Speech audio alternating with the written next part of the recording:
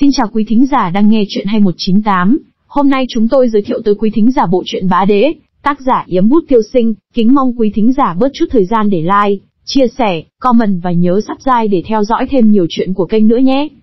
Xin các huynh đệ tỷ muội một đăng ký nhé. Nếu ai ủng hộ trà thuốc cà phê cho kênh thì có quy giờ, Momo, số tài khoản đó nhé. Xin cảm ơn. Chương 671 Thu Dung Vãn Tuyết khó khăn bình tĩnh lại, nàng hít sâu, nhưng nỗi lòng vẫn cực kỳ rung động.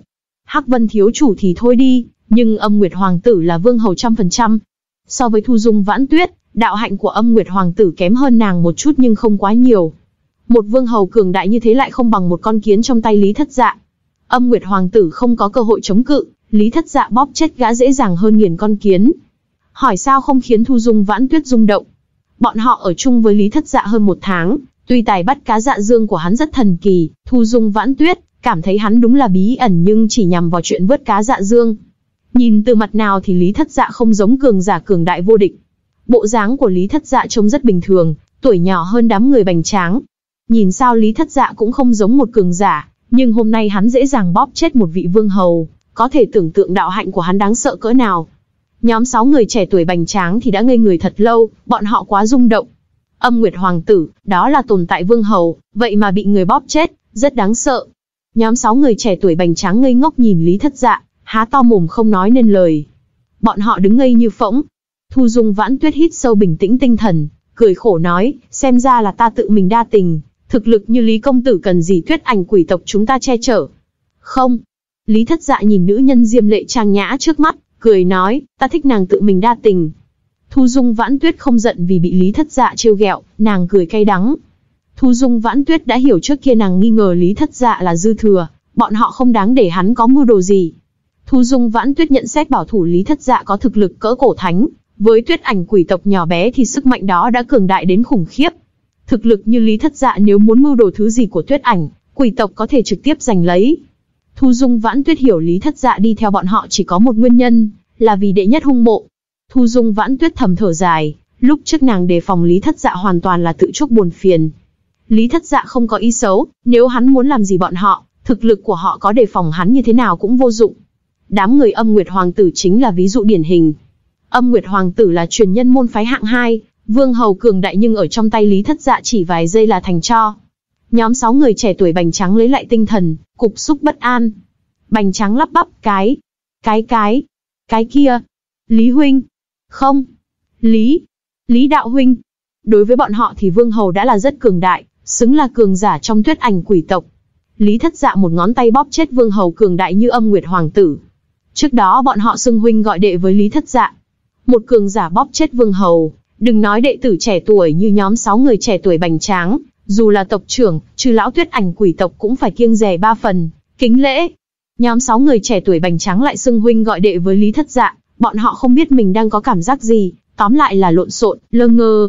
Lý Thất Dạ nhìn bành trắng lắp bắp nói chuyện, bảo, trước kia thế nào thì cứ thế ấy đi.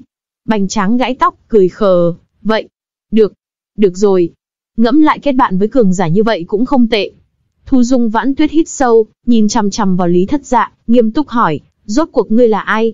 Nhóm sáu người trẻ tuổi bành tráng cùng nhìn Lý Thất Dạ. Trước đó bọn họ tưởng đâu Lý Thất Dạ là tán tu, một tán tu lang thang bốn bể là nhà. Bây giờ xem ra không phải như thế, Lý Thất Dạ trẻ tuổi, tán tu làm sao cường đại đến mức đó. Lý Thất Dạ chỉ vào mũi mình, hỏi ta. Lý Thất Dạ mỉm cười nói, một tu sĩ nhân tộc đến từ Nam Giao Vân. Thật ra ta là ai không quan trọng, chủ yếu là ta không có ác ý với các người. Thu Dung Vãn Tuyết cười khổ, Lý Thất Dạ nói cũng đúng. Đạo hạnh, thực lực như Lý Thất Dạ tất nhiên có lai lịch kinh thiên, tộc nhỏ như Tuyết Ảnh quỷ tộc có biết lai lịch của hắn hay không chẳng quan trọng. Có thể nói hai bên không cùng đẳng cấp, hoàn toàn là hai thế giới. Nếu thấy hay các bạn nhớ like và đăng ký kênh ủng hộ mình nha. Thu Dung Vãn Tuyết hít sâu, trịnh trọng chắp tay hướng Lý Thất Dạ, vậy thì Lý Công Tử, chúng ta từ biệt ở đây, có duyên sẽ gặp lại. Thu Dung Vãn Tuyết vốn định hộ tống hắn đi một đoạn đường, giờ xem ra hoàn toàn không cần thiết. Không. Lý Thất Dạ lắc đầu, nói, Thu Dung, nàng đi theo ta. Lý Thất Dạ thốt lời làm mọi người líu lưỡi, bao gồm Thu Dung Vãn Tuyết. Nhóm sáu người trẻ tuổi bành tráng trợn mắt há hốc mồm, khi lấy lại tinh thần cả đám nhìn nhau. Phát triển thế này nhanh quá đi, đột nhiên kêu tộc trưởng đi theo Lý Thất Dạ, hình như là việc vui. Thu Dung Vãn Tuyết nghe Lý Thất Dạ nói cũng cứng họng, khuôn mặt Mỹ miều đỏ rực, nàng ngây người. Thu Dung Vãn Tuyết tỉnh táo lại, hít sâu bình tĩnh cảm xúc. Thu Dung Vãn Tuyết nghiêm túc nói, ngươi Lý Công Tử đùa hơi lỗ rồi. Lý Thất Dạ nhìn biểu tình của đám người, giờ khóc giờ cười, bọn họ hiểu lầm ý của hắn. Cái này, nàng hiểu lầm rồi. Lý Thất Dạ cười lắc đầu, nói, ta không có ý đó. Lần này chúng ta có duyên, nàng đang tìm thứ tuyết ảnh quỷ tộc lạc mất đúng không? Bây giờ có tìm được nó hay không đã chẳng quan trọng, nàng theo ta đi trong phong đô thành này, ta cho nàng một tạo hóa. Tuyết ảnh quỷ tộc các người sẽ được ích lợi không nhỏ. Sau khi ra dạ hải, Lý Thất Dạ vốn định chia tay với đám người thu dung vãn tuyết. Nhưng vì che chở Lý Thất Dạ, Thu Dung Vãn Tuyết không tiếc đối địch với đám người âm nguyệt hoàng tử làm hắn động lòng. Thu Dung Vãn Tuyết là quỷ tộc, nàng đồng ý che chở một nhân tộc, hắn rất thích cá tính này của nàng. Lý Thất Dạ bỗng nảy ý mang Thu Dung Vãn Tuyết đi. Lý Thất Dạ nhìn Thu Dung Vãn Tuyết, cười nói, đương nhiên nếu nàng nguyện ý đi theo bên ta, thì ta sẽ suy nghĩ có thu nhận nàng không. Nhóm sáu người trẻ tuổi bành tráng nhìn nhau, nháy mắt. Trước đó sáu người còn định xúi dục ghép đôi tộc trưởng và Lý Thất Dạ, giờ có vẻ hy vọng rất lớn ủng hộ kênh qua linkhalazy.com gạch chéo ủng hộ tôi. Viết liền không giấu nhé. Thu Dung Vãn Tuyết giật mình, trong lòng nàng suy nghĩ nhiều điều. Thu Dung Vãn Tuyết, đi phong đô thành trừ để nhóm 6 người trẻ tuổi bành trắng tăng kiến thức, rèn luyện ra đúng là để tìm một vật trong tộc đã đánh mất. Từ thật lâu trước kia tuyết ảnh quỷ tộc đã mất báu vật, thời đại xa xôi đến khó mà ngược dòng. Trước Thu Dung Vãn Tuyết có nhiều tộc trưởng đến phong đô thành tìm kiếm, nhưng mãi không tìm được, không có chút dấu vết nào. Thu Dung Vãn Tuyết đến Phong Đô Thành, nàng không ôm nhiều hy vọng, kỳ tích khó thể xảy ra. Cho đến khi Lý Thất Dạ dẫn cả đám bắt nhiều cá dạ dương, trong lòng Thu Dung Vãn Tuyết dấy lên hy vọng. Thu Dung Vãn Tuyết có nhiều cá dạ dương, không chừng sẽ đổi được tin tức trong Phong Đô Thành, có lẽ sẽ tìm được chút dấu vết. Thật ra Thu Dung Vãn Tuyết không mấy tin tưởng, không tin chắc. Nơi này là Phong Đô Thành, mọi người biết Phong Đô Thành có nhiều báu vật, thậm chí là thần khí, nhưng ít ai mang đi đẳng cấp thần khí ra Phong Đô Thành. Cường giả đế thống tiên môn có đi vào cũng trắng tay trở về, càng đừng nói đến Thu Dung Vãn Tuyết. Nay Lý Thất Dạ tràn đầy tự tin bảo sẽ cho nàng một tạo hóa, Thu Dung Vãn Tuyết do dự, nàng biết hắn sẽ không làm gì không có mục đích. Tộc trưởng đi cùng Lý Huynh đi. Bành tráng lên tiếng suối, không chừng Lý Huynh có thể giúp tộc trưởng tìm về thứ tộc mình đánh mất. Đệ tử khác cũng hùa theo, đúng rồi, tộc trưởng, có Lý Huynh hộ giá thì sẽ đi được nhiều chỗ trong phong đô thành hơn không chừng vật tộc ta đánh mất nằm ở chỗ nào rất nguy hiểm trong phong đô thành. Nhóm 6 người trẻ tuổi bành tráng, cố ý muốn ghép đôi Lý Thất Dạ và Thu Dung Vãn Tuyết. Thu Dung Vãn Tuyết nhìn nhóm 6 người trẻ tuổi bành tráng, hỏi, các người thì sao? Thu Dung Vãn Tuyết động lòng, nàng cần một cơ hội như vậy. Bây giờ tình trạng của tuyết ảnh quỷ tộc khá tệ. Cho đến nay tuyết ảnh quỷ tộc và hắc vân quỷ tộc không ngừng ma sát, hai bên giành đất đai, thường xung đột. Mấy năm gần đây âm nguyệt quỷ tộc ở gần bên cũng rình rập, Âm Nguyệt quỷ tộc là môn phái hạng hai luôn muốn chen chân vào hạng nhất, bọn họ muốn nuốt trọng lãnh thổ xung quanh. Nhưng cùng là quỷ tộc, Âm Nguyệt quỷ tộc không có cớ xuất binh. Âm Nguyệt hoàng tử ngỏ ý muốn cưới Thu Dung Vãn Tuyết, trong lòng nàng biết gã muốn cưới nàng trừ thích nàng ra còn một lý do khác, là địa bàn Tuyết ảnh quỷ tộc. Nếu Âm Nguyệt hoàng tử cưới được Thu Dung Vãn Tuyết, thì Tuyết ảnh quỷ tộc đương nhiên sẽ vào tay Âm Nguyệt quỷ tộc. Nếu bây giờ Lý Thất Dạ mang đến tạo hóa cho Tuyết ảnh quỷ tộc, Thu Dung Vãn Tuyết đồng ý đi chung với hắn, Bành tráng nói ngay, tộc trưởng yên tâm, chúng ta đi mỗi thành trấn nhìn xem, tăng tri thức, coi có thứ gì tốt để mua không. Thu Dung vãn tuyết trầm ngâm, nàng cảm thấy có lý. Mặc dù phong đô thành có báu vật, nhưng đạo hạnh của nhóm 6 người trẻ tuổi bành tráng quá mỏng, rất nhiều chỗ không đi được. Bọn họ đi thành trấn nhìn ngắm cũng là một cơ hội, huống chi cả đám sở hữu nhiều cá dạ dương, không chừng sẽ chiếm được tạo hóa. Vậy các người phải cẩn thận. Nhớ kỹ đừng lộ tài, các người đừng tùy tiện để ai biết mình có cá dạ dương. Thu Dung Vãn Tuyết dặn dò, nếu gặp nguy hiểm hãy phát tín hiệu cầu cứu. Nhóm 6 người trẻ tuổi bành tráng đồng thanh kêu lên, tộc trưởng cứ yên tâm đi cùng Lý Huynh, chúng ta tuyệt đối sẽ không gây chuyện thị phi.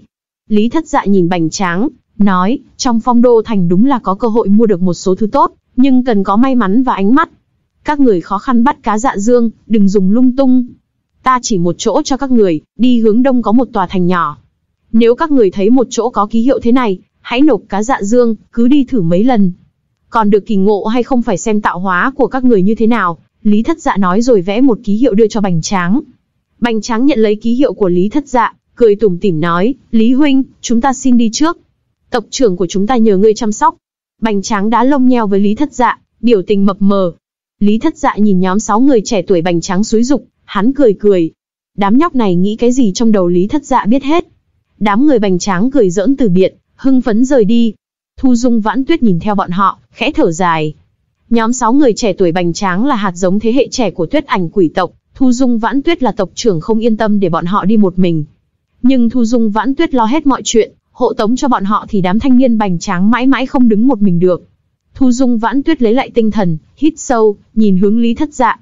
Thu Dung Vãn Tuyết hỏi, chúng ta đi đâu? Lý Thất Dạ nheo mắt nói, đi ngũ giới môn, chúng ta đi chỗ đó thử cơ may. Ngũ giới môn. Thu Dung Vãn Tuyết rung động nói, ngũ giới môn là chỗ khá nguy hiểm, năm môn có bốn là đất đại hung.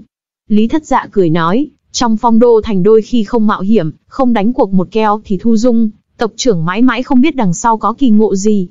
Thu Dung vãn tuyết gật đầu, nàng không phản đối, nếu dã quyết định đi theo lý thất dạ thì hắn đến đâu là nàng theo tới đó. Trong phong đô thành toàn là quỷ nhưng không phải cô hồn dã quỷ mất trật tự.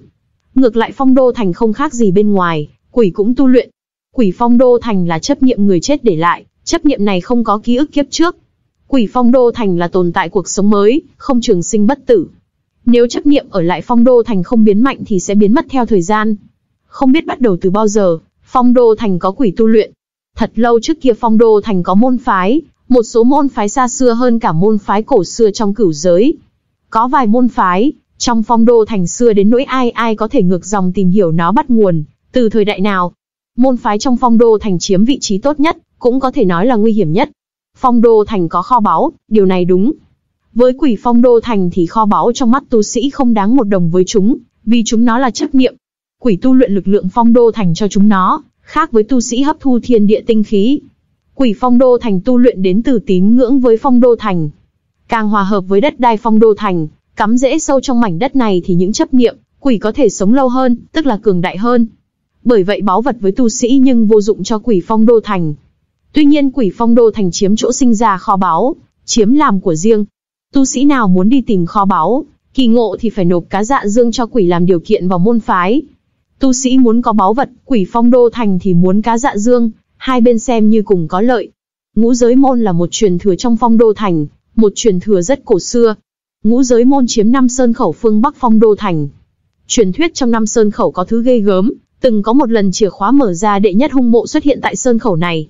Bởi vậy nhiều tu sĩ từ ngoài đến đều muốn vào sơn khẩu, nhìn xem mình có kỳ ngộ không. Khi Lý Thất Dạ mang theo Thu Dung Vãn Tuyết đi tới ngũ giới môn, bên ngoài sơn khẩu đã xếp hai đội dài, đều là tu sĩ từ bên ngoài đến. Có nam có nữ, muôn hình muôn vẻ, có quỷ tộc, nhân tộc, yêu tộc, thiên ma. Thu Dung Vãn Tuyết nhìn nhiều người xếp hàng muốn vào ngũ giới môn thì rất bất ngờ, nói với Lý Thất Dạ, gần đây phong đô thành khá náo nhiệt. Lý Thất Dạ nhìn dòng người, hắn và Thu Dung Vãn Tuyết cũng xếp hàng. Trong đội toàn là người trẻ tuổi đến từ các tộc, Bên ngoài sơn khẩu có hai quỷ canh gác, hoặc nên nói là hai chấp niệm. Chúng nó gác ở sơn khẩu, ai muốn đi vào phải nộp cá dạ dương. Khi Lý Thất Dạ xếp hàng cợt có một chuỗi tiếng nổ, đất đai lung lay. Mọi người thấy một người khổng lồ bước tới, vóc dáng cao to nhưng đi khá nhanh, chớp mắt đã tới đội xếp hàng. Đó là một thanh niên, to hơn người bình thường gấp ba lần, trông rất chắc khỏe. Thanh niên phát ra khí thế hung bá, trên đầu có vầng sáng ba màu. Thanh niên cao to nhưng không phải loại thô kệch, mặt mày khá điển trai. Đặc biệt vầng sáng ba máu trên đầu khiến thanh niên rất thần thánh. Thanh niên khổng lồ đến gần, lạnh lùng quét mắt một vòng, sau đó xếp hàng. Trong các thanh niên nam nữ xếp hàng có người nhận ra lai lịch của thanh niên, ngoan ngoãn đứng ra nhường chỗ. Thanh niên người khổng lồ không chút khách sáo xếp hàng trên. Có tu sĩ trẻ đến từ Nam Giao Vân nhìn thanh niên khổng lồ, rung động nói, ma lợi đao. Lý thất dạ nhìn vầng sáng ba sắc trên đầu thanh niên, kinh ngạc nói, ma thiên tộc. Ma thiên tộc là một chi hệ của thiên ma tộc, tại đây gặp ma thiên tộc khá hiếm hoi trong thiên ma tộc đúng là không dễ gì. Thu Dung Vãn Tuyết thấy Lý Thất Dạ không biết lai lịch của thanh niên khổng lồ, lên tiếng nhắc nhở, hắn là ma lợi đao, truyền nhân của ma thiên môn. Thu Dung Vãn Tuyết nhỏ giọng nói, nghe nói trong Nam Giao Vân hắn là một kẻ hung dữ. Tuy Tuyết ảnh quỷ tộc là tộc nhỏ nhưng tộc trưởng Thu Dung Vãn Tuyết luôn chú ý gió mây trong thiên hạ, nàng hiểu biết khá nhiều nhân vật phong vân đương thời. Lý thất dạ bật cười, trong nhân hoàng giới có người gọi hắn là ác ôn, không biết ma lợi đao bị người gọi là kẻ ác rốt cuộc giữ đến đâu.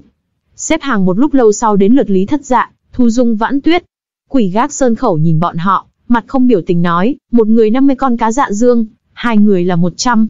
Mỗi lần chỉ có thể chọn một sơn khẩu. Vào sơn khẩu phải nộp 50 con cá dạ dương, đám quỷ phong đô thành thật biết làm ăn. Mặc kệ ngươi có được báu vật hay không, hễ đi vào thì phải giao 50 con cá dạ dương. Lý thất dạ, Thu Dung vãn tuyết nộp cá dạ dương xong hai quỷ gác sơn khẩu cho đi. Quỷ nói với hai người, năm sơn khẩu chỉ cho chọn một cái. Lý thất dạ nhìn năm sơn khẩu, mỉm cười nói, chúng ta chọn bàn sơn khẩu. Lý thất dạ chọn bàn sơn khẩu, nhiều người nhìn hướng hắn. Một tu sĩ nhân tộc trẻ tốt bụng nhắc nhở, huynh đệ, lần đầu tiên ngươi đến đây đúng không? Tuy bàn sơn khẩu là sơn khẩu an toàn nhất nhưng cũng là nơi hết hy vọng nhất. Hai người không đi hết ngọn núi đó được, Thánh Tôm muốn đi còn khó khăn. Hai ngươi chọn sơn khẩu thứ nhất đi. Ít mạo hiểm, cơ hội cũng không tệ. Dù không được báu vật gì nhưng ít ra không tổn thất, lỡ gặp vận may không chừng sẽ được một, hai báu vật ghê gớm. Tu sĩ nhân tộc trẻ khá tốt bụng, dù sao trong chỗ này nhân tộc rất yếu, mọi người ra đường nên giúp đỡ lẫn nhau. Đa tạ đạo huynh. Lý thất dạ mỉm cười nói, ta muốn gặp vận may lớn, không chừng sẽ có kỳ ngộ lớn. Kỳ ngộ lớn.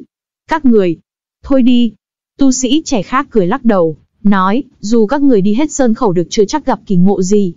Lý thất dạ cười cười, vẫn dẫn Thu Dung vãn tuyết vào sơn khẩu thứ năm tức là bàn sơn khẩu. Có người nhìn Lý thất dạ, Thu Dung vãn tuyết đi vào, tiếc nuối nói, hai người này lãng phí 100 con cá dạ dương, tiếc quá. Sau khi Lý thất dạ, Thu Dung vãn tuyết vào sơn khẩu, khí nóng khô giáo ập vào mặt. Khi thấy cảnh tượng trước mắt, người không biết chuyện còn tưởng đâu đi nhầm chỗ. Trước mắt là sa mạc, một sa mạc mênh mông bát ngát. Lạ lùng là sa mạc này bằng phẳng, đất khô như bị nướng cháy. Nếu không phải sơn khẩu nằm ngay sau lưng, ai trông thấy sa mạc đều ngỡ rằng mình đi nhầm chỗ, nơi này có điểm nào giống phong đô thành. Thu Dung Vãn Tuyết nhìn sa mạc trước mắt, trợn mắt há hốc mồm. Bàn sơn khẩu. Tuy Thu Dung Vãn Tuyết chưa từng đến đây nhưng có nghe nói chút ít. Cái này, chúng ta làm được không? Thu Dung Vãn Tuyết hoang mang hỏi, nghe nói bàn sơn khẩu cơ bản không có báu vật gì, cũng là sơn khẩu có yêu cầu cao nhất trong năm sơn khẩu. Đánh cuộc một keo. Lý Thất Dạ cười nói, tuy bốn sơn khẩu khác có xác suất ra báu vật lớn hơn, chút nhưng toàn là loại bình thường. Muốn đánh cuộc thì phải đặt ván lớn, nếu may mắn thì đó là vận may từ trên trời rớt xuống. Thu Dung Vãn Tuyết cười khổ nghe Lý Thất Dạ nói. Đối với tuyết ảnh quỷ tộc thì báu vật bình thường cũng đã rất tốt, còn thần khí trong truyền thuyết thì Thu Dung Vãn Tuyết không dám tưởng tượng. Nhưng Thu Dung Vãn Tuyết tin tưởng sự lựa chọn của Lý Thất Dạ, nói, bây giờ chúng ta nên làm gì? Lý Thất Dạ cười nói, trong năm góc sa mạc này có năm ngọn núi. Chỉ cần đẩy năm ngọn núi vào giữa là có thể mở sa mạc ra. Sau đó có được báu vật hay không thì tùy vận may của mọi người. Lý Thất Dạ quen thuộc bàn sơn khẩu làm Thu Dung Vãn Tuyết nhìn hắn chằm chằm, chẳng phải ngươi nói mình chưa từng đến phong đô thành sao? Lý Thất Dạ cười trả lời, nếu ta nói từng đến đây, nàng là tộc trưởng sẽ cho ta đi theo không?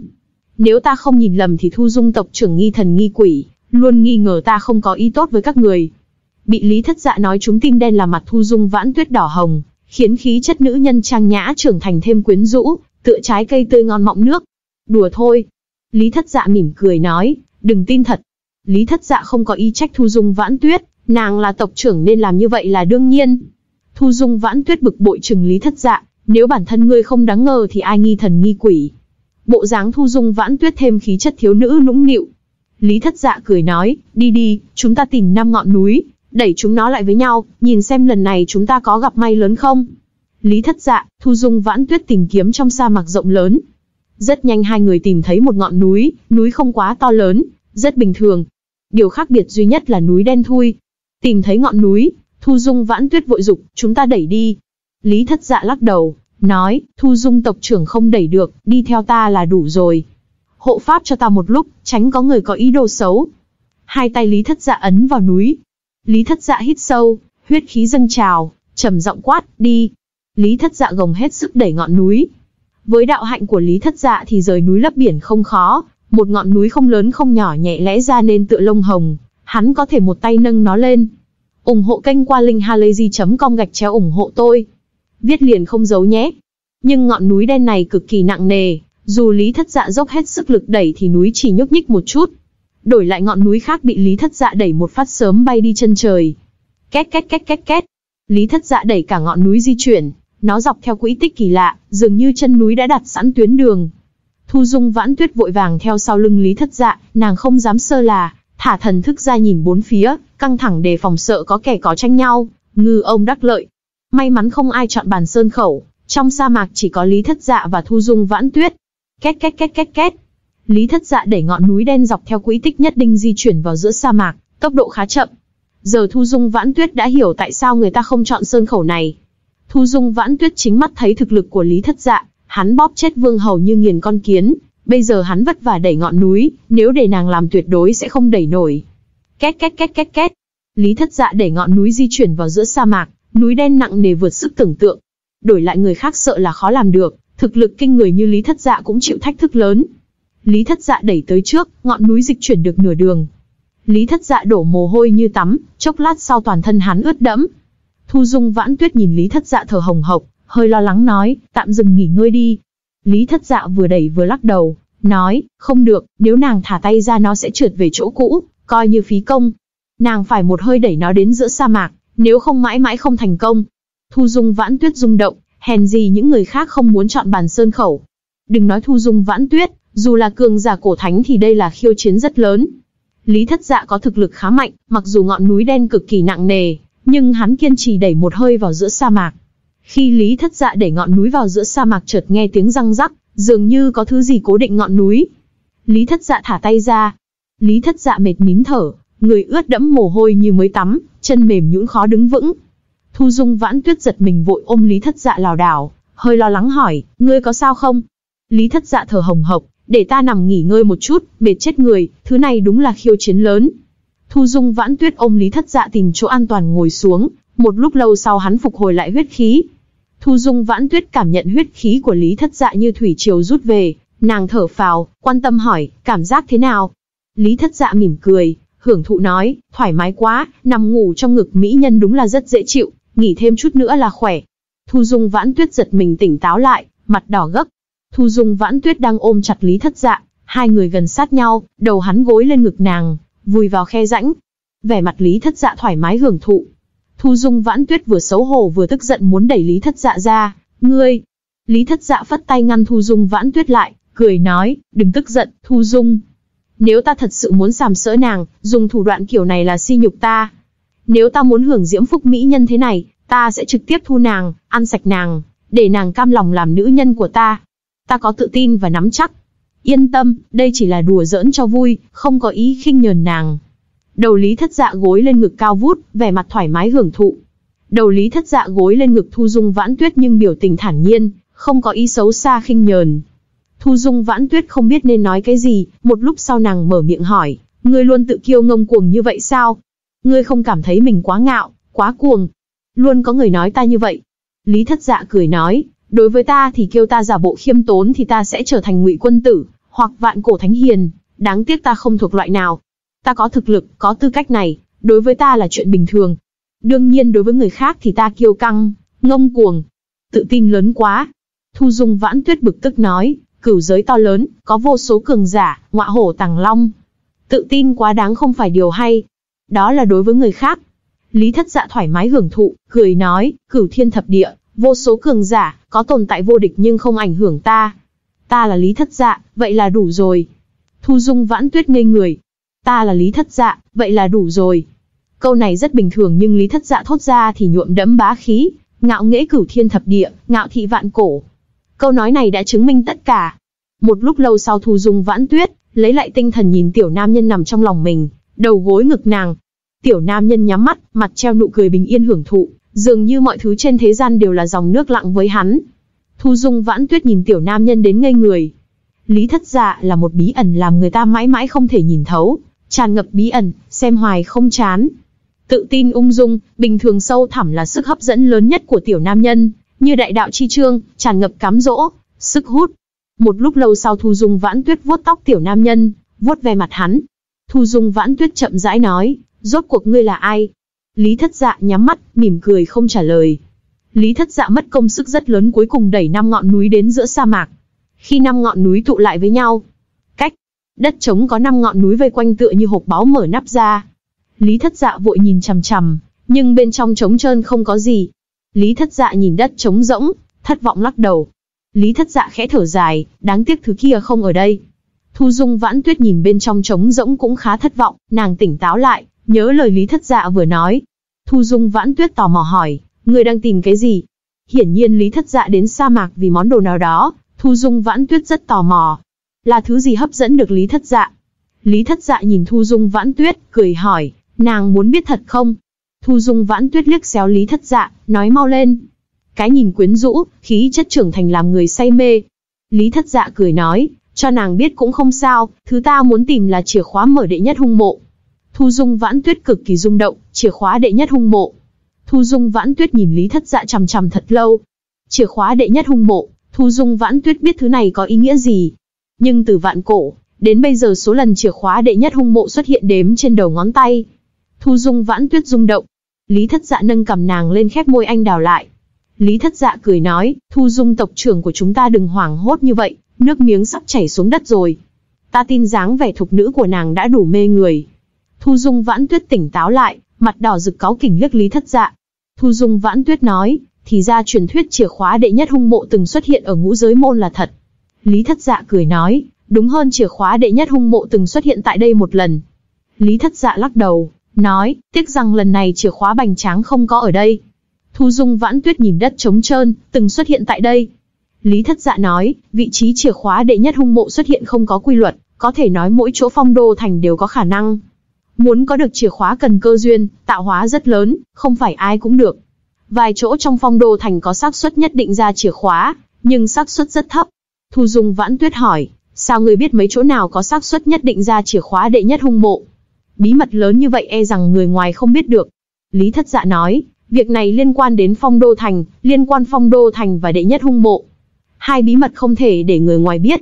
Thu Dung Vãn Tuyết rung động hỏi, vậy ngươi làm sao biết bí mật đó? Chuyện như vậy xem như là đại giáo cường quốc chưa chắc biết, nhưng Lý Thất Dạ nắm rõ trong lòng bàn tay. Đây là bí mật. Lý Thất Dạ nhìn nữ nhân trang nhã trưởng thành trước mặt mình, lắc đầu, nói, có vài thứ nàng không nên biết, vì không có lợi cho nàng. Thu Dung Vãn Tuyết hiểu chuyện không hỏi tiếp, nàng nói, đệ nhất hung mộ đã lâu không bị người mở ra, truyền thuyết xác suất có chìa khóa cực kỳ thấp. Từ vạn cổ đến bây giờ chỉ có vài người lấy được chìa khóa đệ nhất hung mộ. Hãy tin ta. Lý Thất Dạ thản nhiên nói, ta chắc chắn sẽ tìm dược chìa khóa, tại đây. Đệ nhất hung mộ sẽ mở ra trong đời này, nếu không dù phải lật tung phong đô thành ta quyết tìm chìa khóa bằng được. Thu Dung vãn tuyết rung động, giọng điệu bá đạo biết mấy. Từ vạn cổ, đến bây giờ có bao nhiêu người trẻ tuổi dám ngông cuồng tuyên bố lật tung phong đô thành. Nhiều người vào đây đều không muốn đối địch với phong đô thành. Bây giờ chúng ta đi dâu. Thu Dung vãn tuyết nhìn tiểu nam nhân, hỏi, muốn thử bốn sơn khẩu không? Tuy bốn sơn khẩu sẽ ra báu vật nhưng tuyệt đối không có chìa khóa đệ nhất hung mộ. Lý thất dạ lắc đầu, nói, chúng ta đi chỗ khác, đến quỷ hà thử vận may xem. Đi quỷ hà. Thu dung vãn tuyết chấn động, đó là đất giữ nổi tiếng trong phong đô thành, nghe đồn mỗi ngày có người chết trong quỷ hà. Yên tâm, có ta ở đây. Lý thất dạ bình tĩnh nói, tuy quỷ hà giữ nhưng không thu ta được. Thu dung vãn tuyết ngẫm nghĩ, giao hết số cá dạ dương của mình cho Lý thất dạ. Thu dung vãn tuyết nói, người quyết định đi, ta tin ngươi sẽ mang đến tạo hóa cho chúng ta. Phong đô thành có nhiều đất giữ, Thu Dung Vãn Tuyết không có năng lực đến gần nơi như Quỷ Hà, nên nàng đơn giản giao cá dạ dương của mình cho Lý Thất Dạ, tùy hắn quyết định. Lý Thất Dạ, Thu Dung Vãn Tuyết rời khỏi ngũ giới môn sau đó đi Quỷ Hà ngay. Như Thu Dung Vãn Tuyết nói, Quỷ Hà đúng là đất giữ, hai người Lý Thất Dạ chạy tới nơi, ít người xếp hàng trong Quỷ Hà hơn ngũ giới môn. Quỷ Hà bị truyền thừa tên Quỷ Vận phái chiếm cứ, muốn có được báu vật trong Quỷ Hà phải nộp cá dạ dương. Quỷ Hà ở dưới lòng đất, khi đi vào một cái hang sẽ thấy bến đò trước mặt, một con sông sâu không thấy đáy lững lờ trôi. Truyền thuyết người chết trong phong đô thành dù là ngoài ý muốn nay cam lòng chết già, sau khi bọn họ chết xác sẽ chìm vào quỷ hà. Rất nhiều người cho rằng quỷ hà là nơi hung linh tụ tập. Đương nhiên đây chỉ là truyền thuyết, xác người chết trong phong đô thành có chìm xuống quỷ hà hay không rất khó kiểm chứng. Thu Dung Vãn Tuyết và Lý Thất Dạ đứng trước bến đò, cảm nhận khí lạnh của quỷ hà ập vào mặt, quỷ khí âm trầm.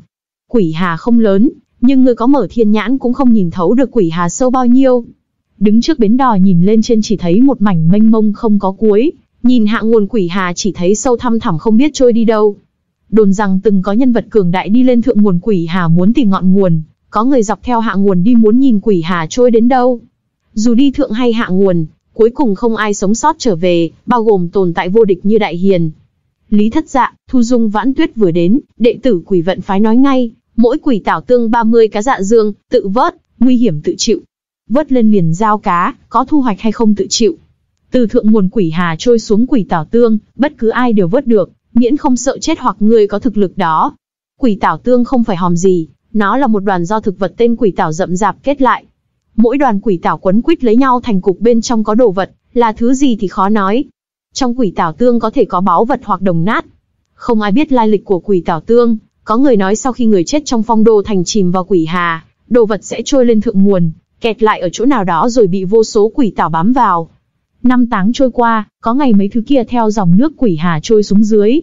Có người nói quỷ tảo tương đến từ một chậu châu báu phong đô thành, chậu châu báu chứa rất nhiều thứ, bao gồm thần khí trong truyền thuyết, tiên thạch cổ xưa, thậm chí là thứ ở thời đại thần thoại. Còn có đồng nát của người chết đánh rơi trong phong đô thành.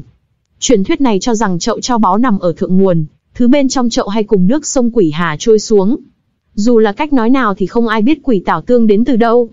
xác suất được báu vật trong quỷ tảo tương không lớn, dù có thì chỉ là báu vật bình thường. Muốn được thần khí trong truyền thuyết thì rất khó khăn, xác suất nhỏ gần bằng không. Khiến người đời sau say mê nói đến là cự thiên tiên đế. Truyền thuyết khi cự thiên tiên đế còn trẻ từng đến quỷ hà thử vận may, cuối cùng được một báu vật vô song muôn đời. Truyền thuyết chính vì có báu vật này nên cự thiên tiên đế, từ một tán tu quỷ tộc bình thường trở thành tiên đế vô địch một thế hệ. Có cự thiên tiên đế may mắn làm gương khiến sau này, nhiều tu sĩ trẻ có thực lực đâm đầu vào chư thiên thần uẩn mạo hiểm. Đương nhiên mỗi năm người trẻ tuổi chết trong quỷ hà nhiều vô số kể. Quỷ hà nguy hiểm hơn năm sơn khẩu ngũ giới môn rất nhiều. Khi Lý Thất Dạ, Thu Dung Vãn Tuyết đến bến đò chỉ có mười mấy người, không cần xếp hàng như ngũ giới môn. Lý Thất Dạ, Thu Dung Vãn Tuyết đứng ở bến đò một lúc. Trong mười mấy tu sĩ trẻ nhìn chằm chằm thượng nguồn có một người lớn tiếng nói, lại có một đám quỷ tảo tương trôi xuống. Thiếu niên nhìn thượng nguồn, quả nhiên có quỷ tảo tương trôi xuống. Mỗi quỷ tảo tương kích cỡ khác nhau, có lớn có nhỏ, có tròn có dẹp. Quỷ tảo, như dây leo đen rậm rạp quấn quít nhau tựa các con rắn nhỏ làm người lạnh gáy. Các sợi quỷ tảo mỏng toát ra khói đen bao bọc nguyên quỷ tảo tương. ủng hộ kênh qua linkhalazy.com gạch chéo ủng hộ tôi. Viết liền không giấu nhé. Khi quỷ tảo tương trôi xuống, có người mở thiên nhãn muốn xem thứ bên trong quỷ tảo tương. Nhưng người có mở thiên nhãn cũng khó xuyên thấu khói đen quỷ tảo phát ra, khó nhìn thấu trong quỷ tảo tương có cái gì. Khi quỷ tảo tương trôi xuống dưới, Lý Thất Dạ nhìn chằm chằm vào mớ quỷ tảo tương, xem thật kỹ từng cái một coi có quỷ tảo tương nào đáng để hắn ra tay không. Khi quỷ tảo tương trôi đến gần bến đò, có người hành động. Năm tu sĩ trẻ xông lên, tay vớt quỷ tảo tương. Năm tu sĩ trẻ đều là cường giả quỷ tộc, đạo hạnh lợi hại. Bọn họ ra tay nhanh như tia chớp, chọn ngay quỷ tảo tương mình muốn. Rào rào. Khi quỷ tảo tương rời khỏi mặt nước thì quỷ hà nổi sóng. Cùng với tiếng nước vang lên, các hung vật từ dưới quỷ hà vọt lên. Rắn to do khói quỷ hình thành lăn lộn giữa sông, há mồm táp. Một thứ như cái lưỡi vọt ra khỏi mặt sông cuốn lấy một tu sĩ trẻ. Một bàn tay xương trắng duỗi ra chụp hướng tu sĩ trẻ. Trong quỷ hà, hễ người lấy một quỷ tảo tương sẽ vời đến hung vật dưới đáy quỷ hà công kích. Có người nói đó là xác chìm dưới quỷ hà, những thứ này xem đồ trong quỷ hà là của mình, quỷ tảo tương bị lấy đi sẽ bị chúng nó công kích.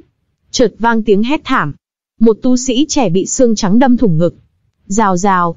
Xác tu sĩ trẻ bị bàn tay xương kéo vào quỷ hà. Tu sĩ trẻ khác hét to một tiếng, giết. Tu sĩ thi triển tuyệt học mạnh nhất đời mình, nước sông dao động dậy sóng.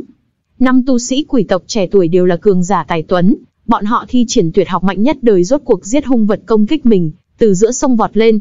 Bốn thanh niên quỷ tộc mỗi người vớt được một quỷ tảo tương, sau khi lên bờ liền nộp cá dạ dương cho quỷ sứ quỷ vận phái. Nộp cá dạ dương xong bốn thanh niên vội vàng thanh lý quỷ tảo bám trên quỷ tảo tương. Có hai thanh niên được thứ vô dụng, một thanh niên được cái mũ cũ nát, một thanh niên được lá chắn rách nát, tất cả đúc bằng kim loại cấp thấp nhất, không đáng một đồng. Hai thanh niên khác đỡ hơn chút, một người được một huy chương cổ, tuy không biết có tác dụng gì, nhưng huy chương toát ra thần tính nói lên nó là một báu vật. Thanh niên cuối cùng may mắn nhất, được một khối hỏa tước thạch, cục đá chỉ to cỡ nắm tay có ngọn lửa nhảy múa, như một con chim lửa nhỏ bé sắp bay ra, Thanh niên được hỏa tước thạch mừng rỡ, ha ha, chuyến này lời rồi. Khối hỏa tước thạch đúng là có giá trị, thanh niên hưng phấn vội vàng cất đồ. Những thanh niên khác tặc lưỡi khen. Tu sĩ trẻ nói, thế là may, ta ở đây chờ 10 ngày, khối hỏa tước thạch này là thứ tốt nhất trong đám được vớt 10 ngày qua. Một lúc sau có thanh niên từ bỏ thử vận may, dù ao quỷ hà quá nguy hiểm, mỗi lần đi vớt quỷ tảo tương là sẽ có một, hai người chết. Có thanh niên không cam lòng, tiếp tục ở lại. Tu sĩ trẻ ở lại mong gặp may tiếp, tuy quỷ hà nguy hiểm, nhưng nó là một trong các đất giữ ra nhiều báu vật nhất phong đô thành. Nơi này từng ra mấy món thần khí. Tu sĩ trẻ nói cũng có lý. Quỷ hà giữ thật, nhưng nó là một trong các đất giữ ra nhiều báu vật nhất phong đô thành. Báu vật kinh thế nhất là thứ cự thiên tiên đế đã có. Truyền thuyết cự thiên tiên đế được một tiên vật rất xa xưa trong quỷ hà. Thượng nguồn quỷ hà hay có quỷ tảo tương trôi xuống, khi nhiều khi ít, thời gian không cố định.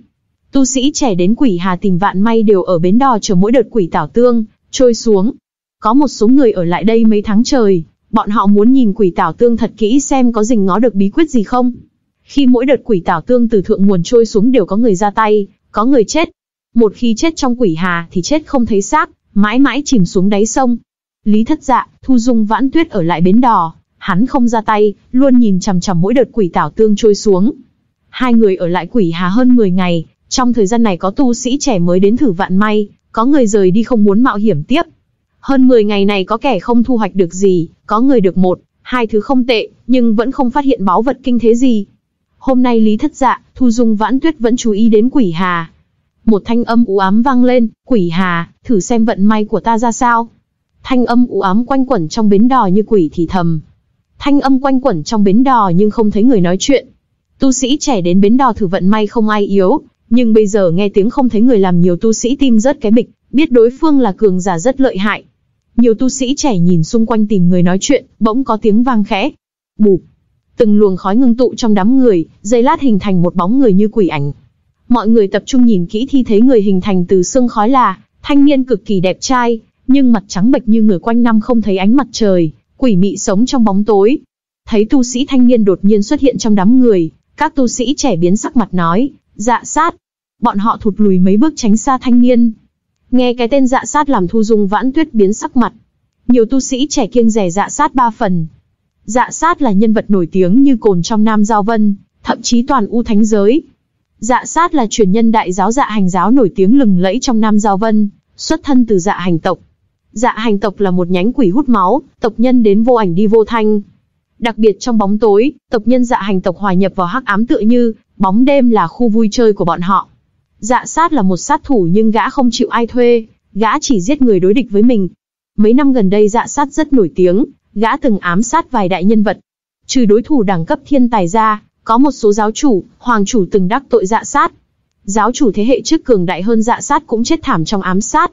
Dạ sát chưa bao giờ quyết đấu quang minh chính đại với địch thủ, một khi đắc tội gã sẽ bị gã theo dõi như bóng với hình, mũi nhọn ở sau lưng. Dạ sát giáo giết bám sát mục tiêu đến khi nào đối tượng bị gã giết thì ngừng. Đối với tu sĩ, ân oán tình thù là chuyện thường, thủ đoạn giải quyết phân tranh dễ thấy nhất là đấu đơn hoặc hội đồng, đặc biệt các thiên tài càng thích dựa vào sức mình giải quyết kẻ thù. Đối với bọn họ đây là sự rèn luyện, chỉ có quét hết kẻ thù thì tương lai mới bước lên đỉnh cao được. Hành động ám sát đừng nói là thiên tài, đệ tử đại giáo cường quốc có chút thân phận đều khinh thường làm. Bọn họ thà chọn đánh hội đồng, ít nhất thể hiện thực lực đại giáo cường quốc của mình. Nhưng dạ sát xuất thân từ dạ hành giáo không quan tâm mấy chuyện nhỏ nhặt. Dạ sát là sát thủ, gã chỉ cần biết tiêu diệt đối thủ, kẻ thù, gã không tiếc dùng mọi cách ám sát. Vì vậy dạ sát không được xếp vào thiên tài đỉnh cao nhất U Thánh giới hiện nay, nhưng rất nhiều người e rè gã. Trong thiên tài thế hệ trẻ một số người mạnh hơn dạ sát, nhưng vẫn kiêng rè gã ba phần. Khi dám tu sĩ trẻ lùi mấy bước, dạ sát nở nụ cười, gã hưởng thụ người khác sợ mình.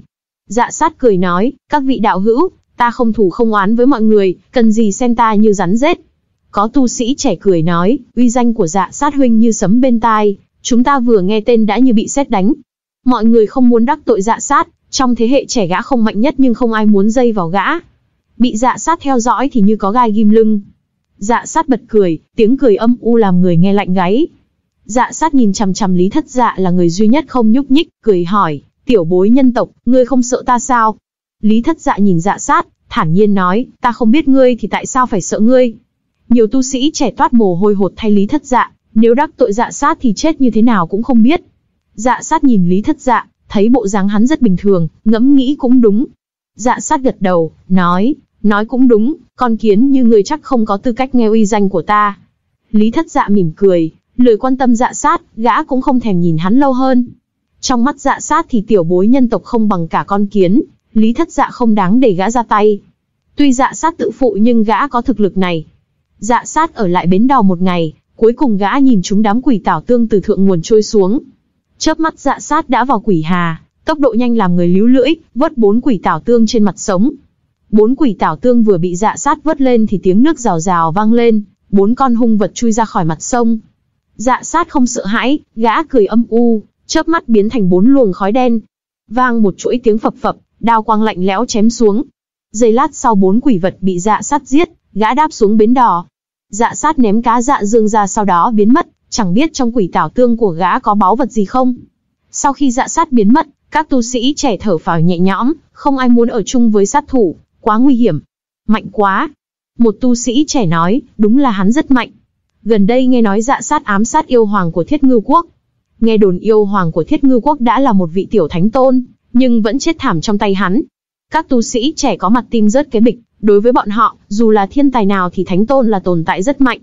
Đặc biệt thánh tôn thế hệ trước càng cường đại hơn, dạ sát ám sát giết một vị tiểu thánh tôn, có thể tưởng tượng thực lực của gã như thế nào. Lý thất dạ, Thu Dung vãn tuyết ở lại bến đò 21 ngày.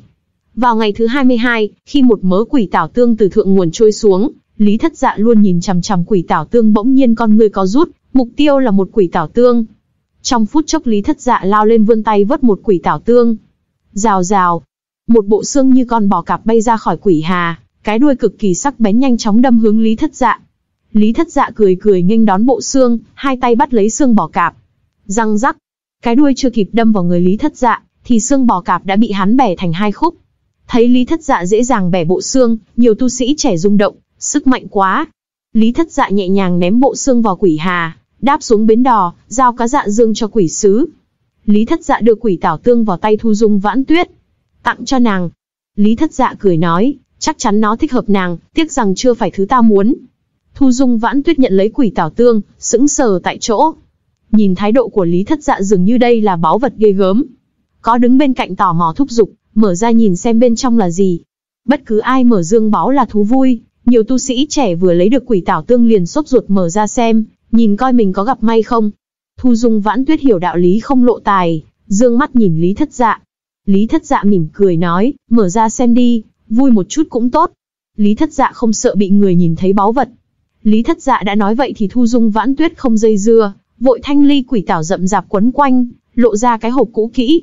Chuyện này rất hiếm thấy, nhiều quỷ tảo tương không có hộp. Khi chiếc hộp bị mở ra tỏa ánh trăng rực rỡ, Ánh trăng rơi xuống như pháo hoa nở rộ ánh sáng rực rỡ muôn màu. Chưa thấy báu vật, nhìn hoa trăng rơi đã làm người ta kinh thán. Thu Dung Vãn Tuyết nhìn thấy trong hộp chứa một vầng trăng cong, kích cỡ bàn tay tỏa ánh trăng rực rỡ như trăng sáng treo trên cao. Làm người ta rung động là trong trăng cong có một cái bóng, bóng dáng mơ hồ xuất trần như tiên nhân. Mọi người chưa thấy rõ ràng thứ nằm bên trong Thu Dung Vãn Tuyết đã vội đóng nắp hộp, lại. Tim Thu Dung Vãn Tuyết đập nhanh, tuy nàng không rõ đó là gì nhưng chắc chắn là báu vật rất ghê gớm, những người khác không thấy rõ thứ trong hộp, nhưng nhìn ánh trăng toát ra có thể suy đoán đó là báu vật. Chắc là báu vật không tệ. Có tu sĩ trẻ tuổi hâm mộ nói, may mắn thật, một lần đã lấy được báu vật, siêu may mắn. So với Thu Dung Vãn Tuyết cẩn thận thì Lý Thất Dạ tùy ý cười nói, chúng ta đi. Thu Dung Vãn Tuyết ngoan ngoãn đi theo sau Lý Thất Dạ rời khỏi bến đò. Ra khỏi bến đò, Thu Dung Vãn Tuyết hỏi, ngươi không vớt quỷ tảo tương nào cho mình sao? Lý Thất Dạ vừa ra tay đã vớt được báu vật, Thu Dung Vãn Tuyết hiểu rằng giống như cá dạ dương, hắn biết vài bí mật phong đô thành, nếu không sẽ không thể vừa ra tay đã bắt chính xác. Không có. Lý Thất Dạ lắc đầu, nói, Quỷ Hà là chỗ rất đặc biệt, một khi xuất hiện báu vật kinh, thế thì vài năm hay mấy chục năm đừng mơ có thêm thứ khác nữa. Ta chắc chắn chìa khóa đệ nhất hung mộ không có trong Quỷ Hà. Thu Dung Vãn Tuyết kinh ngạc nói, báu vật kinh thế. Tim Thu Dung Vãn Tuyết đập nhanh, thần hồn dao động.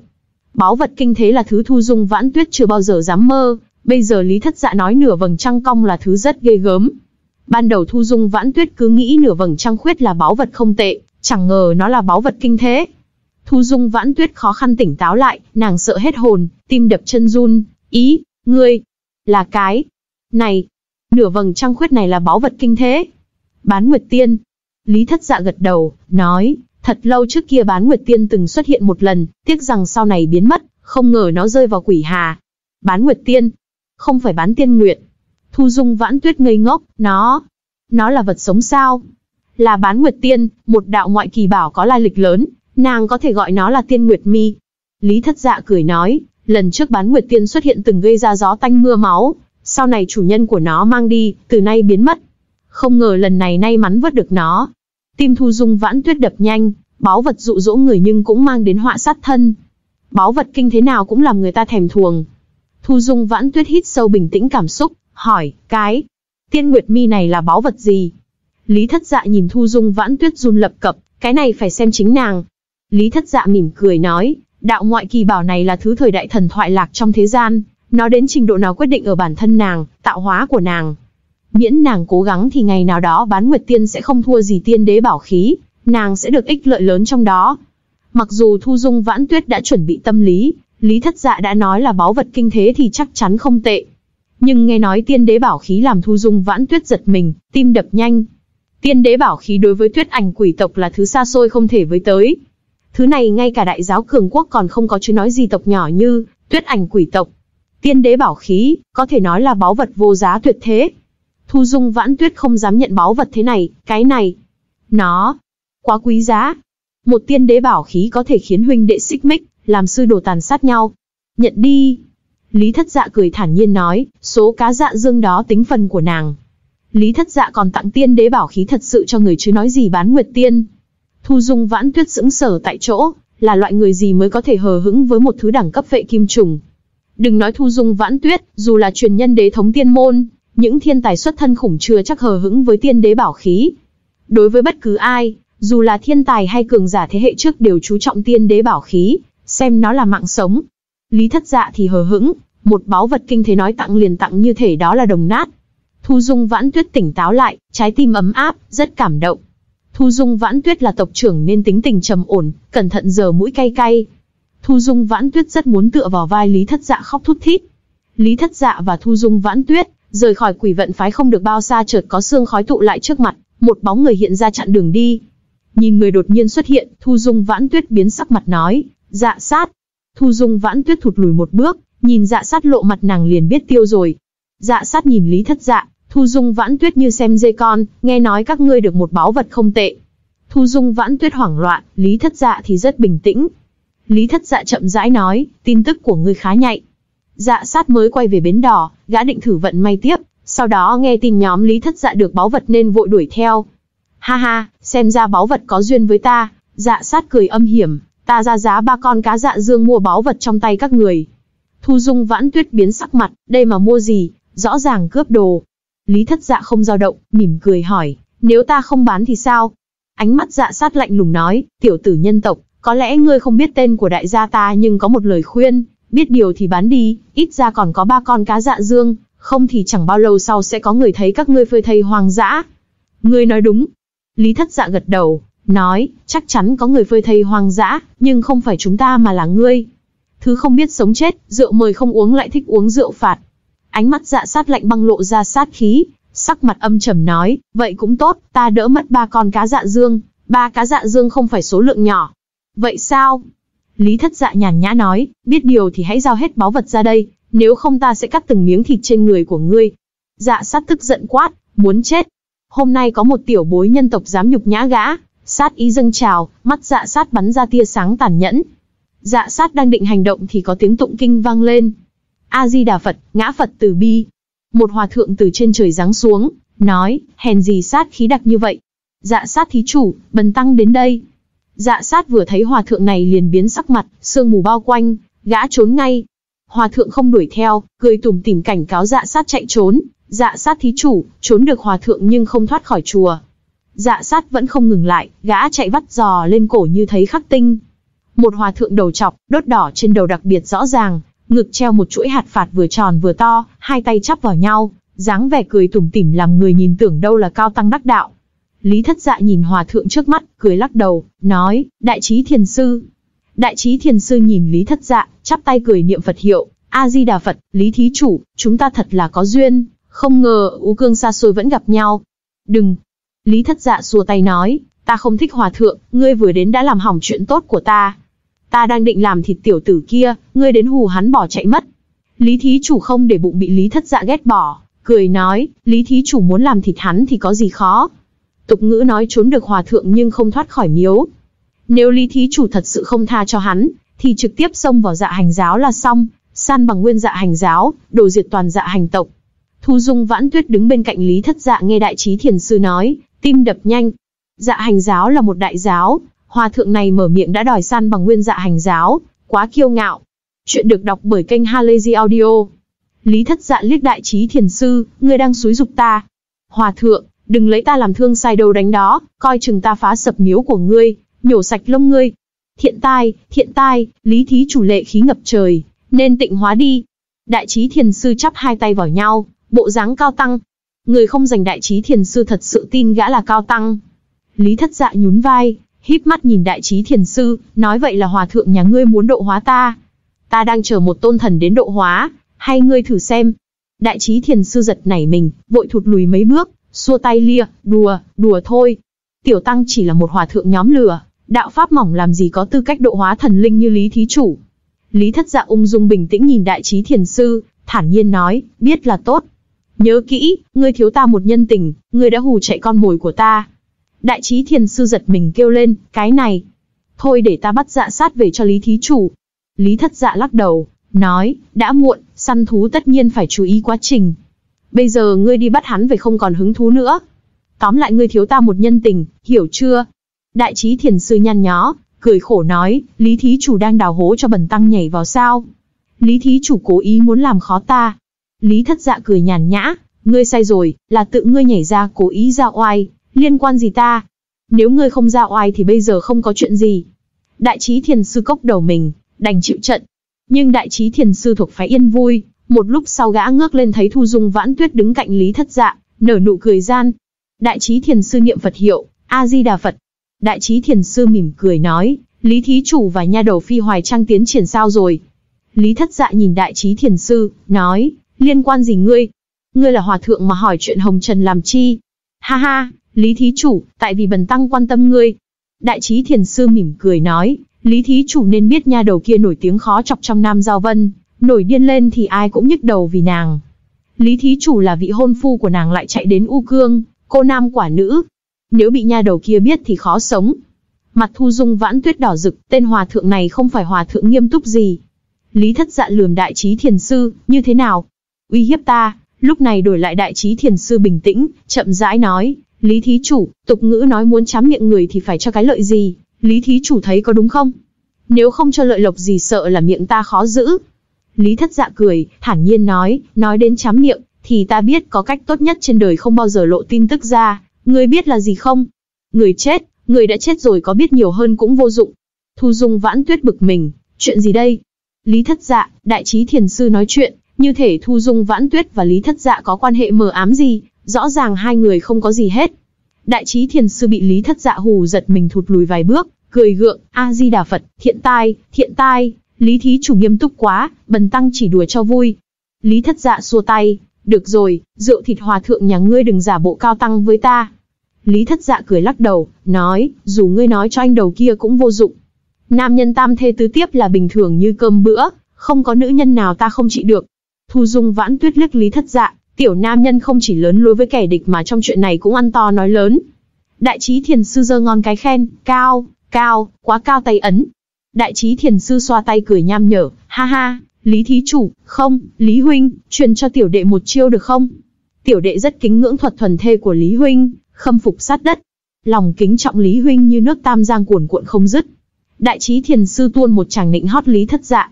Đại trí thiền sư thay đổi đột ngột làm thu dung vãn tuyết trợn mắt há hốc mồm, không biết nên nói cái gì. Đại trí thiền sư là hòa thượng thì học thuật thuần thê làm gì? Lý thất dạ bật cười, hắn nhìn đại trí thiền sư, hỏi, như thế nào? Ngươi không làm hòa thượng, đột nhiên động phàm tâm, muốn hoàn tục. Đại trí thiền sư lúng túng cười gượng nói, không giấu gì Lý Huynh, ta làm hòa thượng chỉ là cực chẳng đã, là bất đắc dĩ. Thì ra ngươi là hòa thượng giả. Lý thất dạ cười nói, nếu chỉ là hòa thượng rượu thịt thì thôi, lại còn là hòa thượng giả.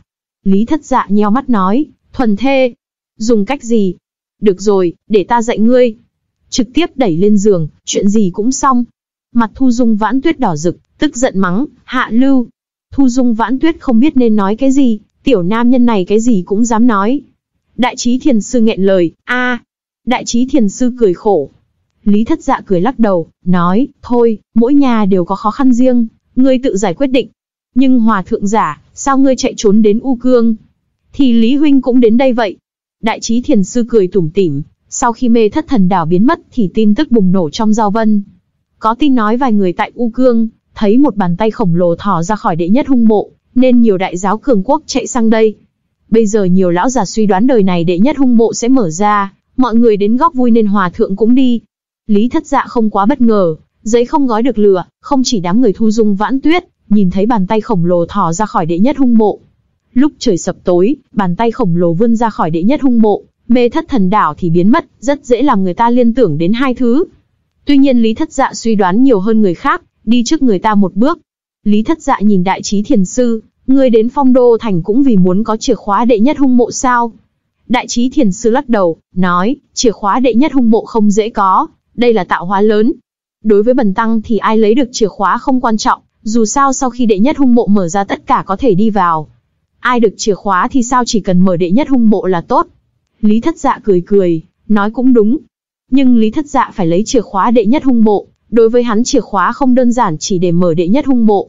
Đại trí thiền sư mỉm cười nói, nhưng ta nghe một tin tức. Nghe nói Trung Thành có một hội đấu giá tên là Tiểu Quỷ Phách Quan, không biết Lý Huynh có hứng thú đi cùng không? Tim Lý thất dạ đập nhanh, nheo mắt nói, Tiểu Quỷ Phách Quan. Lý thất dạ nhớ đến một tồn tại, một tồn tại đã thật lâu không lộ mặt, hắn cứ tưởng tồn tại đó đã chết. Lý thất dạ động tâm, cũng tốt, dù gì rảnh rỗi, đi xem thử. Nếu đúng là tiểu quỷ phách quan thì đáng để Lý thất dạ đi một chuyến. Đám người Lý thất dạ lên đường đi trung thành, nhưng ba người chưa đi xa thì chân trời có áng mây đỏ bay đến, tốc độ siêu nhanh tới gần nhóm Lý thất dạ. Nhìn mây đỏ từ chân trời bay tới, đại trí thiền sư biến sắc mặt. Đại trí thiền sư vội nói với Lý thất dạ, Lý huynh, ta bỗng có việc bận, xin đi trước. Đại trí thiền sư chưa nói xong đã xoay người trốn ngay như thấy khắc tinh, tốc độ siêu mau. Chân trời vang thanh âm hung tợn, kiếm huyền, dù ngươi có chạy trốn tới chân trời góc biển thì bản cô nương quyết bắt ngươi về. Áng mây đỏ phía chân trời không phải mây mà là một nữ nhân mặc đồ đỏ, tốc độ siêu nhanh, chớp mắt đuổi theo hướng đại trí thiền sư bỏ chạy. Đại trí thiền sư không dám ở lại lâu, biến mất phái cuối chân trời. Xem bộ dáng đại trí thiền sư như chuột thấy mèo. Nhìn đại trí thiền sư bỏ trốn, Lý thất dạ mỉm cười nói, thì ra là sợ thê tử. Lý thất dạ đã hiểu tại sao đại trí thiền sư xin hắn dạy thuật thuần thê. Thu Dung vãn tuyết nghiêng đầu ngẫm nghĩ, rung động nói, kiếm huyền chẳng lẽ là truyền nhân của Minh Độ Trạch. Nghe nói là một vị thiên tài lợi hại, hắn làm hòa thượng. Lý thất dạ cười cười, có lẽ. Lúc đại trí thiền sư chạy đến bên ngoài phi hoài thôn thấy đại trí tự, làm hòa thượng có lẽ không chỉ vì thăm dò bí ẩn trong phi hoài thôn, cũng để trốn tránh ai đó. Thu Dung vãn tuyết nghĩ đến lời đại trí thiền sư nói, nàng nhìn Lý thất dạ, hỏi, công tử có vị hôn thê. Lý thất dạ nhàn nhã nhìn nữ nhân trưởng thành động lòng người, cười hỏi, như thế nào? Ghen. Thu Dung vãn tuyết vừa tức vừa giận lườm Lý thất dạ, cáo kỉnh nói, ngươi không cảm thấy mình quá tự kỳ sao? Làm như ta sẽ thích ngươi vậy. Hơn nữa là vị hôn thê của ngươi ghen mới đúng. Thu Dung vãn tuyết khó chịu nhưng không mất ưu nhã, làm người ta thích. Lý thất dạ mỉm cười nói, cái này thì nàng cứ yên tâm. Lý thất dạ ung dung bảo, chưa có nữ nhân nào ta không chế ngự được, nếu ta muốn cưới nàng thì tuyệt đối sẽ không có chuyện ghen tuông. Thu Dung vãn tuyết chừng Lý thất dạ, chưa có ai nói ngươi quá tự kỳ sao. Thu Dung vãn tuyết, vốn phong vạn trưởng thành làm bộ dáng thiếu nữ hờn dỗi càng quyến rũ động lòng người, khiến tim người đập nhanh. Lý thất dạ chậm rãi nói, từng có người nói như vậy. Lý thất dạ cười nói, nhưng cái này không phải tự kỷ mà gọi là thực lực. Lý thất dạ ta chưa từng gặp chuyện gì không dàn xếp được, nàng thấy có đúng không? Thu Dung vãn tuyết không còn lời gì để nói, thầm thở dài, cười cay đắng. Lý thất dạ nói có lý. Trung thành, thật ra phong đô thành không có tên gọi trung thành, chẳng qua tòa thành chỉ nằm ở chính giữa phong đô thành, nên tu sĩ từ ngoài vào gọi là trung thành. Trung thành là tòa thành trì rất cổ xưa và cực kỳ náo nhiệt, có thể nói Trung thành là một trong các thành thị lớn nhất phong đô thành. Khi vào Trung thành thì thấy biển người đông đúc, trên đường đi có người, có quỷ. Khi đến phong đô thành thì không còn ai cố ý phân biệt người và quỷ nữa. Phong đô thành là quỷ thành, đến phong đô thành sẽ dần thói quen người và quỷ ở chung. Huống chi quỷ phong đô thành không phải quỷ thật sự mà chỉ là chấp niệm, dễ hòa hợp với tu sĩ từ ngoài đến. Khi Lý thất dạ, Thu Dung vãn tuyết vào trung thành, rất nhanh hỏi tham gia địa điểm tiểu quỷ phách quan, biết thời gian đấu giá là buổi chiều. Sau khi vào trung thành, Thu Dung vãn tuyết tò mò hỏi, quỷ thành có đấu giá? Chưa từng nghe nói quỷ thành có phòng đấu giá. Tuy quanh năm có tu sĩ trẻ tuổi đến phong đô thành, nhưng đa số tu sĩ trẻ tuổi không muốn ở lại phong đô thành lâu, ai ở 3, 5 năm cơ bản là vì một thứ gì đó. Cho nên dù thường có người vào phong đô thành nhưng ít ai ở lại lâu, càng đừng nói dựng môn phái, sàn đấu giá. Trong phong đô thành dù có đấu giá thì cũng là loại tạm thời. Thu Dung Vãn Tuyết từng đến phong đô thành mấy lần, đây là lần đầu tiên nàng nghe nói về hội đấu giá. Ngẫu nhiên cũng có. Lý Thất Dạ nói, nếu là hội đấu giá tiểu quỷ thì tuyệt, là hội đấu giá chất lượng cao, thứ đấu giá chắc chắn rất ghê gớm. Tiểu quỷ. Thu Dung Vãn Tuyết tò mò hỏi, là quỷ phong đô thành sao?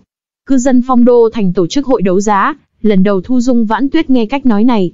Lý thất dạ nheo mắt nói, cái này thì... Lý thất dạ cười cười, sợ là không ai biết. Tiểu quỷ là người hay quỷ đến nay là điều bí ẩn. Có người bảo hắn là quỷ, cũng có kẻ bảo là người. Thu Dung Vãn Tuyết nhìn Lý thất dạ, nàng cảm thấy hắn biết điều gì nhưng không chịu nói, nàng cũng không hỏi. Tiểu quỷ phách quan tổ chức trong một cổ viện trung thành.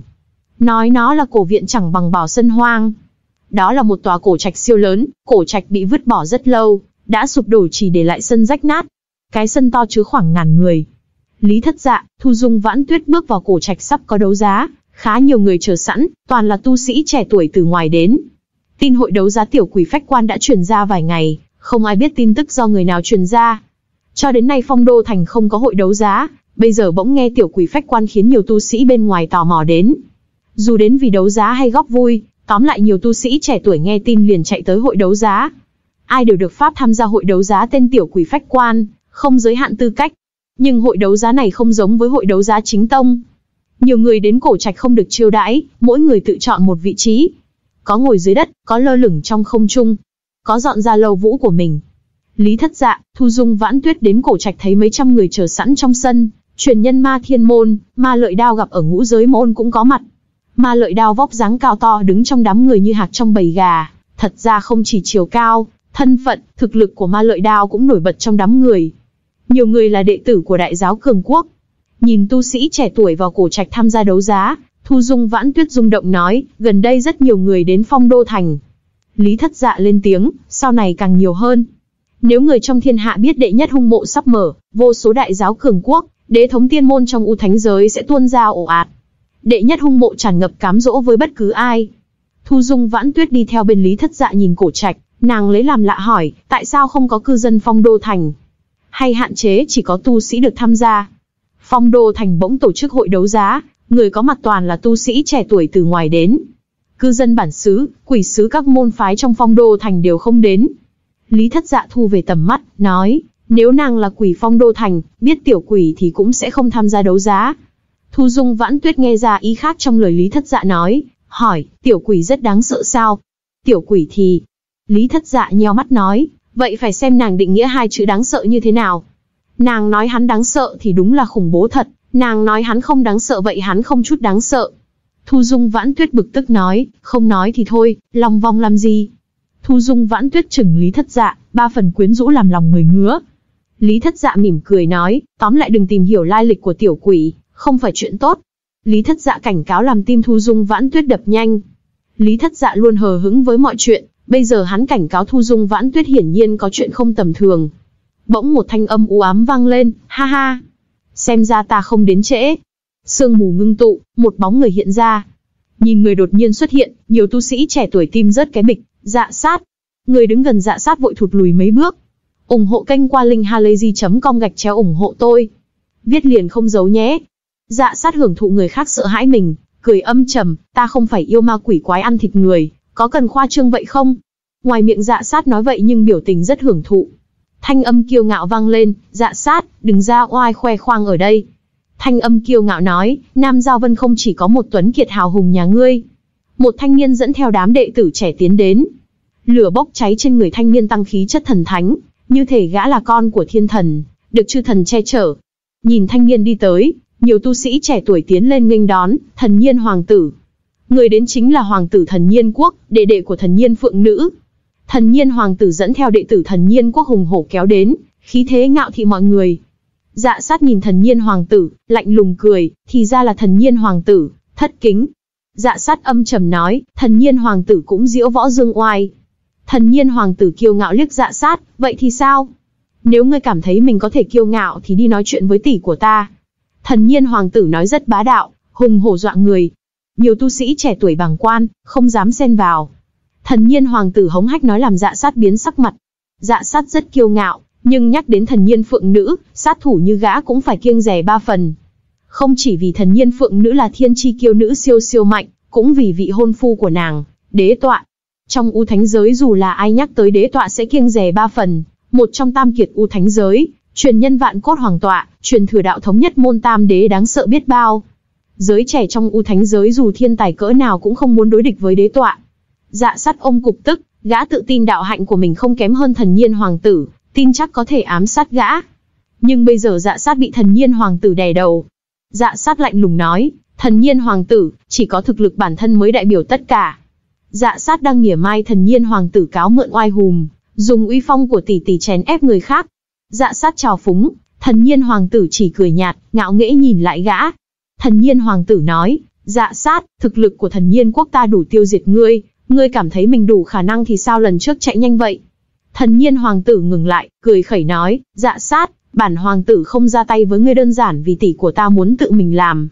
Lần này tỷ của ta sẽ giá lâm, ngươi tự giải quyết cho tốt đi. Bị thần nhiên hoàng tử chọt trúng chỗ đau, dạ sát biểu tình cực kỳ khó xem. Đây là mối nguy hiểm lớn nhất của dạ sát, nếu thần nhiên phượng nữ ra tay gã sẽ gặp nguy hiểm tồi tệ. Quan trọng hơn, trong u thánh giới có ai dám đụng một sợi lông của đế tọa đại nhân. Nhiều tu sĩ trẻ tuổi nghe thần nhiên hoàng tử nói thì tim rớt cái bịch. Thần nhiên phượng nữ sắp đến, đây là chuyện lớn. Thần nhiên phượng nữ là thiên chi kiêu nữ nổi tiếng trong Nam Giao Vân, thiên phú cực cao, đạo hạnh cực sâu, làm người rung động hơn thần nhiên phượng nữ là vị hôn thê của đế tọa, khiến người cực kỳ kiêng dè. Truyền nhân ma thiên môn, ma lợi đao đứng ra giảng hòa, hoàng tử điện hạ, dạ sát huynh. Ma lợi đao cười nói, dạ sát có nhiều điều đắc tội thật, thần nhiên điện hạ, phượng nữ có lòng dạ rộng lớn, là thiên chi kiêu tử bao dung như biển cả, chúng ta không thể sánh bằng. Dạ sát có chỗ nào đắc tội nên xin lỗi thần nhiên quốc mới đúng, dạ sát huynh thấy có đúng không? Thần nhiên quốc, ma thiên môn, dạ hành giáo đều là đại giáo cường quốc thuộc Nam Giao Vân. Ma lợi đao là truyền nhân ma thiên môn có tình cảm khá thân với thần nhiên hoàng tử, cũng quen biết thần nhiên hoàng tử. Bây giờ ma lợi đao đứng ra giảng hòa là hợp lý. Thần nhiên hoàng tử hừ lạnh, không có ý định giảng hòa. Dạ sát là người tâm cao khí ngạo, gã biết không đắc tội thần nhiên phượng nữ, được nhưng gã không chịu cúi đầu hướng thần nhiên hoàng tử. Có thanh âm khác vang lên, trong chuyện này đúng là dạ sát có chỗ không đúng. Có tiếng lách cách, một người đi vào cổ viện. Người đó đến làm nhiều người nhìn chằm chằm. Nói là một người chẳng bằng bảo là một bộ xương. Một bộ xương bước đi, một bộ xương màu vàng, bộ xương không da không thịt, không lông không gân, chỉ có khung xương. Bộ xương hoàn chỉnh như đúc bằng vàng ròng, khung xương cực kỳ cứng rắn, trong hốc mắt có lửa xanh vàng rực cháy, trông như lửa linh hồn hoặc đôi mắt. Nhìn khung xương hoàng kim bước tới, nhiều người rung động, thanh kim tử. Thu Dung Vãn Tuyết đứng bên cạnh Lý Thất Dạ trông thấy khung xương hoàng kim cũng chấn động, nhân tộc của Bách Cốt Thánh tộc. Bách Cốt Thánh tộc là quỷ tộc siêu cường đại trong Đông U Cương, tộc nhân bẩm sinh là khung xương, không có máu thịt như quỷ tộc khác. Bách Cốt Thánh tộc là nhánh lớn của quỷ tộc, cực kỳ đặc biệt, không có máu thịt, chỉ có khung xương. Đặc điểm lớn nhất của Bách Cốt Thánh tộc chính là khung xương cực kỳ cứng rắn, khung xương có thể chặn bảo khí công kích. Đệ tử trong tộc có đạo hạnh càng sâu thì màu xương càng sẫm. Như truyền nhân Bách Cốt Thánh tộc Thanh Kim Tử này đây, xương cốt của gã đã là màu hoàng kim, đôi mắt lửa linh hồn cũng có màu xanh vàng nghĩa là đạo hạnh rất sâu, thực lực cực kỳ cường đại. Thanh Kim Tử bước tới nhìn dạ sát, dạ sát, ngươi nên xin lỗi thần nhiên hoàng tử đi, thần nhiên hoàng tử rộng lòng chắc chắn sẽ thông cảm bỏ qua cho. Thanh Kim Tử nói làm dạ sát tiến lùi khó khăn, gã là sát thủ nên rất mạnh nhưng tồn tại như Thanh Kim Tử, thần nhiên phượng nữ thì gã không trêu vào được. Thanh Kim Tử rất cường đại, có tin đồn khung xương của gã chặn được Thánh Hoàng chân khí. Dù cùng đẳng cấp Thánh Hoàng, cũng không dám vỗ ngực bảo thể xác chịu được Thánh Hoàng chân khí oanh giết. Thanh Kim Tử còn lâu mới đến cảnh giới Thánh Hoàng, nhưng gã chịu được Thánh Hoàng chân khí oanh giết, có thể tưởng tượng khung xương của gã cứng rắn cỡ nào. Mà lợi đao giảng hòa, dạ sát huynh, oan gia nên giải không nên kết, đây cũng là duyên phận. Mọi người lùi một bước trời cao biển rộng. Thanh kim tử, ma lợi đao cùng khuyên làm dạ sát dao động. Thần nhiên hoàng tử cười nhạt, kiêu ngạo nói, hừ. Xin lỗi cũng không khó, người hãy tự mình cúi đầu xin lỗi tỷ của ta đi. Xảy ra chuyện này làm dạ sát mất mặt, nhưng may mắn thần nhiên hoàng tử không định dây dưa tiếp. Thanh kim tử lễ phép chào hỏi thần nhiên hoàng tử, thần nhiên hoàng tử, nghe nói phượng nữ sẽ đến, không biết đế tọa có đi cùng không? Bàn về danh vọng, địa vị, thực lực thì thần nhiên hoàng tử chưa đủ tư cách khiến thanh kim tử khách sáo như vậy. Bách cốt thánh tộc là một nhánh lớn quỷ tộc, thực lực mạnh hơn thần nhiên quốc nhiều. Thanh kim tử khách sáo với thần nhiên hoàng tử, còn khuyên nhủ dạ sát xin lỗi chỉ vì nể mặt thần nhiên phượng nữ, tỷ tỷ của gã. Quan trọng là muốn chấp nối quan hệ với đế tọa vạn cốt hoàng tọa. Nhắc đến tên đế tọa làm tim các tu sĩ trẻ tuổi rung lên. Cái tên đế tọa như sấm bên tai trong u thánh giới, Xuất thân từ vạn cốt hoàng tọa đủ khiến người chú ý, đế tọa là truyền nhân vạn cốt hoàng tọa đã định rất bất phàm. Truyền thừa nhất môn tam đế, Đế tọa là truyền nhân thì lợi hại, kinh diễm tuyệt thế biết bao. Bởi vậy nhiều người trong u thánh giới khi nhắc đế tọa sẽ tăng thêm xưng hô đại nhân, tỏ rõ địa vị của gã. Thần nhiên hoàng tử kiêu ngạo nói, nếu đệ nhất hung mộ mở thì tỷ phu của ta sẽ đến, chỉ mình tỷ phu của ta có tư cách sở hữu tiên thuật bất tử trong đệ nhất hung mộ. Nhắc đến tỷ phu là thần nhiên hoàng tử rất hãnh diện, kiêu ngạo. Tỷ phu của gã là người trẻ tuổi nổi tiếng nhất u thánh giới hiện nay, được người gọi là có khả năng trở thành tiên đế nhất. Đế tọa đại nhân đích thân đến. Nhiều người hút ngụm khí lạnh, không ai dám cười nhạo thần nhiên hoàng tử kiêu căng. Đối với nhiều người thì có tỷ phu như đế tọa đúng là chuyện đáng để kiêu ngạo. Thần nhiên hoàng tử nói quá ngạo, trong mắt không người. Nhưng nhắc tới đế tọa, dù là thiên tài cỡ nào cũng chịu phục, nếu trong đệ nhất hung mộ có tiên thuật bất tử thật sự, thì chắc chắn đế tọa là một trong những người có tư cách lấy được nó. Thanh Kim Tử cười hùa theo, nếu đế tọa đại nhân đích thân đến thì tại hạ nhất định sẽ bái kiến, để nghe đại đạo của đế tọa đại nhân. Thanh Kim Tử không phải kẻ yếu, trong Đông U Cương có tin đồn gã đã bước chân vào cảnh giới thánh tôn, thực lực mạnh hơn dạ sát, ma lợi đao. Nhưng bây giờ Thanh Kim Tử hết sức khiêm tốn đủ nói lên đế tọa cường đại, đáng sợ thế nào. Không ai cười nhạo Thanh Kim Tử, đổi lại người khác cũng giống vậy, thiên tài kiêu ngạo đến mấy gặp phải đế tọa thì sẽ rụt vòi. Thần nhiên hoàng tử cười nói, sau khi tỷ phu của ta đến chắc chắn sẽ nói cho Thanh Kim Huynh. Nhiều người nhìn nhau, nhỏ giọng xì sầm chuyện đế tọa sẽ đến. Cũng có người bàn tán đệ nhất hung mộ có thật sự mở ra không? Có tu sĩ trẻ tuổi khi nhắc đến đệ nhất hung mộ thì hớn hở bảo, đệ nhất hung mộ sắp mở ra thật không? Có nhắc đến đế tọa thì buồn bã thở dài thườn thượt, đế tọa tự mình đến, bao nhiêu người lu mờ. Tu sĩ trẻ tuổi đó nói có lý, nếu đế tọa đến thật, không biết bao nhiêu người lu mờ, không dám tranh chấp với gã. Khi mọi người thảo luận, Lý Thất Dạ, Thu Dung Vãn Tuyết ngồi trong góc, nhắm mắt dưỡng thần chờ tiểu quỷ đến. Một lúc lâu sau Thu Dung Vãn Tuyết nhỏ giọng nói, dạ sát nhìn chúng ta chằm chằm. Đôi mắt âm u của dạ sát đang nhìn Lý Thất Dạ, Thu Dung Vãn Tuyết, đáy mắt tràn ngập sát ý. Trước đó dạ sát muốn giết Lý Thất Dạ, Thu Dung Vãn Tuyết, cướp báu vật của hai người, sau này đại trí thiền sư chen chân phá rối.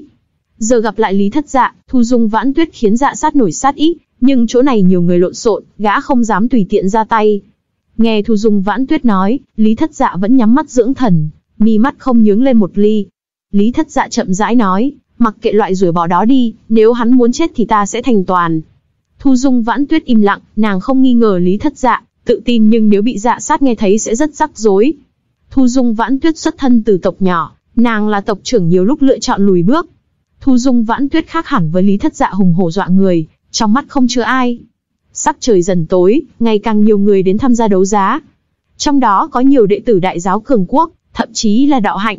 Khi nhiều người tới cổ trạch, tụng năm tụng ba ở một góc chờ đợi đấu giá. Khi màn đêm buông xuống, chính giữa cổ viện có một người chui ra, không thấy rõ người đó đến như thế nào, như thể y luôn đứng đó. Bỗng có người xuất hiện làm nhiều người giật mình, mọi người tập trung nhìn. Người đó mỉm cười nói, các vị quan gia, các người đến thăm gai tiểu quỷ phách quan làm ta rất vui. Chúng ta không nói nhiều nữa, bây giờ bắt đầu phách quan. Nhìn người đột nhiên xuất hiện, có người ngần ngừ hỏi, ngươi, ngươi là tiểu quỷ. Người kia cười tủm tỉm trả lời, có giả bao đổi. Ta là tiểu quỷ, tiểu quỷ chính là ta. Nhìn người đột nhiên xuất hiện, đám tu sĩ trẻ tuổi quay sang ngó sau, mọi người cảm thấy rất hoang đường. Khi bọn họ nghe nói về tiểu quỷ phách quan, nhiều người cho rằng chủ trì hội đấu giá là một vị quỷ sứ phong đô thành. Nhưng người đột nhiên xuất hiện không giống tưởng tượng chút nào. Đó là một lão nhân, vóc dáng cao to, không nhỏ chút nào. Lão nhân râu tóc bạc phơ, râu thật dài, mặt hiền từ như một lão gia gia từ thiện. Không ai liên tưởng được lão nhân và tiểu quỷ là một, rõ ràng chỉ là lão nhân hiền lành bình thường. Nhiều tu sĩ trẻ tuổi mở thiên nhãn ra muốn xem lão nhân là người hay quỷ, nhưng không ai có thể nhìn thấu lão nhân trước mắt. Có to mò hỏi, lão là người hay quỷ? Tiểu quỷ mỉm cười nói, đây là bí mật. Tiểu quỷ lộ vẻ bí hiểm làm các tu sĩ trẻ tuổi càng tò mò hơn không thể mở thiên nhãn nhìn xem lão nhân là người hay quỷ, nhưng nhìn ngang ngó dọc không thấy lão giống quỷ. Tuy nhiên nếu lão nhân không phải quỷ thì là gì? Tu sĩ thế hệ trước tuyệt đối không vào phong đô thành, dù là người cường đại cỡ nào cũng vậy, trừ phi không muốn sống nữa. Nếu lão nhân là người thì tại sao vào phong đô thành? Ai đều nhìn ra phong đô thành không ảnh hưởng được lão. Người nào huyết khí cạn kiệt khi vào phong đô thành sẽ bị ảnh hưởng, đặc biệt tu sĩ thế hệ trước chịu ảnh hưởng càng lớn hơn, nhưng tiểu quỷ thì không. Nhiều người rất khó hiểu. Thu Dung Vãn Tuyết nhỏ giọng hỏi Lý Thất Dạ, lão ta thật sự là quỷ sao? Ban đầu Thu Dung Vãn Tuyết cho rằng tiểu quỷ là một quỷ sứ thấp bé, nhỏ tuổi, không ngờ đó là một lão nhân hiền lành. Lý Thất Dạ nhìn tiểu quỷ, mỉm cười nói, Lão sao? Lý thất dạ lắc đầu, điều này, sợ là không ai biết. Thu Dung vãn tuyết tin tưởng Lý thất dạ biết nhưng hắn không muốn trả lời. Tiểu quỷ cười nói, được rồi, không nói nhiều nữa, bắt đầu đấu giá. Nguyên tắc rất đơn giản, không cần bảo bình hay tinh bích, cũng không cần cá dạ dương. Ta lấy một thứ ra, ai đều có thể đổi đồ với ta. Miễn là thứ ta thích thì ta sẽ đổi với kẻ đó. Nhiều người nhìn nhau, đây mà là hội đấu giá gì, là lấy vật đổi vật mới đúng, kiểu đấu giá này thật mới lạ. Tiểu quỷ lấy một tiểu quan ra, kích cỡ không lớn, chừng một cái dương. Tiểu quan như khắc bằng ngọc bích, hồn nhiên thiên thành. Tiểu quan toát ra hơi thở lạnh lẽo. Tiểu quỷ nhẹ nhàng mở tiểu quan ra, bên trong loài ánh sáng ngọc, vang tiếng ngân trong trẻo, thanh âm như có kim châu lăn trên bàn ngọc. Mọi người nhìn thì thấy trong tiểu quan chứa một cái kén, kén nhỏ cỡ nắm tay, kén màu xanh biếc như bện bằng ngọc bích, rất thần kỳ. Tiểu quỷ mỉm cười nói, ủng hộ kênh qua linkhalazy.com gạch chéo ủng hộ tôi. Viết liền không giấu nhé. Đây là kén Thúy Thiên Thiền. Ấu trùng ở bên trong, chờ ấu trùng ấp ra thì Thúy Thiên Thiền sẽ phá kén. Tiểu quỷ khép tiểu quan lại, nói, bắt đầu từ bây giờ hãy lấy báu vật của các người ra đi. Nhiều người nhìn nhau, nhiều người thậm chí không nghe nói qua Thúy Thiên Thiền chứ đừng nói là, lấy báu vật của mình ra đổi. Có một tu sĩ trẻ tuổi xuất thân từ cổ thế gia rung động nói, tiểu quan, truyền thuyết sinh sản tại cổ tiên cựu thổ. Nhiều người chấn động. Vào cổ tiên cựu thổ sẽ được kỳ tích, cơ duyên lớn, dù là cựu thổ nào trong sáu cổ tiên cựu thổ, miễn đi vào là sẽ được thu hoạch. Thúy Thiên Thiền này sinh sản ở cổ tiên cựu thổ, hỏi sao không làm người rung động biến sắc mặt. Có tu sĩ trẻ tuổi lấy một bảo trung ra nói, chỗ ta có một ngoại đạo kỳ binh tên là Tinh Vẫn Trung. Tu sĩ trẻ tuổi chưa nói hết câu đã bị tiểu quỷ túm lấy ném ra trung thành, đã bảo không cần binh khí. Tiểu quỷ dễ dàng ném tu sĩ trẻ tuổi ra trung thành khiến nhiều người tim rớt cái bịch, biết tiểu quỷ sâu không lường được. Có tu sĩ trẻ tuổi lấy một hộp báo ra, ta có một khối bảo thạch muốn đổi với ngươi. Hộp tỏa từng lũ thần quang. Tu sĩ trẻ tuổi đưa cho tiểu quỷ nhìn rồi đóng nắp lại ngay, sợ bị người ta thấy bên trong chứa bảo thạch gì. Tiểu quỷ lắc đầu, nói, không cần. Ta có một khối xương cổ. Thanh kim tử xuất thân từ bách cốt thánh tộc lấy một khúc xương to cỡ bàn tay, xương có hình đầu lâu đen nhánh. Khi thanh kim tử lấy khúc xương ra vang lên tiếng quỷ chu âm u làm người lạnh gáy. Tiểu quỷ nhìn xương cổ, gật gù khen, hơi thú vị. Thanh kim tử mừng rỡ, gã có hy vọng đổi được Thúy Thiên Thiền trong tay tiểu quỷ. Lý thất dạ chậm rãi nói, ta kể một câu chuyện cho ngươi nghe được không? Thu dung vãn tuyết giật mình, hơi quá đáng, người ta lấy báu vật đổi còn Lý thất dạ thì đi kể chuyện. Thấy Lý thất dạ là nhân tộc, thanh kim tử hừ lạnh một tiếng, hừ. Không có báu vật thì đừng gây rối ở đây, tránh sang một bên đi. Có thể. Tiểu quỷ vội gật đầu, nói, nhưng ngươi phải cẩn thận, nếu ngươi tự nghĩ ra câu chuyện thì coi chừng bị ta ném đi. Đương nhiên nếu ta thích nghe câu chuyện thì Thúy Thiên Thiền thuộc về ngươi. Mọi người thật khó tin, kể chuyện mà đổi được báu vật, quá sức tưởng tượng, bọn họ chưa từng gặp chuyện như vậy. Lý thất dạ cười nói, ngươi yên tâm, đây là câu chuyện rất dễ nghe. Lý thất dạ tăng hắng, mở miệng nói, thật lâu trước kia có một con quạ, nó biết nói tiếng người. Xưa thật xưa, có người tên Công Dương, là nhân hoàng âm phủ. Ngày nọ con quạ gặp Công Dương, quạ nói, có một chỗ tên tiên động, bên trong có tiên nhân ở. Tiên nhân trường sinh bất tử, hơn nữa tiên nhân trồng một gốc tiên thảo, nếu ăn tiên thảo vào sẽ trường sinh bất tử. Thần nhiên hoàng tử nghe đến đây cười khẩy nói, câu chuyện gì vậy? Vớ vẩn. Tiểu quỷ nghe mê mẩn ngắt lời thần nhiên hoàng tử, câm miệng. Thần nhiên hoàng tử ngoan ngoãn im miệng. Nhưng muốn có được tiên thảo của tiên nhân thì rất khó khăn. Quạ nói với công dương là nó nghĩ ra một cách cho công dương lấy được tiên thảo, miễn là công dương nghe lời nó sắp xếp. Công dương thật sự tin lời con quạ. Lý thất dạ chậm rãi kể câu chuyện nghe rất chán. Nhiều người nghe Lý thất dạ kể chuyện buồn ngủ, bọn họ không muốn nghe. Câu chuyện vớ vẩn, con nít đều không muốn nghe. Đối với tu sĩ bọn họ thì mỗi ngày đều trải qua chuyện thần kỳ, câu chuyện hoang đường này quá nhảm nhí. Thu Dung Vãn Tuyết cũng thấy câu chuyện không hay, tùy tiện kể một truyền kỳ tiên đế còn hay hơn nhiều. Câu chuyện thế này chỉ có thể dụ con nít trần gian, tu sĩ như bọn họ trải đời mỗi ngày hấp dẫn hơn câu chuyện lý thất dạ kể. Công Dương nghe đề nghị của quả đến gặp tiên nhân, nhìn thấy gốc tiên thảo kia. Công Dương cầu tiên nhân cho tiên thảo, nhưng tiên nhân, Lý thất dạ tạm ngừng. So với đám người khác thấy chán thì tiểu quỷ ham hở lắng nghe, sau đó thì sao? Nhiều người không hiểu câu chuyện buồn tẻ như vậy có gì hay. Lý thất dạ cười nói, sau đó công dương bị diệt tộc. Người thứ nhất câm nín là Thu Dung Vãn Tuyết ngồi bên cạnh Lý thất dạ. Câu chuyện quái quỷ gì vậy? Đột nhiên bị diệt tộc, câu đầu không nối câu sau, vớ vẩn, câu chuyện gì vậy? Đầu voi đuôi chuột, nhảm quá. Có cảm thấy Lý thất dạ kết thúc câu chuyện đứt đoạn, Tuy khi hắn mới kể chuyện rất nhàm, bình thường nhưng ít ra có lớp có lang, rồi bỗng nhiên nói một câu công dương bị diệt tộc, hết, thế này đầu thừa đuôi sẹo, linh tinh vớ vẩn. Tiểu quỷ thì nhắm mắt, gật gù lẩm bẩm. Không ai nghe hiểu tiểu quỷ làm nhảm cái gì. Một lúc lâu sau tiểu quỷ khen, chuyện hay, chuyện hay, lợi hại, rất lợi hại, kỳ tích vạn cổ, duy nhất trên đời. Tiểu quỷ vỗ tay cảm thán. Mọi người mắt tròn mắt dẹt, bao gồm Thu Dung Vãn Tuyết. Quá sức tưởng tượng, một câu chuyện linh tinh, sứt sẹo, đầu voi đuôi chuột thế mà được khen hay. Muốn té ngửa. Tiểu quỷ rất hưng phấn nói, tiểu quan này là của ngươi. Tiểu quỷ ném tiểu quan ngọc bích chứa thúy thiên thiền cho Lý Thất Dạ. Mọi người há to mồm. Quá sức tưởng tượng, một câu chuyện nhảm ruồi có thể đổi lấy một báu vật. Không thể tin nổi. Trong phút chốc mọi người há hốc mồm, Thu Dung Vãn Tuyết cũng thấy không tin được, không dám tin. Một câu chuyện nhảm nhí đổi một báu vật, chuyện này nói ra không ai tin. Tặng cho nàng. Lý Thất Dạ nhét quan ngọc bích vào tay Thu Dung Vãn Tuyết, nàng mới tin chắc mình không nằm mơ, đây là sự thật. Thu Dung Vãn Tuyết kinh ngạc nói, cái này, Lý Thất Dạ tặng báu vật quý giá như thế cho nàng. Lý Thất Dạ đùa, đừng hiểu lầm, đây không phải vật định tình. Thu Dung Vãn Tuyết vừa tức vừa xấu hổ, cũng rất cảm động. Mặc dù là trò đùa nhưng làm lòng Thu Dung Vãn Tuyết ấm áp, ngọt ngào. Dược rồi, lần này đấu ra chín quan, đây là cái thứ hai, quan Bạch Ngân. Tiểu quỷ mỉm cười nói, đây là thứ tốt, đặc biệt đối với quỷ tộc. Dạ hồn thủy, nếu tu sĩ quỷ tộc dùng nước này chắc chắn sẽ tăng mạnh chân mệnh của mình. Tiểu quỷ mở quan bạc ra, bên trong chứa dày nước xanh nhạt, nước toát ra âm khí. Các tu sĩ quỷ tộc cảm nhận được hơi thở đó, cảm thấy chân mệnh ngân cùng, đặc biệt sống động. Tu sĩ quỷ tộc hiểu rằng dạ hồn thủy là nước thánh lợi hại đối với quỷ tộc. Mọi người thi nhau lên tiếng đòi kể chuyện, ta muốn kể chuyện, ta muốn kể chuyện. Lý thất dạ cười cười, nhắm mắt lại. Dạ hồn thủy không có tác dụng gì với hắn. Tiểu quỷ tùy tay chỉ một tu sĩ trẻ tuổi, được, ngươi kể nghe thử.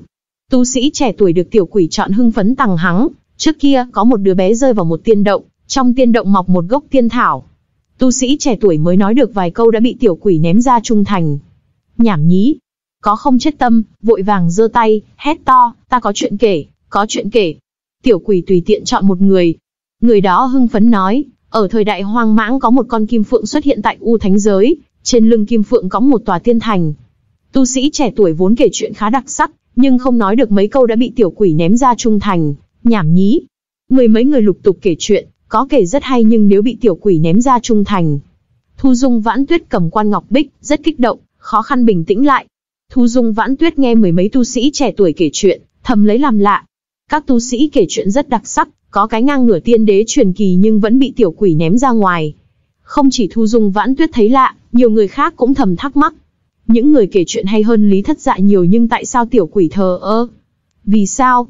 Thu Dung Vãn Tuyết hoàn toàn không hiểu nổi, nàng thỏ thẻ bên tai Lý Thất Dạ, công tử, tại sao tiểu quỷ hứng thú với chuyện công tử kể? Lý Thất Dạ nhìn Thu Dung Vãn Tuyết, cười nói, vấn đề không phải câu chuyện mà trong chuyện đó mang đến tin tức thế nào, phải hữu dụng, có giá trị. Thu Dung Vãn Tuyết giật mình kêu lên, tin tức hữu dụng, có giá trị. Thu Dung Vãn Tuyết không cảm thấy công tử nhà nàng kể chuyện có tin tức gì đắt giá. Các người sẽ không hiểu nổi chuyện này. Lý Thất Dạ mỉm cười nói, không biết vạn cổ, không biết tiên ma thì làm sao biết thư ẩn chứa trong câu chuyện. Thu Dung Vãn Tuyết sững sờ, nàng chiêm nghiệm kỹ lại lời công tử nhà nàng kể. Lý thất dạ đã nói như thế thì chắc chắn trong câu chuyện ẩn chứa bí mật lớn, nhưng mặc nàng nghĩ sao cũng không cảm thấy câu chuyện có gì kinh thiên. Lý thất dạ mỉm cười nói, đừng nghĩ, khả năng của nàng sẽ không hiểu thấu nổi. Thu Dung vãn tuyết thở dài, vứt chuyện này sang một bên. Như Lý thất dạ đã nói, Thu Dung vãn tuyết không có khả năng tham ngộ thứ trong câu chuyện. Khi mấy chục người kể chuyện bị tiểu quỷ, ném đi mọi người dần hiểu đường kể chuyện không đi được, lục tục lấy đồ vật của mình ra đổi. Cuối cùng cổ quan thứ hai bị một tu sĩ trẻ tuổi xuất thân, từ thế ra xa xưa dùng bức tranh chữ cổ đổi lấy. Yêu thích của tiểu quỷ làm người ta thấy lạ. Đối với tu sĩ thì công pháp số một, báu vật thứ hai, mấy thứ như tranh chữ không có tác dụng, không đáng một đồng. Cố tình tiểu quỷ thích thứ như vậy. Vài tu sĩ trẻ tuổi thầm hối hận, sớm biết tiểu quỷ thích mấy thứ kỳ lạ này, thì bọn họ đã mua hàng tá trong trần gian. Tranh chữ đồ cổ không đáng bao nhiêu tiền, tu sĩ muốn mua bao nhiêu chẳng được.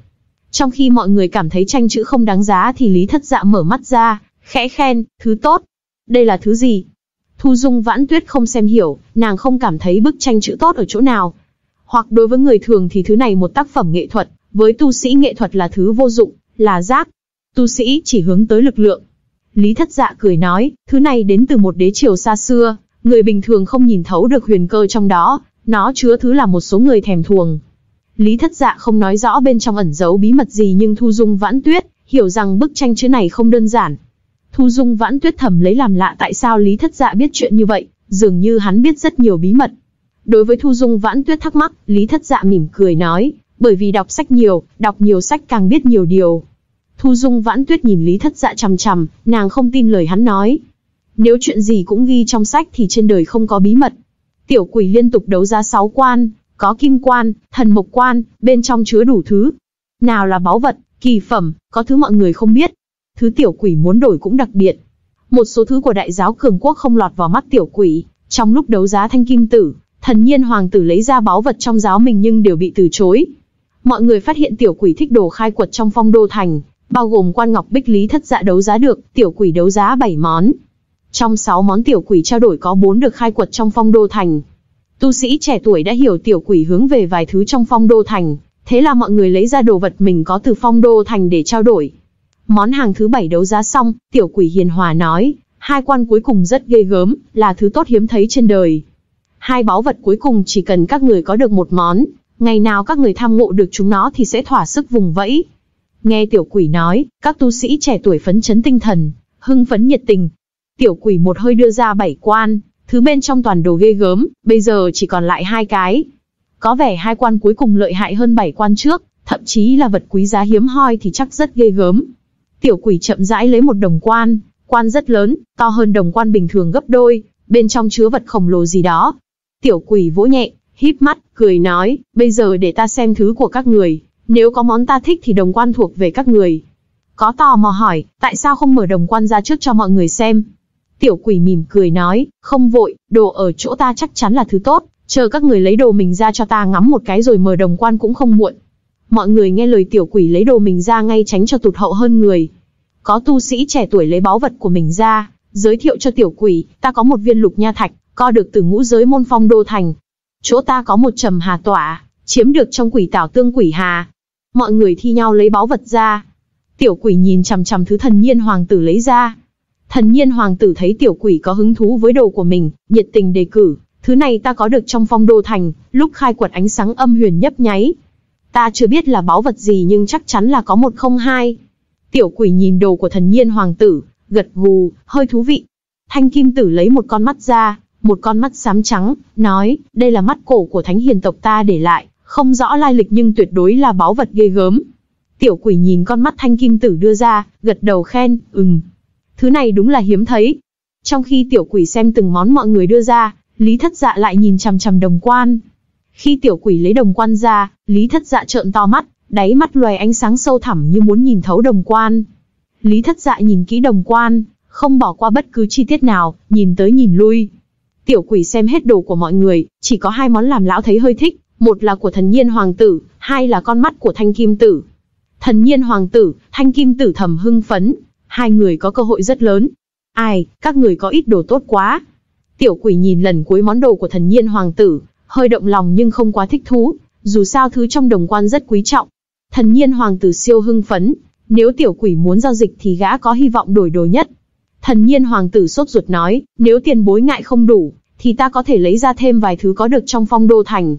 Tiểu quỷ gật đầu, nói, phải xem là thứ gì. Thần nhiên hoàng tử chưa kịp lấy đồ của mình ra thì Lý Thất Dạ mở miệng nói, chúng ta đánh cuộc không?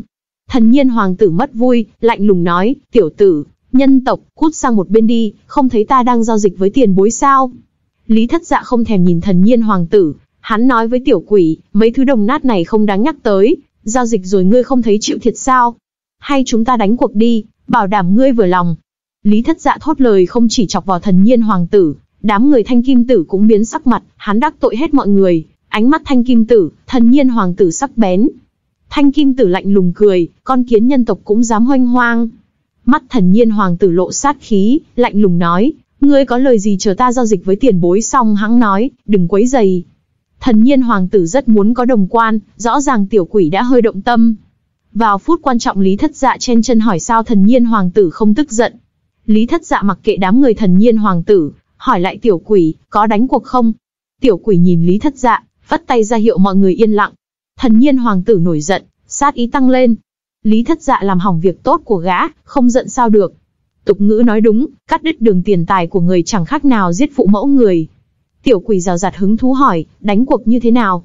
Tiểu quỷ có chút động tâm đồ của thần nhiên hoàng tử nhưng ngại món đó, chưa đủ giá trị. Lý thất dạ cười nói, ta đoán thứ trong quan của ngươi, nếu ta đoán chúng thì đồng quan thuộc về ta, còn ta đoán sai thì đền ngươi một vật. Hừ, tiểu bối nhân tộc thì có báu vật gì? Dừng lãng phí thời gian của tiền bối. Thần nhiên hoàng tử cười khẩy nói, tiền bối, ta còn vài món đồ tốt lấy được trong phong đô thành, hay tiền bối xem thử.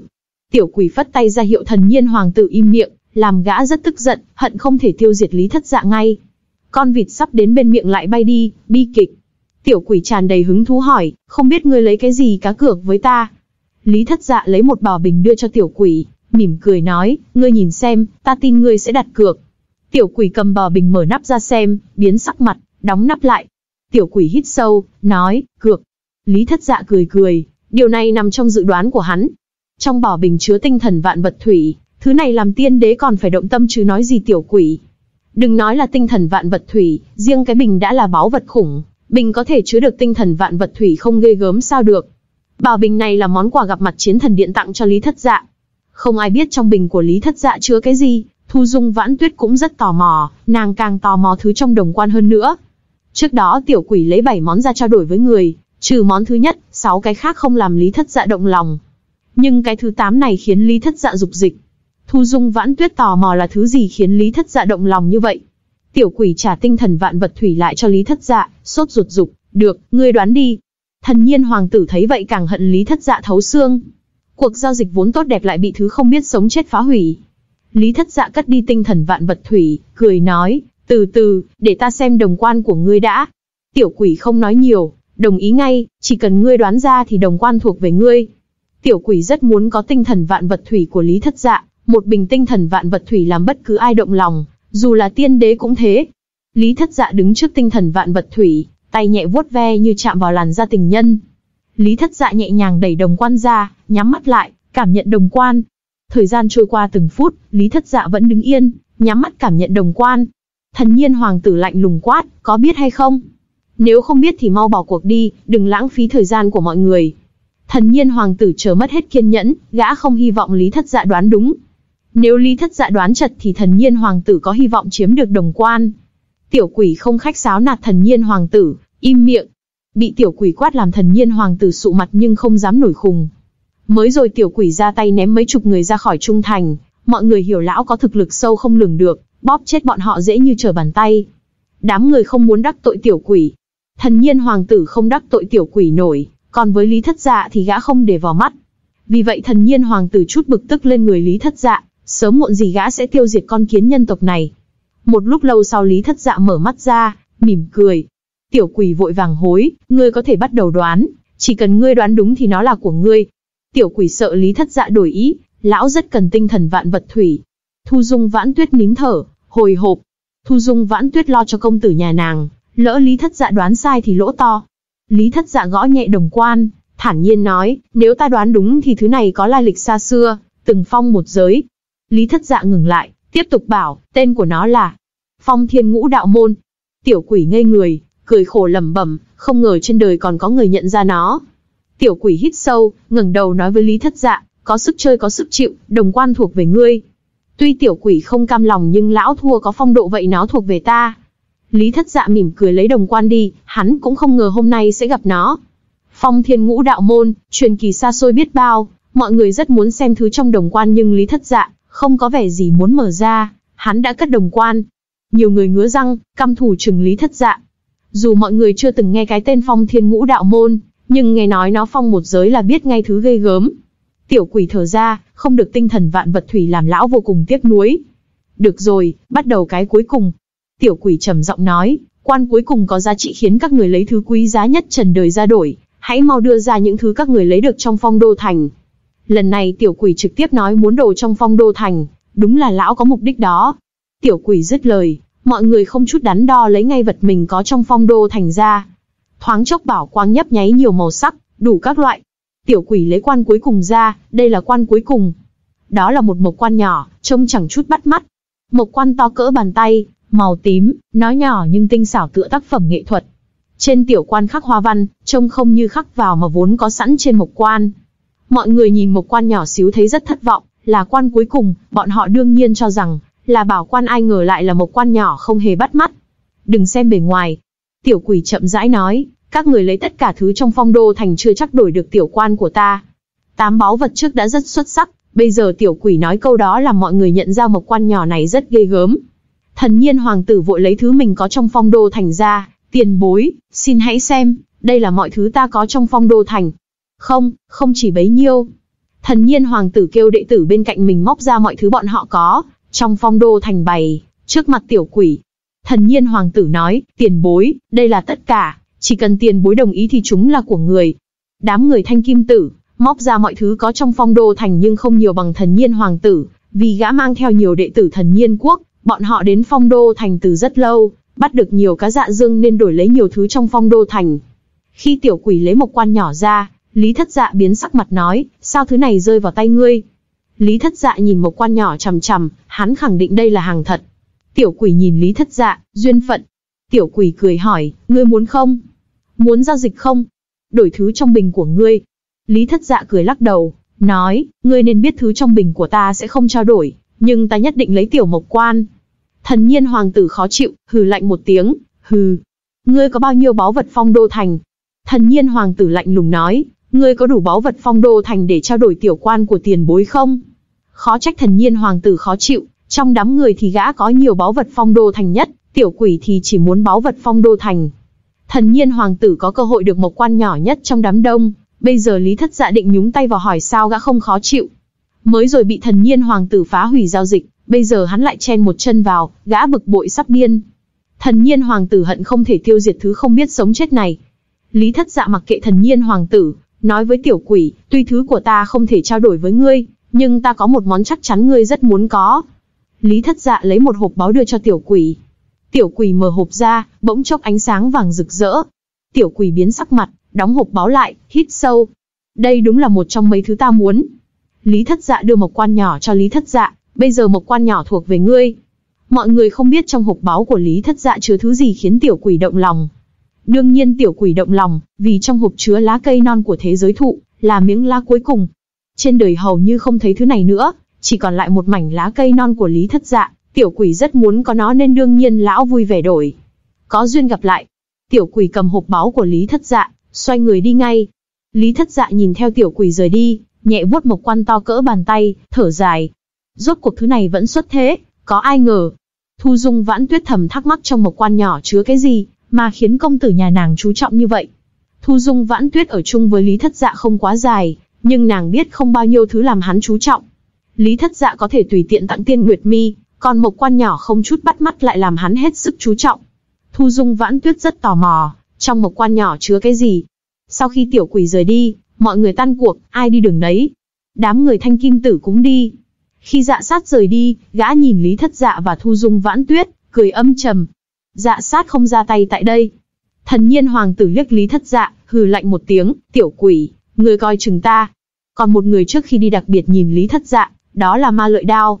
Gã cách Lý Thất Dạ khá xa nhìn hắn, mắt lóe tia sáng đáng sợ. Ma lợi đao cười nhạt rời đi, Thu Dung Vãn Tuyết cảm nhận được không khí đặc quánh, bây giờ chưa ai ra tay nhưng nàng trực giác đã có người hành động. Sợ là có người hại chúng ta để lấy báu vật. Thu Dung Vãn Tuyết nhỏ giọng nói, chúng ta rời khỏi Trung Thành ngay, đi ngay trong đêm đi, không chừng có thể cắt đuôi bọn họ. Lý Thất Dạ mỉm cười nói, rời đi. Lý Thất Dạ thản nhiên nói, tại sao phải đi? Nếu có người đến chịu chết càng tốt. Thu Dung Vãn Tuyết cười khổ, công tử nhà nàng đã nói vậy thì nàng không tiện khuyên thêm. Thu Dung Vãn Tuyết âm thầm nâng cao cảnh giác, nàng không trêu vào dạ sát hay đám người thần nhiên hoàng tử nổi. Lý thất dạ chẳng những không đi còn ở trong khách điếm trung thành, dĩ nhiên khách điếm trong phong đô thành do quỷ sứ mở. Muốn ở trong khách điếm như vậy cần có lá gan to, nhưng có ích lợi là, trong khách điếm quỷ sứ mở có thể hỏi thăm chút tin tức từ quỷ sứ. Đặc biệt người mới đến muốn biết vị trí địa lý vài chỗ, hay tình trạng mỗi đất giữ trong phong đô thành, hỏi thăm các quỷ sứ là thích hợp nhất. Thu Dung Vãn Tuyết hỏi, tại sao chúng ta ở lại đây? Không nhiều tu sĩ từ ngoài đến ở khách điếm quỷ sứ, đa số tu sĩ mang theo cổ điện lâu vũ của mình, đi đâu cũng cắm chạy được. Chúng ta sẽ ở lại đây vài ngày. Lý Thất Dạ cười nói, đã đến Trung Thành thì ta muốn hỏi thăm một người, không, phải nói là, không biết hắn có ở trong Trung Thành không? Thu Dung Vãn Tuyết không hỏi gì thêm, bây giờ Lý Thất Dạ nói gì nàng nghe nấy. Thu Dung Vãn Tuyết nhìn Lý Thất Dạ loay hoay một quan nhỏ, tò mò hỏi, trong một quan nhỏ chứa cái gì? Từ sau khi Lý Thất Dạ ở trong khách điếm thì cứ loay hoay một quan nhỏ, dường như hắn xem mãi không chán. Nhưng lạ là Lý Thất Dạ không mở một quan nhỏ ra xem. Cái này, Lý Thất Dạ cười nói, nàng không hiểu được thứ chứa bên trong đâu, hơn nữa một quan này là tự nhiên. Thu Dung Vãn Tuyết giật mình, tò mò hỏi, tự nhiên? Là sao? Tự nhiên nghĩa là nó vốn chính là như vậy. Lý Thất Dạ giải thích rằng, tám quan ban đầu đều là tiểu quỷ bò đồ vào, ví dụ kén Thúy Thiên Thiền cần phải dùng bích tâm hàn ngọc mới ấp trứng ra được. Tiểu quỷ điêu bích tâm hàn ngọc thành hình cái hộp chứa kén Thúy Thiên Thiền, chờ nó ấp trứng. Thu Dung Vãn Tuyết hiểu ngay, tiểu quan của công tử thì vốn đã có bộ dạng này. Lý Thất Dạ nhẹ gật đầu, nói, thứ bên trong không ai bỏ vào quan được, ít ra tiểu quỷ không thể. Thứ bên trong đã chứa lâu thật lâu, nó đi qua vô số năm tháng, từng phiêu bạt trong ba ngàn thế giới bao la mênh mông. Chuyện được đọc bởi kênh Halazy Audio. Bên trong là báu vật sao? Thu Dung Vãn Tuyết nhìn một quan nhỏ to cỡ bàn tay, nếu không phải công tử nhà nàng chú trọng nó, thì nói thật là nàng không nhìn ra nó có gì quý giá. Báu vật. Lý Thất Dạ mỉm cười nói, sợ là báu vật trên đời không cái nào so sánh với nó được. Dây không phải báu vật gì nhưng hơn vô số báu vật trên thế gian. Nếu tiểu quỷ không cần gấp thứ gì đó thì ta nghĩ tiểu quỷ cũng tiên đưa ra. Thu Dung Vãn Tuyết hỏi, công tử quen tiểu quỷ. Thu Dung Vãn Tuyết cảm thấy dù Lý Thất Dạ không quen tiểu quỷ thì ít nhất biết rõ lai lịch. Lý Thất Dạ cười bí hiểm không đáp. Lý Thất Dạ cười nói, tuy nàng tạm thời không thấy được thứ trong một quan nhỏ, nhưng ta có thể cho nàng xem đồng quan. Lý Thất Dạ nói xong lấy đồng quan ra. Đồng quan rất to và nặng. Lý Thất Dạ đẩy nắp đồng quan, bên trong chứa cửa đồng. Năm cánh cửa chồng lên nhau đặt trong đồng quan. Năm cánh cửa kích cỡ y như nhau, khi xếp hàng loạt thì là cái cửa to. Đây là cửa đồng, ít ra mỗi cánh cửa trông như đúc bằng đồng, kiểu dáng trông như nhau nhưng đạo văn khắc trên cửa có đồ án khác biệt. Mỗi cánh cửa đồng khắc đồ án khác nhau, nhiều đạo văn quay quanh đồ án, mỗi cánh cửa có đạo văn và đồ án khác nhau. Thu Dung Vãn Tuyết hoàn toàn không hiểu những đồ án, đạo văn có ý nghĩa gì. Thu Dung Vãn Tuyết nhìn lâu thấy hoa mắt, như thể năm cánh cửa đồng mở ra một môn hộ cổ xưa, hút linh hồn nàng vào. Khi Thu Dung Vãn Tuyết cảm thấy linh hồn sắp thoát xác thì Lý Thất Dạ che mắt nàng lại, thì thầm bên tai, đừng xem quá lâu. Thanh âm của Lý Thất Dạ như sấm giữa đồng bằng đánh thức Thu Dung Vãn Tuyết, nàng dùng mình, linh hồn trở về cơ thể. Thu Dung Vãn Tuyết tỉnh táo lại, mềm nhũn tựa vào ngực Lý Thất Dạ. Thu Dung Vãn Tuyết khó khăn lấy lại tinh thần, nàng hít sâu. Thu Dung Vãn Tuyết hoảng hốt hỏi, đây, đây rốt cuộc là bảo khí gì? Lý Thất Dạ cười nói, nói đúng ra nó không phải bảo khí, nàng cũng có thể cho rằng nó là đạo ngoại kỳ bảo. Thu Dung Vãn Tuyết nhớ đến cảm giác linh hồn lìa xác, lòng rất sợ hãi. Thu Dung Vãn Tuyết hỏi, uy lực của bảo này như thế nào? Có bằng tiên đế bảo khí hay tiên đế chân khí không? Lý Thất Dạ cười cười, cái này thì... Lý Thất Dạ lắc đầu, nói, khó thể so sánh, phải xem tình huống. Nếu dùng đúng chỗ, có thể nói vô địch. Phong thiên ngũ đạo môn, nó từng phong một giới. Dĩ nhiên muốn phát huy uy lực trung cực của nó không dễ, không phải ai cũng làm được. Thu Dung Vãn Tuyết rung động hỏi, báu vật này là tiên đế để lại sao? Từng phong một giới, báu vật như vậy đáng sợ, vô địch biết bao, có thể so sánh với tiên đế chân khí. Không. Lý Thất Dạ lắc đầu, nói, vật này không phải tiên đế để lại, ít ra trên đời không ai biết người nào để lại phong thiên ngũ đạo môn. Lai lịch thì có thể ngược dòng về thời đại xưa rất xưa, ít nhất cỡ thời đại thần thoại hay càng xưa hơn. Không thể nào. Thu Dung Vãn Tuyết biến sắc mặt nói, thời đại thần thoại chỉ là truyền thuyết, không phải thật. Trên đời sao có thời đại nào càng xa xôi hơn cả thời đại thần thoại. Người trong cửu giới cho rằng có bốn thời đại, xếp thứ tự thời gian là thời đại hoang mãng, khai quang, cổ minh, chư đế. Thời đại chư đế kéo dài mãi đến bây giờ, có người xác định thời đại chư đế là lăng không tiên đế. Lý do đơn giản, vì trận chiến giữa Hắc Long Vương và lăng không tiên đế. Hắc Long Vương sẽ rách thiên mệnh làm cửu giới vào thời đại đạo khó, nhưng có người cho rằng đến bây giờ thời đại chư đế vẫn đang tiếp tục. Thời đại đạo khó quá ngắn, không thể tính là một thời đại. Có ghi chép hoàn chỉnh tức thời đại chư đế, thời đại cổ minh vẫn còn ghi chép và khá hoàn chỉnh, tuy nhiên thời đại này có khiếm khuyết. Một vài chuyện xảy ra trong thời đại cổ minh mãi mãi là bí mật không ai biết. Đến thời đại khai hoang ghi chép đã thưa thớt. Thời đại khai hoang là các tộc cửu giới đặt nền móng, các tiên hiền chọn đất cắm rùi. Như nhân tộc có khởi nguồn nhân hoàng giới hay không rất khó nói, nhưng có điều chắc chắn rằng, từ thời đại khai hoang nhân tộc đã cắm rễ tại nhân hoàng giới, từ nay nhân hoàng giới là tổ địa của nhân tộc. Thời đại hoang mãng xa xôi hơn rất khó ngược dòng, trong thời đại này các tộc cửu giới khá yếu, Ghi chép về thời đại này chỉ có vài câu ít ỏi. Trong cửu giới có nhiều người cho rằng thời đại hoang mãng là thời đại cổ xưa nhất. Còn một thời đại nữa, thời đại trước cả thời đại hoang mãng. Thời đại này gọi là thời đại thần thoại. Đã không có ghi chép về thời đại này, chỉ lưu trữ một số thần thoại khiếm khuyết. Hậu nhân không thể xác định thời đại thần thoại có tồn tại không, nhiều người cho rằng thời đại thần thoại không tồn tại, chỉ là truyền thuyết. Giờ Lý Thất Dạ, nói có thời đại càng cổ xa xưa hơn cả thời đại thần thoại hỏi sao, không khiến Thu Dung Vãn Tuyết rung động. Thời đại thần thoại chỉ còn lại truyền thuyết, nếu có thời đại xa xưa hơn thì thuộc về thời đại gì? Đúng là có. Lý Thất Dạ thản nhiên nói, nhưng có một số việc không thể ngược dòng, quá cổ xưa, đã quá lâu, vài thứ thành thần thoại, truyền thuyết.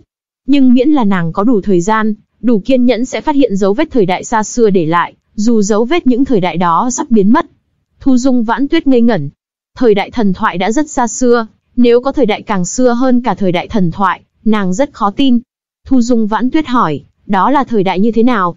Lý Thất Dạ mỉm cười nói, không ai biết. Có vài thứ Lý Thất Dạ biết, có vài thứ hắn không dám khẳng định, nếu như có thể được thứ giống cửu đại thiên bảo, thì hắn có thể gỡ một số bí mật vạn cổ không người biết. Lý Thất Dạ vuốt ve cửa đồng. Đạo văn như sống lại, tựa các con cá bơi trong sông. Bàn tay Lý Thất Dạ vuốt ve đến đâu là ánh sáng đồng mờ nhạt lóe lên, như thể hắn đang triệu hoán báu vật này. Lý Thất Dạ cảm thán rằng, phong thiên ngũ đạo môn, xem ra tiểu quỷ cần gấp vài thứ, nếu không đã chẳng lấy thứ như vậy để giao dịch. Thu Dung Vãn Tuyết nhìn đạo văn gợn sóng, nàng chỉ liếc mắt một cái, không dám xem lâu. Thứ này quá đáng sợ, hút hồn người. Lý Thất Dạ nhìn Phong Thiên Ngũ Đạo môn thật lâu, lắc đầu. Thu Dung Vãn Tuyết không dám nhìn Phong Thiên Ngũ Đạo môn, nàng khép mắt lại, bên tai nghe giọng Lý Thất Dạ bông đùa, "Tộc trưởng đại nhân thân mến, tối nay có muốn ngủ chung chăn với ta không?" Thu Dung Vãn Tuyết giật nảy mình, mở mắt ra. Khuôn mặt Lý Thất Dạ gần trong găng tấc, Thu Dung Vãn Tuyết cứng người, vì nàng chợt nhận ra mình còn nằm trong ngực Lý Thất Dạ. Vừa rồi Thu Dung Vãn Tuyết sợ chết khiếp nên quên đã gục trong ngực Lý Thất Dạ. Tư thế của hai người cực kỳ thân mật, không khí mập mờ. Cơ thể Lý Thất Dạ và Thu Dung Vãn Tuyết dán sát nhau. ủng hộ kênh qua linkhalazy.com gạch chéo ủng hộ tôi. Viết liền không giấu nhé. Lý Thất Dạ cười nói, xem ra tộc trưởng thân mến đồng ý ngủ chung chăn với ta. Mặt Thu Dung Vãn Tuyết đỏ rực, toàn thân nóng bỏng, Lần đầu tiên Thu Dung Vãn Tuyết tiếp xúc thân mật với một người, nàng xấu hổ không thể bình tĩnh, vùng vẫy nhảy ra ngoài. Mặt Thu Dung Vãn Tuyết đỏ tựa dáng chiều, không dám ngước lên nhìn Lý Thất Dạ, nói bậy bạ, làm gì có chuyện đó. Thu Dung Vãn Tuyết trang nhã trưởng thành lúc này xấu hổ càng quyến rũ tận xương, mắt ngập nước. Thu Dung Vãn Tuyết xấu hổ bứt rứt, nàng cảm giác toàn thân nóng cháy, cảm giác lạ lùng tràn ngập trong tim nàng, làm toàn thân tê dại. Thu Dung Vãn Tuyết không dám ở lâu, không khí quá mập mờ, Thu Dung Vãn Tuyết xoay người chạy nhanh ra khỏi phòng. Thu Dung Vãn Tuyết mới bước ra cửa thì sau lưng vang tiếng Lý Thất Dạ, hãy bồi dưỡng Thúy Thiên Thiền cho tốt, thứ này rất lợi hại, tương lai giúp ích lớn cho Tuyết Ảnh quỷ tộc các người. Không chừng Tuyết Ảnh quỷ tộc từ nay sẽ nổi lên. Lòng Thu Dung Vãn Tuyết ấm áp, tràn ngập cảm động. Cảm xúc lan tràn trong tim Thu Dung Vãn Tuyết cuối cùng thành ngọt ngào, ngọt đến nỗi hòa tan tim nàng. Thu Dung Vãn Tuyết rời đi, Lý Thất Dạ cười tủm tỉm, lắc đầu, Lý Thất Dạ nhìn phong thiên ngũ đạo môn, lặng lẽ cất nó. Lý Thất Dạ cầm một quan nhỏ, nhìn kỹ quan sát gần. Một lúc lâu sau Lý Thất Dạ nhỏ giọng nói, thứ như vậy cũng xuất thế, còn thứ gì không thể chạy ra. Một quan thiên cổ thi địa cũng ra, giờ không còn gì khiến ta thấy lạ nữa. Lý Thất Dạ cất một quan nhỏ, hắn ngồi xếp bằng trên giường, vận chuyển công pháp, bắt đầu tu luyện. Hơi thở hỗn độn bao phủ khắp người Lý Thất Dạ, âm dương huyết hải hiện ra sau đầu luyện hóa huyết khí của hắn thành từng giọt thọ huyết. Âm dương huyết hải có lai lịch ngập trời, nếu có thể chuyện này huyết khí trung cực thì rất kinh khủng. Tiếc rằng với đạo hạnh hiện tại của Lý Thất Dạ, không thể khai quạt huyền ảo thật sự trong âm dương huyết hải. Mệnh cung mở ra, bảy mệnh cung lơ lửng trên đầu Lý Thất Dạ. Hắn đã thành công mở ra mệnh cung thứ bảy, bây giờ Lý Thất Dạ đang mở mệnh cung thứ 8, sắp hoàn thành. Với cơ sở hiện tại của Lý Thất Dạ thì mở 8, chín mệnh cung cũng không khó, hay mệnh cung thứ 10 đều không đến ngưỡng khiêu chiến, mệnh cung 11 cũng vậy. Khó nhất là mệnh cung thứ 12, còn mệnh cung 13 là khiêu chiến khó khăn nhất trong đời Lý Thất Dạ. Lý Thất Dạ đang khiêu chiến mệnh cung thứ 12, nếu có điều kiện hắn sẽ thử với mệnh cung 13.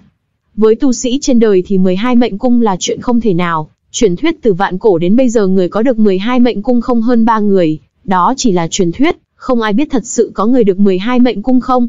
Về 13 mệnh cung, trên đời không có. 12 mệnh cung là cực hạn của tu sĩ, với tu sĩ trên đời thì 12 mệnh cung đã là đỉnh không thể vượt qua, thế gian không có mệnh cung thứ 13. Nhưng dã tâm của Lý Thất Dạ không chỉ trở thành nhất thân song thể, không có tính khiêu chiến. Lý Thất Dạ từng bồi dưỡng Hắc Long Vương vô địch nhất thân song thể, dã tâm của hắn không dừng lại tại đây. Huyết khí Lý Thất Dạ chảy xuôi, chân mệnh chìm nổi, thời đại hóa thành côn bằng, đôi khi hóa thành đại đạo minh mông, thời đại biến thành trời sao vô tận. Không biết qua bao lâu, đêm khuya, Lý Thất Dạ bỗng mở mắt ra. Con người Lý Thất Dạ có rút bắn ra sát ý lạnh lùng. Lý Thất Dạ ở cách vách, nàng là người rất cảnh giác, bày phòng ngự trong phòng tránh cho có ai ý đồ gây rối. Nhưng lúc đêm khuya, sương mù ngưng tụ, một cái bóng lặng lẽ xuất hiện trong phòng thu dung vãn tuyết, cái bóng như quỷ quái u linh. Dạ sát, là dạ sát lặng lẽ xuất hiện trong phòng thu dung vãn tuyết. Thủy vực thèm thuồng báu vật của hai người lý thất dạ từ lâu, không nói đến báu vật trong quỷ hà, chỉ tính ba quan từ tay tiểu quỷ cũng đủ làm dạ sát thèm nhỏ dãi. Trong cổ trạch nhiều người chú ý, dạ sát không tiện hành động. Vì vậy dạ sát theo dõi lý thất dạ và thu dung vãn tuyết, chuẩn bị sẽ hành động trong đêm. Dạ sát cho rằng tiểu bối nhân tộc như lý thất dạ không đáng lo, chỉ cần xử lý thu dung vãn tuyết là được, lý thất dạ sẽ mặc gã xoa nắn. Khi dạ sát đến gần chiếc giường, thu dung vãn tuyết đang ngủ bỗng cảnh giác mở mắt ra. Thấy dạ sát đứng bên giường làm thu dung vãn tuyết sợ hết hồn. Dạ sát là một sát thủ, dây lát gã ra tay nhanh như chớp bóp cổ thu dung vãn tuyết, định khống chế nàng trong một chiêu. Đạo hạnh của dạ sát cường đại hơn thu dung vãn tuyết rất nhiều, khi gã vươn tay nàng, nàng muốn chống cự cũng không kịp. Nhưng ngay lúc đó, bàn tay dạ sát chưa kịp bóp cổ thu dung vãn tuyết thì ngừng lại. Một bàn tay lặng lẽ kiềm cổ tay dạ sát. Lý thất dạ đứng ở đầu giường từ khi nào, dường như hắn luôn tại đây. Đột nhiên bị người bắt chặt cổ tay, sát thủ như dạ sát giật nảy mình, trông thấy lý thất dạ càng làm gã biến sắc mặt. Đến cảnh giới như dạ sát bị người một chiêu kiềm cổ tay là, hiểu sự lợi hại trong đó. Răng rắc, lý thất dạ dễ dàng bóp nát cổ tay dạ sát. Xoẹt, lý thất dạ kéo cổ tay dạ sát xuống, một tay dạ sát bị Lý Thất Dạ xé ra chảy máu ròng ròng, gã hét thảm. Dạ sát là sát thủ nên tính cách dứt khoát, ngay khi cánh tay bị Lý Thất Dạ xé rách gã liền biến thành xương mù xoay người bỏ chạy. Lý Thất Dạ vứt cánh tay dạ sát đi, nhìn Thu Dung Vãn Tuyết hoảng hốt mặt tái xanh. Lý Thất Dạ hỏi, nàng có sao không? Thu Dung Vãn Tuyết tỉnh táo lại, lắc đầu. Lý Thất Dạ ôm eo Thu Dung Vãn Tuyết, nói, chúng ta đuổi theo. Chớp mắt Lý Thất Dạ biến mất, Dạ sát trốn ra khỏi phòng chạy ngay đi hướng đông. Dạ sát là sát thủ, về tốc độ hay khả năng ẩn núp đều số một, người cùng cảnh giới cũng không sánh bằng gã. Dạ sát chỉ bước một chân vào cảnh giới tiểu thánh tôn, chưa có thực lực thánh tôn, nhưng gã giỏi về ám sát, từng giết tiểu thánh tôn. Nhưng đêm nay dạ sát đạp phải đinh, gã biết mình gặp kẻ thù đáng sợ, vì vậy gã liều mạng chạy trốn với tốc độ nhanh nhất. Khi dạ sát tự cho rằng đã trốn thoát, thì giọng Lý Thất Dạ lười biếng vang sau lưng gã, ngươi cảm thấy mình thoát được sao? Một tay Lý Thất Dạ ôm Thu Dung Vãn Tuyết, ung dung đạp trăng lướt tới, dường như hư không chẳng là khoảng cách, một bước dễ dàng bắt kịp dạ sát. Tuy tốc độ của dạ sát siêu nhanh nhưng so sánh với Lý Thất Dạ thì kém rất nhiều. Đừng nói Lý Thất Dạ tu luyện phi tiên thể có tốc độ số một trần đời, dù hắn không dùng nó vẫn dễ dàng đuổi kịp dạ sát. Mệnh công của Lý Thất Dạ là côn bằng lục biến. Côn bằng lục biến là đế thuật, có tốc độ kinh khủng, Tuy côn bằng lục biến không giống phi tiên thể hoàn toàn bù đắp sai sót tốc độ của chấn ngục thần thể, nhưng côn bằng lục biến có sở trường tốc độ hơn xa dạ sát. Thấy Lý Thất Dạ nhẹ nhàng theo sau mình, dạ sát sợ đến bay mất ba hồn bảy vía. Dạ sát chém một đao nhanh như chớp vào Lý Thất Dạ, tốc độ nhát đao rất nhanh nhưng hắn dễ dàng né tránh. Bỗng chốc côn bằng bay lên cao, không minh biến ra. Lý Thất Dạ với tốc độ khó tin kéo gần khoảng cách, thoáng chốc đến sau lưng dạ sát. Lý thất dạ một cước đạp lưng dạ sát, hắn không cần dùng chấn ngục thần thể, đơn thuần sức mạnh và tốc độ đã đủ. ầm, um, vang tiếng nổ điếc tai, dạ sát bị lý thất dạ đá bay lên cao rồi đập mạnh xuống mặt đường, đụng thủng một lỗ to. Tiếng xương kêu giòn vang. Dạ sát bị lý thất dạ đá một cước xương toàn thân vỡ vụn, phần lưng hõm xuống, chỉ còn một hơi thở. Dạ sát không dám ngừng lại, gã cắn chặt răng, sương mù nổi lên chạy trốn bằng tốc độ nhanh nhất. Có chuyện gì? Dạ sát đụng thủng đường cái kinh động nhiều tu sĩ trẻ tuổi trong trung thành. Đám người đi ra xem có chuyện gì thì thấy cảnh tượng một chạy một đuổi. Nhìn sương mù lướt đi, có người nhận ra dạ sát ngay, đó. Là dạ sát đúng không? Nhiều tu sĩ trẻ tuổi trông thấy cảnh tượng đó đều khó tin. Dạ sát sở trương ám sát, có thể nói là sát thủ nổi tiếng trong thế hệ trẻ. Hôm nay dạ sát bị người rượt cắm đầu chạy, không ai tin nổi. Khi thấy Lý Thất Dạ, có tu sĩ trẻ tuổi tham gia đấu giá nhận ra hắn, đó, đó chẳng phải là tiểu tử nhân tộc sao? Nhiều người rung động. Lúc đó rất nhiều người không để lý thất dạ vào mắt, Các thiên tài trẻ tuổi cảm thấy tiểu tử nhân tộc như Lý Thất Dạ yếu như bún. Trong Đông U Cương thì nhân tộc là chủng tộc nhỏ yếu, quỷ tộc không để tu sĩ nhân tộc vào mắt. Nhìn dạ sát bị Lý Thất Dạ truy sát như chó cụp đuôi, đám tu sĩ trẻ tuổi rung động, quá, quá khó tin. Lý Thất Dạ một tay ôm Thu Dung Vãn Tuyết nhẹ nhàng đuổi theo dạ sát, như mèo vờn chuột. Lý Thất Dạ mỉm cười hỏi, ngươi cảm thấy có thể trốn được bao xa? Một chỉ xẹt qua. Phập, dạ sát không có cơ hội né tránh. Một tiếng hét thảm. Máu phun ra, Lý Thất Dạ một chỉ đâm thủng ngực dạ sát. Dạ sát gào thét, máu chảy đầm đìa. Dạ sát kéo lê cơ thể bị thương nặng liều mạng bỏ trốn. Thu Dung Vãn Tuyết ngây ngốc nhìn, đã quên bị Lý Thất Dạ ôm. Dạ sát có thể nói là sát thủ nổi tiếng khắp U Thánh Giới, tộc trưởng nhỏ như Thu Dung Vãn Tuyết, thì một mình gã dư sức đại khai sát giới tuyết ảnh quỷ tộc, không ai ngăn được gã. Lúc này trong tay Lý Thất Dạ, dạ sát là chó cụp đuôi, gã không có sức đánh lại. Nhìn Lý Thất Dạ buộc dạ sát chạy vắt giò lên cổ, đám tu sĩ trẻ tuổi biến sắc mặt nói, cái, cái, cái tiểu tử nhân tộc này rốt cuộc có lai lịch gì mà. Mà bá đạo thế. Nhiều tu sĩ trẻ tuổi chạy theo muốn xem diễn biến như thế nào. Chuyện này cũng bình thường. Đạo hạnh của dạ sát mạnh thật, ít ra trong số người trẻ tuổi là vậy. Tiếc rằng Lý Thất Dạ là người đồ thánh tôn. Thêm nữa đạo hạnh của dạ sát mạnh nhưng gã thiếu đế thuật, thiếu tiên đế bảo khí, gã mạnh cách mấy cũng khó tranh hùng với Lý Thất Dạ. Tu sĩ cùng cảnh giới nếu một bên tu luyện đế thuật, có tiên đế bảo khí thì tuyệt đối chấn áp phe khác. Mặc kệ đối thủ đẳng cấp cao cách mấy đều khó tránh khỏi bị đè đầu. ầm, cuối cùng dạ sát lê thân bị thương nặng xông vào một tòa lâu vũ. Dạ sát hét lên, ma huynh, cứu ta. Dạ sát nói xong té xuống. Dạ sát được người dìu dậy, đó là truyền nhân của ma thiên môn, ma lợi đao. Dạ sát và ma lợi đao có quan hệ thân thiết, vào phút sống chết dạ sát chạy đi tìm gã. Ma lợi đao vừa nâng dạ sát dậy thì thấy lý thất dạ truy sát tới nơi, gã biến sắc mặt. Ma lợi đao để dạ sát vào phòng, gã thì chặn ngay cửa. Lý thất dạ bật cười, đứng trong không trung nhìn ma lợi đao.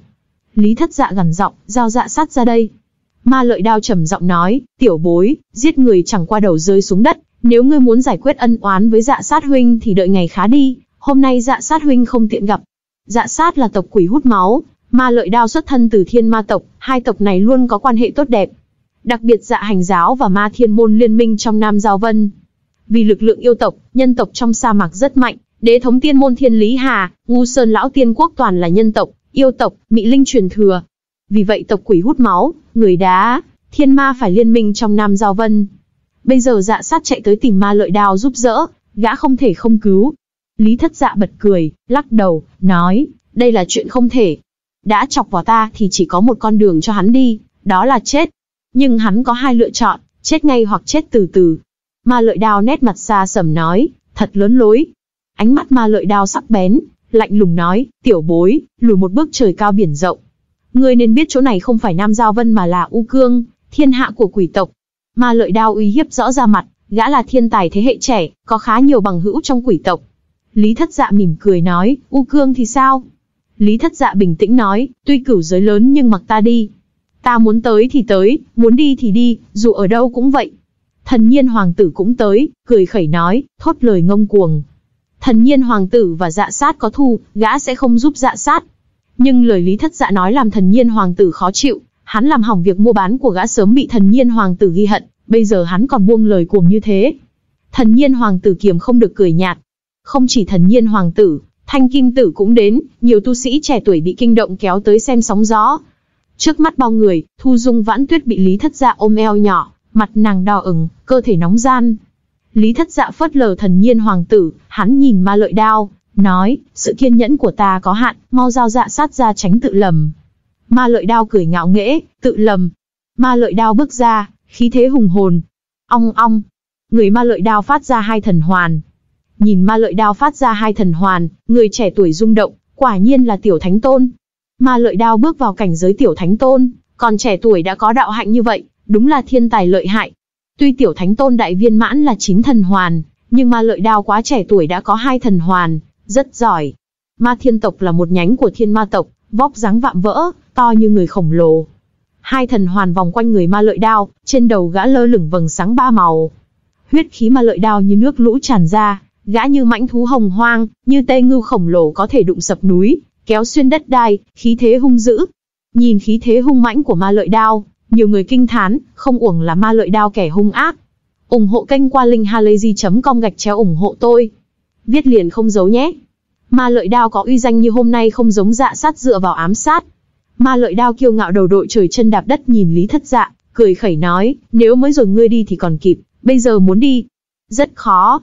Lý Thất Dạ nhìn ma lợi đao, mỉm cười hỏi, như thế nào? Nói vậy ngươi muốn ta ở lại. Ma lợi đao lạnh lùng nói, nếu ngươi xin lỗi dạ sát huynh thì ta sẽ tha cho ngươi một mạng, không thì... Hôm nay là ngày chết của ngươi. Trong u cương nhân tộc chỉ là con kiến. Lý thất dạ cười nói, thiên ma tộc lại đi liếm mông quỷ tộc suốt ngày, nếu bản nguyên tổ địa thiên ma, của các người nghe thấy lời này sẽ mất hết mặt mũi tổ tông. Ma lợi đao tức giận mặt xanh mét, gã hét to, mệnh cung hiện ra một cái bia to. Bia bay lên cao chớp mắt biến thành núi khổng lồ, đó là bản mệnh chân khí của ma lợi đao, ma thiên bia. ầm, um, vang tiếng nổ điếc tai. Ma thiên bia hiện ra các núi thần như có thần cư ngụ tại đây, từng vòng thần hoàn hiện ra trong ma thiên bia. Ma thiên thần nhạc. Thấy bản mệnh chân khí của ma lợi đao xuất hiện núi thần, có người rung động nói, đây là thiên uẩn chi đạo bản mệnh chân khí của ma lợi đao, truyền thuyết ma thiên thần nhạc có thể đè bẹp một đại thánh tôn. Ma lợi đao hét to một tiếng, tiểu bối, chịu chết đi. Ma thiên bia như bàn tay khổng lồ che lấp nguyên trung thành. Ma thiên bia đập xuống, trăm ngàn núi thần ầm vang, một bia kèm theo sức nặng các ngọn núi thần đập xuống dầu lý thất dạ. Bản mệnh chân khí bá đạo như vậy đập xuống, tiếng nổ ầm ầm không dứt, hư không vỡ vụn. Ma thiên bia đập xuống, trung thành không nhờ có lực lượng che chở thì đã bị đập nát nguyên thành.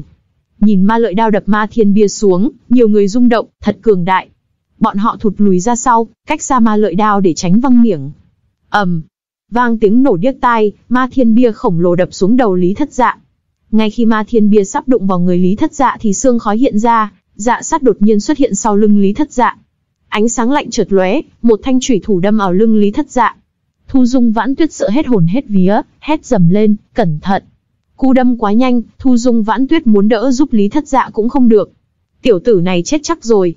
Nhìn trên đầu Lý Thất Dạ có ma lợi đao vỗ ma thiên bia, sau lưng thì dạ sát đánh lén, mọi người cho rằng hắn chết chắc. ầm, Ma thiên bia giáng xuống, chủy thủ đâm vào lưng Lý Thất Dạ, dạ sát mừng như điên. Khi mọi người đều cho rằng Lý Thất Dạ chết chắc, Thu Dung Vãn Tuyết sợ mặt trắng bệch suýt xỉu. Không gian tĩnh lặng, mọi người trợn tròn mắt nhìn cảnh tượng, không dám tin vào mắt mình. Lý Thất Dạ một tay ôm Thu Dung Vãn Tuyết, tay kia dễ dàng đỡ Ma Thiên Bia. Ma Thiên Bia cực kỳ nặng nề bị Lý Thất Dạ thoải mái bắt giữ, chủy thủ đâm vào lưng hắn nhưng Lý Thất Dạ không nhíu mày chút nào. Lý Thất Dạ ngoái đầu nhìn Dạ Sát, cười nói, chủy thủ của ngươi quá mềm, làm bằng đậu hũ sao? Dạ sát vốn mừng như điên bị Lý Thất Dạ hù sợ mất hồn mất vía, lúc này gã mới nhận ra chủy thủ không hề đâm vào làn da Lý Thất Dạ, chỉ làm chảy ra hắn. Chấn ngục thần thể của Lý Thất Dạ nổi tiếng cứng rắn, không thể so với kim cương bất diệt nhưng luyện đến cảnh giới, như hắn thì chặn lại chủy thủ của dạ sát, không khó khăn gì. Dạ sát sợ hết hồn, xoay người chạy trốn. Lý Thất Dạ giật ma thiên bia từ tay ma lợi đao, Ma thiên bia như cánh cửa to quất hướng dạ sát bỏ chạy. ầm, dạ sát như con ruồi bị ma thiên bia đập dẹp, máu nhuộm đỏ mặt đất, gã dẹp lép sát đất. Miệng ma lợi đao phun chân ngôn triệu hồi ma thiên bia, trở về. Ong ong. Ma thiên bia rung bẩn bật trong tay lý thất dạ, nhưng chấn ngục thần thể chợt lóe, lực lượng bàn tay đủ để chấn áp ma thiên bia. Ma lợi đao sợ teo tim, không thể nào. Ma thiên bia là bản mệnh chân khí của ma lợi đao, người ngoài không thể cướp đi, trừ phi kẻ đó mạnh hơn gã mấy cảnh giới. Lý thất dạ hờ hững nhìn ma lợi đao, so sức nặng với ta thì ngươi thua xa. Ma thiên bia là chân khí hạng nặng, tuy nó có sức nặng núi thần nhưng so với chấn ngục thần thể của Lý thất dạ, thì kém xa lắc xa lơ. Chân khí ma thiên bia rơi vào tay Lý thất dạ, dù nó là chân khí thì chỉ có nước bị chấn áp. Lý thất dạ cười nói, ăn một đòn của ta đây. Lý thất dạ cầm ma thiên bia đập mạnh, Ma thiên bia và sức nặng chấn ngục thần thể bay tới, đại đạo kêu ầm ầm. Vô số pháp tắc trong trung thành bay lên che chở toàn trung thành, nếu đòn ma thiên bia này đập trúng trung thành thì nguy to. Ma lợi đao cảm nhận lực lượng trời sụp đất nứt từ sức nặng ma thiên, bia có thể đè sập mặt đất. Ma lợi đao có cầm ma thiên bia trong tay đánh hết sức, thì cân nặng không bằng một kích của Lý Thất Dạ. Lý Thất Dạ đánh ra đòn ma thiên bia như có ức vạn núi thần đè xuống, có thể đè chết thần ma. Ma lợi đao sợ hãi bay mất hồn vía, Ma lợi đao gầm giống, một hơi lấy ra các binh khí mạnh nhất của mình, dù là bảo khí hay chân khí, hoặc đạo ngoại kỳ bảo, toàn bộ lôi ra vây quanh bảo vệ mình.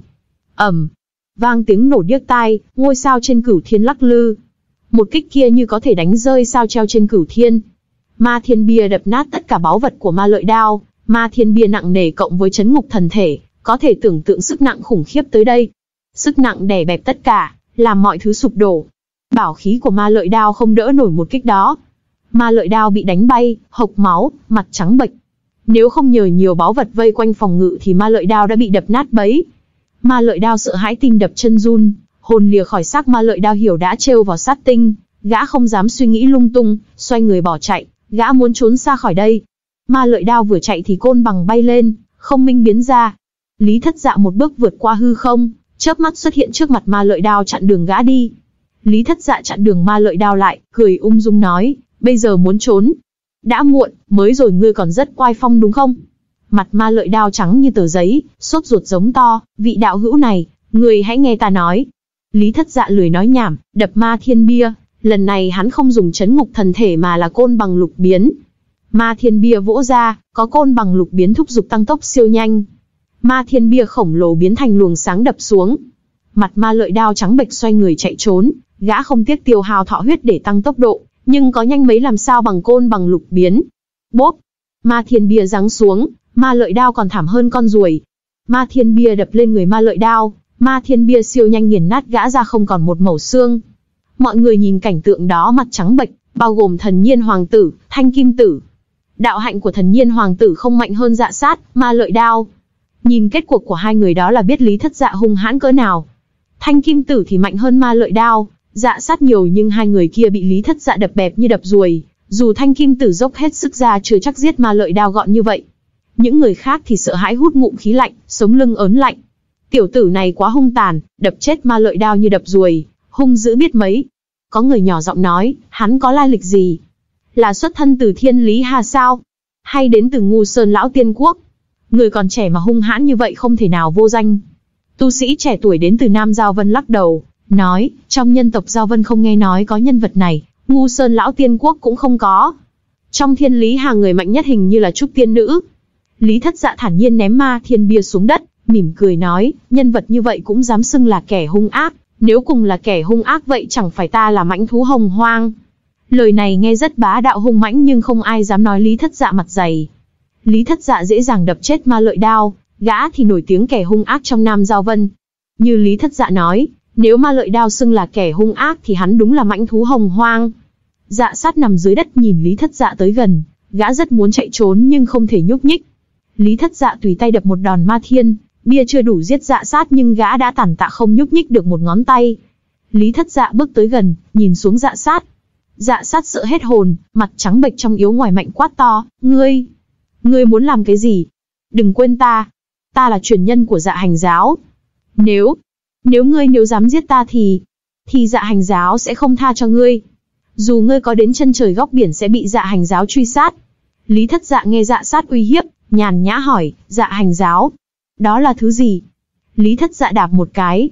Dạ sát không cam lòng hét to một tiếng, không. Nhưng đã muộn, Lý thất dạ một cước đạp chết dạ sát. Thấy Lý thất dạ dẫm chết dạ sát, hắn hút ngụm khí lạnh.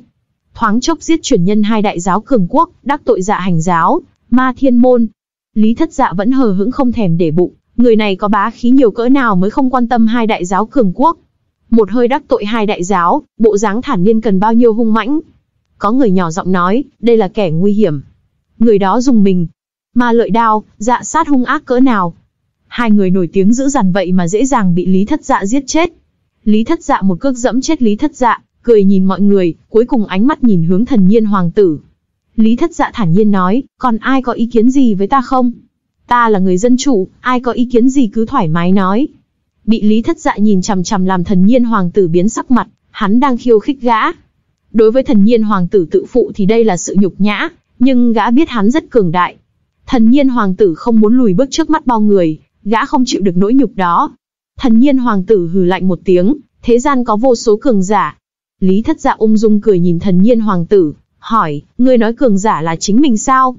Thần nhiên hoàng tử biến sắc mặt, phản xạ lùi một bước. Nhưng yếu thế trước mắt bao người làm thần nhiên hoàng tử không cam lòng, gã cảm thấy lý thất dạ đang nhục nhã mình, Thần nhiên hoàng tử hít sâu, dứt khoát chơi tới cùng, kiêu ngạo dâng trào.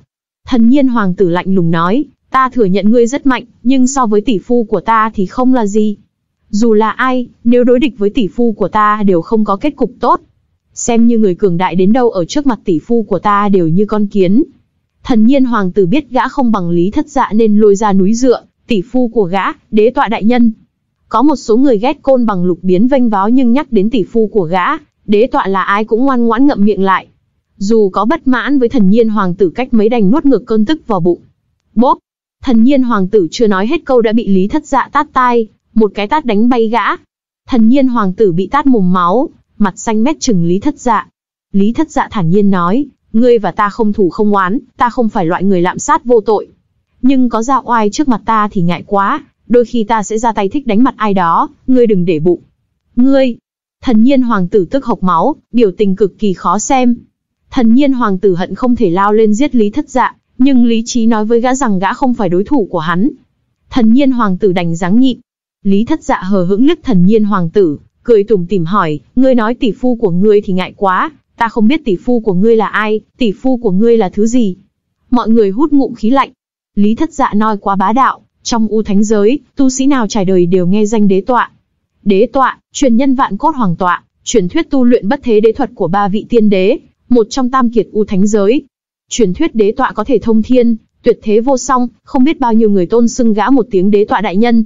Nhưng bây giờ Lý Thất Dạ nói câu tỷ phu của ngươi là thứ gì? Rõ ràng khiêu khích đế tọa, làm nhiều người tim tim đập nhanh. Tiểu tử này nếu không phải chán sống thì là siêu bá đạo. Lý Thất Dạ mặc kệ thần nhiên hoàng tử, hắn ôm eo Thu Dung Vãn Tuyết, lắc người biến mất trong trời đêm. Sau khi Lý Thất Dạ rời đi, có người lẩm bẩm, một kẻ hung ác thật sự đã sinh ra. Thần nhiên hoàng tử khó nuốt trời cục tức, sau khi Lý Thất Dạ rời đi gã phun nước miếng hướng chỗ hắn biến mất. Thần nhiên hoàng tử nghiến răng ken két, tiểu súc sinh không biết sống chết. Chờ đi, đến lúc đó sẽ cho ngươi biết cái gì gọi là sống không bằng chết. Thanh kim tử tới gần khuyên, thần nhiên huynh, nhịn một lúc gió êm sóng lặn. Tiểu bối nhân tộc này không kiêu ngạo được bao lâu, chờ đế tọa đại nhân đến chắc chắn sẽ chém hắn mười đao. Thanh kim tử là thiên tài một thế hệ, gã cũng rất tự phụ, nhưng thấy lý thất dạ đập chết ma lợi đao như đập ruồi làm lòng gã chìm xuống. Thanh kim tử hiểu rằng gã không phải đối thủ của lý thất dạ, nên khi hắn tát bay thần nhiên hoàng tử thì gã không dám nói nhiều. Vào phút mấu chốt này một mình thanh kim tử xông lên là tìm đường chết, gã không muốn vì thần nhiên hoàng tử mà mất mạng. Hôm nay thần nhiên hoàng tử mất hết mặt mũi, gã đường đường là hoàng tử của thần nhiên quốc, luôn tự kiêu có thân phận cao quý. Từ khi tỷ tỷ gả cho đế tọa, địa vị của thần nhiên quốc lên cao trong u thánh giới, đi đâu gặp tu sĩ trẻ tuổi, dù là thiên tài cũng hết sức khách sáo với thần nhiên hoàng tử, quỷ tộc nể mặt ba phần. Hôm na thần nhiên hoàng tử bị một tiểu tử nhân tộc nhục nhã trước cặp mắt bao người, đối với gã là mối nhục lớn nhất đời. Ánh mắt thần nhiên hoàng tử cực kỳ độc ác, gã nghiến răng, mặt vạn vẹo nói, tiểu xúc sinh chờ đi, con kiến như hắn không cần chờ tỷ phu của ta. Đợi tỷ tỷ đến cũng dư sức trừng trị hắn. Khi đó bản hoàng tử sẽ khiến hắn quỳ liếm giày ta. Nỗi nhục này là lớn nhất đời gã, thần nhiên hoàng tử tuyệt đối không tha cho lý thất dạ. Chờ lý thất dạ rơi vào tay gã, thần nhiên hoàng tử sẽ chậm rãi hành hạ hắn, khiến hắn sống không bằng chết. Nhiều tu sĩ trẻ tuổi không đồng ý lời của thần nhiên hoàng tử, rõ ràng ngươi khiêu khích người ta trước, dĩ nhiên không ai ngốc nói ra tiếng. Thần nhiên hoàng tử không có tư chất vào hàng đỉnh thiên tài thế hệ trẻ u thánh giới, thậm chí không bằng cỡ thanh kim tử, nhưng mọi người rất e ngại thần nhiên hoàng tử. Ai kêu thần nhiên hoàng tử có tỷ tỷ tốt, có tỷ phu rất lợi hại. Nhắc đến tỷ tỷ của thần nhiên hoàng tử, tức thần nhiên phượng nữ làm tim nhiều người đập nhanh. Thần nhiên phượng nữ không chỉ xinh đẹp khuynh quốc mà đạo hạnh cũng rất sâu, mạnh hơn thanh kim tử. Trong Nam Giao Vân từng có người gọi thần nhiên phượng nữ là mỹ nữ số một, cao thủ số một trong thế hệ trẻ Nam Giao Vân. Xưng hô đó có phần nịnh hót, không chỉ nịnh thần nhiên phượng nữ còn nịnh cả đế tọa. Thần nhiên phượng nữ, có phải mỹ nữ số một Nam Giao Vân hay không thì mỗi người thẩm mỹ khác nhau, nhưng thần nhiên phượng nữ, tuyệt đối không xếp vào hàng cao thủ số một thế hệ trẻ Nam Giao Vân được. Tuy nhiên trong Nam Giao Vân không ai dám khinh thường thần nhiên phượng nữ, đạo hạnh của nàng rất sâu, thực lực siêu mạnh, làm nhiều thiên tài trẻ tuổi e ngại. Thần nhiên phượng nữ không phải bình hoa chỉ đẹp đẽ, thiên phú hay đạo hạnh đều là thiên chi kiêu nữ, nếu không thần nhiên phượng nữ làm sao xứng với nhân vật như đế tọa. Bởi vậy khi nhắc đến thần nhiên phượng nữ làm nhiều người e rè. Thần nhiên hoàng tử nghiến răng, oán hận rủa, chờ đi tiểu súc sinh, tỷ của ta sắp đến rồi. Nhiều không thích thoi ý thế hiếp người của thần nhiên hoàng tử, nhưng nghe nói thần nhiên phượng nữ sắp đến thì tim rớt cái bịch. Thần nhiên phượng nữ đến, đế tọa là vị hôn phu của nàng sẽ không đi theo sao? Đế tọa, nghĩ đến tồn tại trên đỉnh mây đó là lòng đám người nặng trĩu. Đối với gia số người trẻ tuổi, bọn họ không muốn gặp đế tọa chút nào. Nơi nào có đế tọa thì mặc cho ngươi là thiên tài gì, xuất sắc cỡ nào, kiệt xuất bao nhiêu đều bị lu mờ. Trước ánh sáng đế tọa chói lòa, thiên tài không là gì, không đáng một đồng.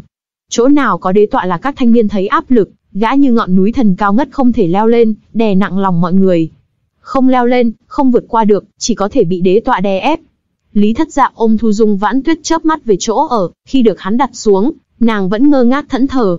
Lý thất dạ vỗ vai Thu Dung vãn tuyết, cười nói, Thu Dung đang sợ hay nhớ lại cảm giác trong vòng tay ta, thấy lưu luyến. Thu Dung vãn tuyết tỉnh táo lại, mặt đỏ rực, nóng gian, đôi mắt Thu Thủy ngập nước nhìn Lý thất dạ. Thu Dung vãn tuyết nhìn Lý thất dạ, nhìn nụ cười mỉm chi, nhìn thái độ ung dung bình tĩnh đó, bất giác khắc sâu vào trái tim Thu Dung vãn tuyết. Khi nhìn tiểu nam nhân gần trong găng tấc, tim Thu Dung vãn tuyết cháy bỏng. Thu Dung vãn tuyết hít sâu, chẳng biết nàng lấy can đảm từ đâu ra khẽ rên, chui vào ngực Lý Thất Dạ, ôm cổ hắn, làn môi thở hương thơm kiềm lòng không đậu hôn môi hắn. Khi hôn trúng môi Lý Thất Dạ, trái tim Thu Dung vãn tuyết đập nhanh, căng thẳng người nhũn ra. Thu Dung vãn tuyết dứt khoát hôn Lý Thất Dạ. Nữ nhân trưởng thành hiền thục này khi hôn Lý Thất Dạ thì khuôn mặt đỏ hồng, nụ hôn ngây ngô, căng thẳng nhưng cố chấp không lùi bước. Lý Thất Dạ giật mình, cảm nhận bờ môi mềm ngọt ngào, Lý thất dạ nâng khuôn mặt mỹ nhân đỏ ửng, ngấu nghiến môi son, bá đạo mà ngang ngược cậy mở hàm răng, bá đạo hút cái lưỡi, không tha mỹ nhân né tránh, đá lưỡi vần quanh. Thu Dung Vãn Tuyết bị nụ hồn dữ dội của Lý Thất Dạ hút hồn sắp lìa khỏi xác, nàng cảm giác toàn thân mềm nhũn. Thu Dung Vãn Tuyết hôn trúc chắc, ngây ngô đáp lại lang nhi của mình. Cái lưỡi mềm mặc cho Nam Nhi đùa cợt, Thu Dung Vãn Tuyết tựa thiêu thân lao đầu vào lửa. Nụ hôn cực kỳ nóng cháy, từ khi nào tay Lý Thất Dạ vuốt ve mông Thu Dung Vãn Tuyết, nhéo một cái làm nàng rên rỉ sụi lơ trong ngực tiểu nam nhân. Lý thất dạ vỗ mông thu dung vãn tuyết, đùa cợt, tộc trưởng thân mến, đêm nay có muốn ấm giường cho ta không? Toàn thân thu dung vãn tuyết nóng bỏng, nàng xấu hổ đẩy lý thất dạ ra, gục mặt xuống. Thu dung vãn tuyết tức giận nói, ngươi nằm mơ đi, ta, ta không thèm ấm giường cho ngươi. Thu dung vãn tuyết cắm đầu chạy nhanh ra ngoài phòng. Thu dung vãn tuyết bỏ lại lý thất dạ sau lưng, mặt nàng vẫn nóng hổi. Nhớ lại cảnh tượng xấu hổ kia làm Thu Dung Vãn Tuyết nóng bỏng, nàng cắn môi. Vừa rồi Thu Dung Vãn Tuyết như bị ma áp, bị tiểu nam nhân hấp dẫn kiềm lòng không độ tự dâng hiến. Thu Dung Vãn Tuyết cũng không biết mới rồi lấy đâu ra can đảm làm chuyện như vậy. Mỹ nhân trưởng thành hờn dỗi khẽ hừ, không dám nhớ lại chuyện đã xảy ra. Sáng hôm sau gặp lại Lý Thất Dạ, mặt Thu Dung Vãn Tuyết nóng gian. Lý Thất Dạ đùa giỡn, như thế nào? Đêm qua nàng ngủ không ngon. Lý Thất Dạ vừa vô tội vừa dâm đáng nháy mắt. Thu Dung Vãn Tuyết vừa tức giận vừa xấu hổ, nàng hít sâu bình tĩnh nỗi lòng rối loạn. Thu Dung Vãn Tuyết lườm Lý Thất Dạ, bớt nói nhảm đi, hôm nay chúng ta đi đâu? Thu Dung Vãn Tuyết là mỹ nhân trưởng thành, trang nhã, bây giờ biểu tình xấu hổ, mắt đưa tình, phong tình quyến rũ khiến tim người đập nhanh. Phong tình quyến rũ kết hợp với trang nhã làm Thu Dung Vãn Tuyết cực kỳ hấp dẫn. Lý Thất Dạ cười cười, bình tĩnh nói, tìm một người không biết có tìm được không, nếu tìm ra không chừng sẽ biết được chút tin tức. Lý Thất Dạ dẫn Thu Dung Vãn Tuyết rời khỏi khách điếm. Hắn đi trong trung thành, chuyên lựa hẻm nhỏ, hắn chú ý mỗi một dấu hiệu con hẻm. Lý Thất Dạ mang theo Thu Dung Vãn Tuyết đi qua nhiều ngõ nhỏ, nhưng không tìm thấy người hắn muốn tìm. Thu Dung Vãn Tuyết cùng Lý Thất Dạ đi qua rất nhiều con hẻm không biết, tò mò hỏi, chúng ta muốn tìm ai? Lý Thất Dạ cười trả lời, một kẻ trốn tránh không thấy gặp người. Lý Thất Dạ, Thu Dung Vãn Tuyết chưa đi được bao nhiêu con hẻm thì Nguyên Trung Thành, không, Nguyên Phong Đô Thành Dung Dinh, ủng hộ kênh qua linkhalazy.com gạch chéo ủng hộ tôi. Viết liền không giấu nhé. ầm ầm. Trung thành bỗng rung lắc làm Thu Dung vãn tuyết giật mình kêu lên, có chuyện gì? Lý thất dạ cảm nhận thiên địa lắc lư, hắn biến sắc mặt kéo Thu Dung vãn tuyết bay lên trời, hắn nhìn một hướng. Ở dạ hải. Lý thất dạ nhìn hướng dạ hải xa xôi. Rào rào. Dạ hải cách lý thất dạ không xa, tất cả đều thấy cảnh tượng kinh người. Tiếng nước ầm ầm vang lên, mọi người trong phong đô thành trông thấy cảnh tượng kinh khủng. Một cột sóng bắn thẳng lên trời, sắp xuyên thủng cửu thiên. Sóng bay lên cao như muốn quét dụng các ngôi sao treo trên cửu thiên. Khi cơn sóng này dâng lên cao thật cao mới từ cửu thiên rơi xuống, tiếng nước rào rào vang rõ to, mọi người trong phong đô thành đều nghe thấy. Đám người trong phong đô thành hoảng sợ, dù là tu sĩ trẻ tuổi từ ngoài đến, hay dân bản xứ đều bị cảnh tượng trước mắt rung động. Khi sóng to rơi xuống thật lâu, có nhiều người không lấy lại tinh thần. Biến dị đột nhiên xảy ra, không ai hiểu có chuyện gì. Lý thất dạ nhỏ giọng nói, chắc là dạ hải. Lý thất dạ nhớ đến một chuyện, hắn biến sắc mặt. Thu dung vãn tuyết ngây ngốc trước biến dị, nàng chưa từng nghe nói có chuyện như vậy xảy ra. Sóng đột ngột bắn lên trời, quá kinh khủng, chuyện gì xảy ra? Thu dung vãn tuyết sợ hết hồn, nàng hỏi Lý thất dạ, có chuyện gì? Chúng ta có đi dạ hải nhìn xem. Lý Thất Dạ, Thu Dung Vãn Tuyết không cần đi dạ hải, trong thời gian ngắn tin tức đã truyền khắp phong đô thành. Người tung tin có tu sĩ trẻ tuổi từ ngoài đến, có quỷ sứ phong đô thành. Một tin tức cực kỳ khủng khiếp khuếch tán, dạ hải biến trong. Toàn phong đô thành giật mình, nhiều người hết hồn, bao gồm cư dân phong đô thành. Mọi người nghe tin tức đó đều hết hồn, phản ứng đầu tiên là không tin, dạ hải biến trong. Không thể nào. Dân phong đô thành cũng không tin, bọn họ là quỷ cũng không tin nổi chuyện vượt sức tưởng tượng như vậy. Từ trăm ngàn vạn năm nay dạ hải đen như mực, chưa từng biến trong.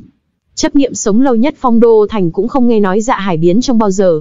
Tu sĩ trẻ tuổi trước tiên đưa tin về thể thốt, thật trăm phần trăm. Không chỉ dạ hải biến trong cũng không còn là đất giữ, ai đi vào đều không gặp nguy hiểm, lái đò biến mất. Ta có một huynh đệ đang bắt cá trong dạ hải, hắn bị sóng to tung lên trời. Khi hắn rơi xuống dạ hải, hắn cứ nghĩ mình chết chắc, ai rẻ dạ hải biến trong và không dìm chết người. Nhiều người, nhiều quỷ không tin nổi, sao? Sao có thể như vậy? Rất nhanh có người kiểm chứng.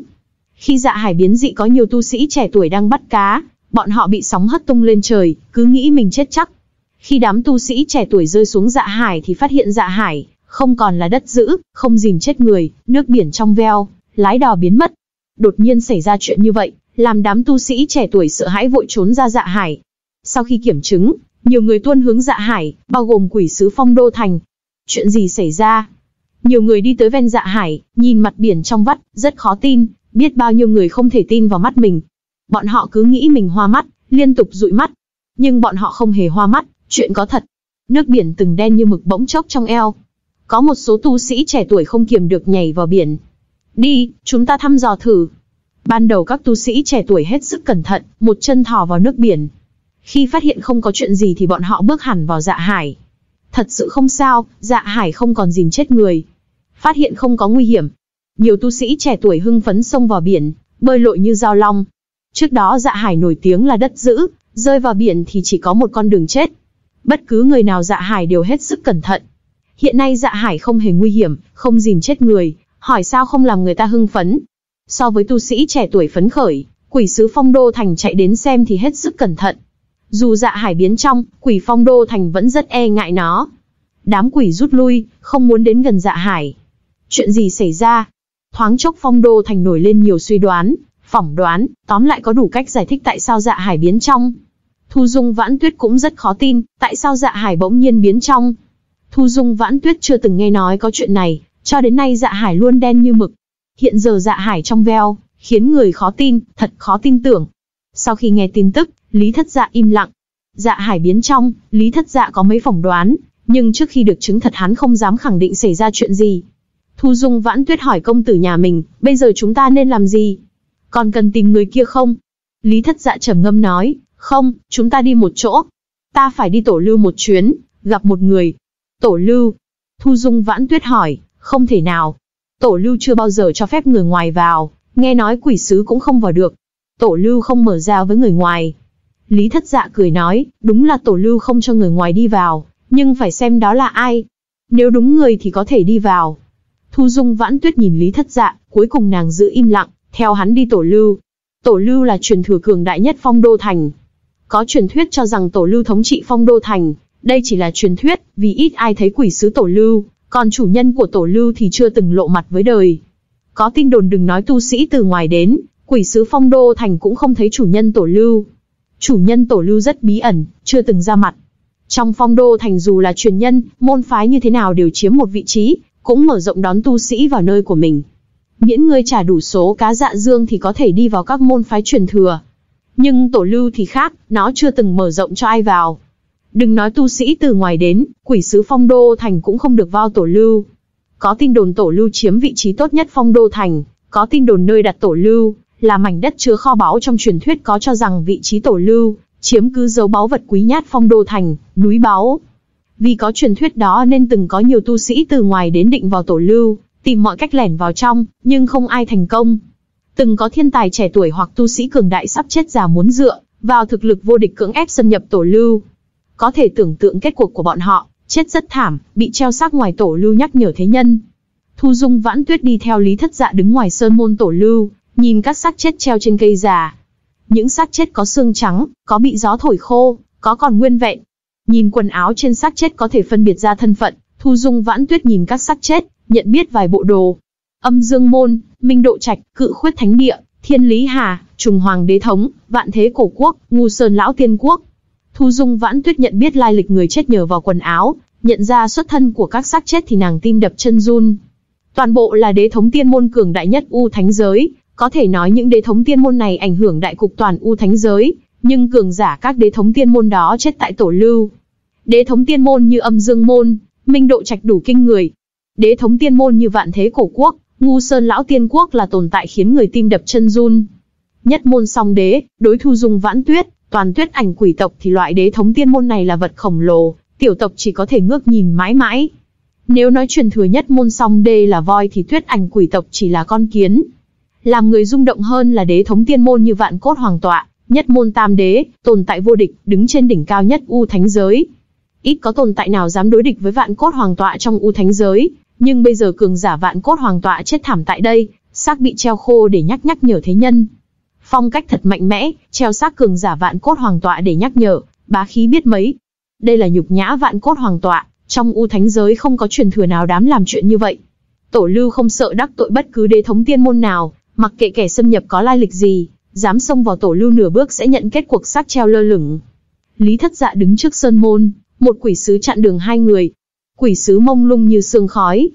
Quỷ sứ chặn đường Lý thất dạ, thu dung vãn tuyết, mặt không biểu tình nói, tổ lưu không cho phép ai vào, xin dừng bước. So với quỷ sứ tổ lưu thì quỷ sứ chỗ khác trong phong đô thành thân thiệt hơn, biểu tình phong phú hơn nhiều. Quỷ sứ nơi khác trông giống người, giống một người sống, quỷ sứ tổ lưu càng giống quỷ. Lý thất dạ bình tĩnh nói, hãy đi thông báo, ta muốn gặp chủ nhân của các ngươi, hoặc kêu hắn đến gặp ta cũng được. Quỷ sứ vẫn chắn đường, mặt không biểu tình nói, chủ nhân chúng ta chưa bao giờ gặp khách lạ, mời quay về. Lý thất dạ lấy một tờ giấy, dùng kiểu vô cùng phức tạp gấp thành cái mũ kỳ lạ. Lý thất dạ đội mũ lên đầu quỷ sứ. Lý thất dạ nói, mang mũ này đi gặp chủ nhân các ngươi, nói ta đến. Đôi mắt trống rỗng của quỷ sứ nhìn Lý thất dạ như ngó người chết, xoay người biến mất trong sơn môn. Một lúc lâu sau quỷ sứ tổ lưu không trở về. Thu Dung Vãn Tuyết hơi lo lắng hỏi, chủ nhân tổ lưu có đồng ý không? So với Thu Dung Vãn Tuyết lo âu thì Lý Thất Dạ nhàn nhãn hơn nhiều, mỉm cười nói, yên tâm, hắn sẽ gặp chúng ta. Đúng như Lý Thất Dạ nói, thật lâu sau quỷ sứ đi vào truyền lời lại quay ra, cái mũ trên đầu quỷ sứ đã biến mất. Chủ nhân của ta cho mời.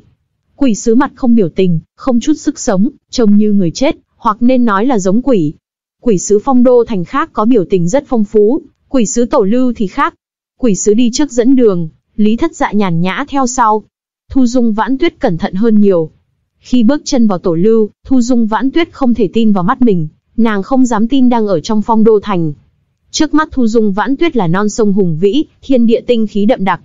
Mảnh thiên địa này giống như tổ địa tông thổ của đế thống tiên môn, có dược vương đầy rẫy, cỏ thành bụi, bảo thụ lắc lư, thánh tuyền chảy xiết. Cảnh tượng thánh địa thần thổ làm người nhìn kinh thán, tổ địa tông thổ của đế thống tiên môn cũng chỉ được thế này. Thu Dung Vãn Tuyết tán thán, nàng nằm mơ cũng không ngờ trong phong đô thành có chỗ như vậy. Nơi này là thánh địa tu luyện của tu sĩ, ai cũng thích tu luyện trong đây. Khác với Thu Dung Vãn Tuyết choáng ngộp, Lý Thất Dạ mỉm cười ngắm cảnh. Quỷ sứ đưa Lý Thất Dạ, Thu Dung Vãn Tuyết đi thẳng tới trước. Nói đến cũng lạ, tuy mảnh non sông trước mắt là thánh địa nhưng hai người đi rất lâu không gặp ai, hoặc nên nói là không thấy con quỷ thứ hai. Sông núi tĩnh lặng không có bóng người, cảnh tượng hấp dẫn thật nhưng đi trong không gian vắng lặng làm người lạnh gáy. Thu Dung Vãn Tuyết thả thấy con quỷ thứ hai chứ không mong ở nơi yên tĩnh này. Thiên địa yên lặng không có thanh âm, làm người ta sợ hãi. Lý Thất Dạ nhỏ giọng nói bên tai Lý Thất Dạ, tại sao không có người thứ hai? Bọn họ đều ngủ say. Lý Thất Dạ nhìn nữ nhân trưởng thành, trả lời, trừ phi xảy ra chuyện cực kỳ lớn, nếu không bọn họ khó mà bò dậy. Thu Dung Vãn Tuyết giật mình. Trong phong đô thành đầy dãy quỷ sứ, những quỷ sứ quỷ sử trừ không giống người sống có máu thịt ra còn lại, không khác gì tu sĩ. Quỷ sứ không cần ngủ. Nhưng quỷ sứ trong tổ lưu ngủ say, ngủ tập thể, chuyện này thật quá dị. Tổ lưu tĩnh lặng làm thu dung vãn tuyết nhiều ít có không khí phong đô thành, khiến người ta biết mình ở trong phong đô thành. Nếu không có sự yên tĩnh này, thu dung vãn tuyết rất khó tin đây là phong đô thành, nó càng giống trong tổ địa một đế thống tiên môn. Cuối cùng quỷ sứ đưa Lý Thất Dạ, đế thống tiên môn đi vào một tòa cổ điện, cổ điện cực kỳ hùng vĩ to lớn, nhìn thoáng qua làm người ta nghĩ là nơi thần linh cư ngụ. Quỷ sứ đưa Lý Thất Dạ, Thu Dung Vãn Tuyết vào cổ điện sau đó lặng lẽ lui xuống. Cổ điện trống trải, Thu Dung Vãn Tuyết nhìn quanh, bên trong không có bóng người, hoặc nên nói không có quỷ. Thu Dung Vãn Tuyết nhìn vị trí cao trong điện, nơi đó bày một cái ghế đá to, một người đá ngồi trên ghế. Không biết dùng đá gì khắc ra, người đá hợp thành một thể với ghế đá. Người ngồi trên ghế đá đầu đội thần quan, các sợi rũ xuống che mặt người đá, không rõ là nam hay nữ. Người giá mặc thần bào, áo rộng lớn như có thể bao phủ nguyên càn khôn, che giấu cơ thể trong thần bào tăng thêm phần bí ẩn. Hấp dẫn ánh mắt Thu Dung Vãn Tuyết nhất là cái mũ Lý Thất Dạ, gấp đang nằm trong tay người đá. Lý Thất Dạ nhìn người đá ngồi trên ghế, mỉm cười nói, ngươi vẫn không hề thay đổi. Nếu người ngoài thấy cảnh tượng này sẽ nghĩ rằng Lý Thất Dạ bị điên, đi nói chuyện với người đá, nhưng người đá ngồi trên ghế bỗng hòa tan. Mới rồi là người đá, các đường nét cứng rắn như tượng hòa tan biến thành một người. Người đó ngồi nghiêng trên ghế đá, lúc này ngồi thẳng dậy, hai chân giang ra, đôi mắt sâu thẳm như xuyên suốt xưa và nay. Khuôn mặt người đó bị các sợi tư thần quan rũ xuống che khuất, nhưng đôi mắt hiện ra rõ ràng. Người đá đột nhiên sống lại làm Thu Dung Vãn Tuyết sợ hãi giật nảy mình, lúc này nàng mới hiểu ngồi trên ghế không phải người đá mà là người ngủ say. Người ngồi trên ghế đá mở miệng nói, ngươi nên biết nơi này không hoan nghênh ngươi. Thanh âm như vọng về từ nơi khác, xa xôi khó bắt được. Nghe thanh âm không thể phân biệt là giọng nam hay nữ. Thu Dung Vãn Tuyết nhìn kỹ chủ nhân tổ lưu, lòng rung động. Huyết khí trên người chủ nhân tổ lưu, làm Thu Dung Vãn Tuyết khẳng định trăm phần trăm người trước mắt tuyệt đối là người sống, không phải quỷ, không phải loại chấp niệm không có máu thịt. Đây là người sống, có máu có thịt. Phát hiện này làm Thu Dung Vãn Tuyết giật mình. Tổ lưu là truyền thừa cường đại và bí ẩn nhất phong đô thành, chủ nhân của nó là người sống. Nếu ai biết tin này sẽ tiểu tử nhường nào. Trong phong đô thành, bất cứ truyền thừa nào đều do quỷ sứ phong đô thành tổ thành, tu sĩ từ ngoài đến không thể tham gia truyền thừa. Hiện nay chủ nhân tổ lưu là một người sống, chuyện khó tin biết bao. Lý thất dạ không để bụng lời chủ nhân tổ lưu nói, ung dung bảo, chẳng phải bây giờ ngươi đang gặp ta sao? Sao có thể nói là không hoan nghênh ta? Mặc kệ là gì? Chủ nhân tổ lưu mở miệng nói, quá khứ, hiện tại, tóm lại chỗ này không có thứ ngươi muốn. Lý thất dạ cười nói, đừng nói tuyệt tình như vậy, chúng ta có phải là bằng hữu không? Có phải là bạn sinh tử không? Thu dung vãn tuyết ngây người nghe. Không thể nào, quỷ sứ phong đô thành không thể nào kết bằng hữu với tu sĩ. Lùi một bước ngẫm nghĩ, cảm thấy cũng có thể, chủ nhân tổ lưu không phải quỷ sứ mà là người sống. Nhưng Thu Dung vãn tuyết thầm lấy làm lạ, Lý Thất Dạ và chủ nhân tổ lưu kết bằng hữu, thật khó tin. Chủ nhân tổ lưu nói thẳng, không phải, ta không quen ngươi. Lý Thất Dạ bật cười, lắc đầu, nói, ngươi đang lừa mình dối người. Ta trước kia hay hiện tại, dù thay đổi như thế nào, ngươi nên biết ta vẫn là ta. Người khác không nhìn ra nhưng ngươi không thể nào không nhận ra. Thu Dung vãn tuyết ù ù cạc cạc nghe, Thu Dung Vãn Tuyết không biết lý thất dạ, nói ta trước kia ý chỉ khi hắn là âm nha, nàng sẽ không biết bí mật đó. Lý thất dạ cười hỏi, dù ta bây giờ không phải tiểu quỷ đội mũ năm xưa nhưng vẫn là ta, ngươi thấy đúng không? Từ trăm ngàn vạn năm nay Lý thất dạ không chỉ xuất hiện với thân phận âm nha, nhiều lúc hắn dùng các loại thủ đoạn biến hóa thành hình dạng khác. Lý thất dạ giấu khuôn mặt thật, dấu vết của mình trong dòng sông thời gian. Tự ngươi biết, giọng chủ nhân tổ lưu như từ nơi xa xôi truyền về, lạnh lùng nói, từ khi ngươi lừa người kia khỏi phong đô thành, thì ngươi nên biết ngươi không được phong đô thành hoan nghênh. Nếu không nhờ ta sợ là ngươi không vào phong đô thành được, sớm bị truy sát.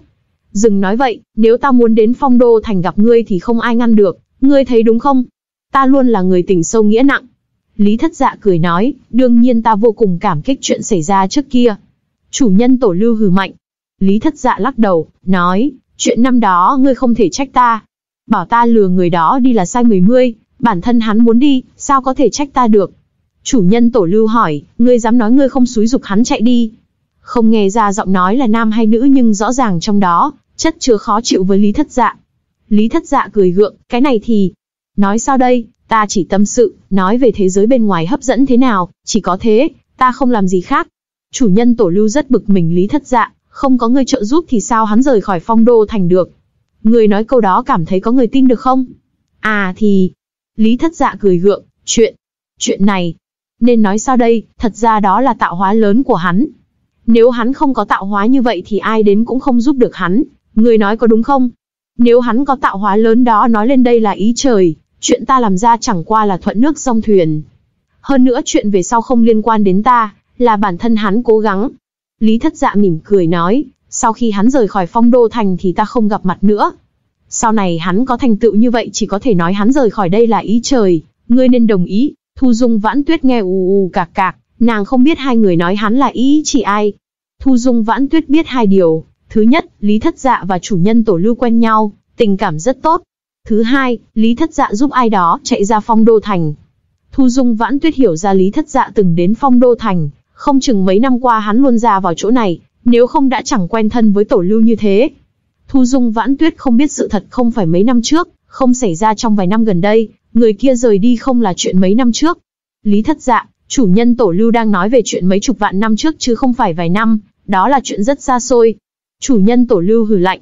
Lý Thất Dạ cười nói, lần này ta đến không dám làm khó dễ ngươi, ta muốn biết dạ hải biến trong, hy vọng ngươi sẽ nói ít chuyện cho ta biết. Không biết. Chủ nhân tổ lưu dứt khoát nói, dù biết cũng không nói cho ngươi.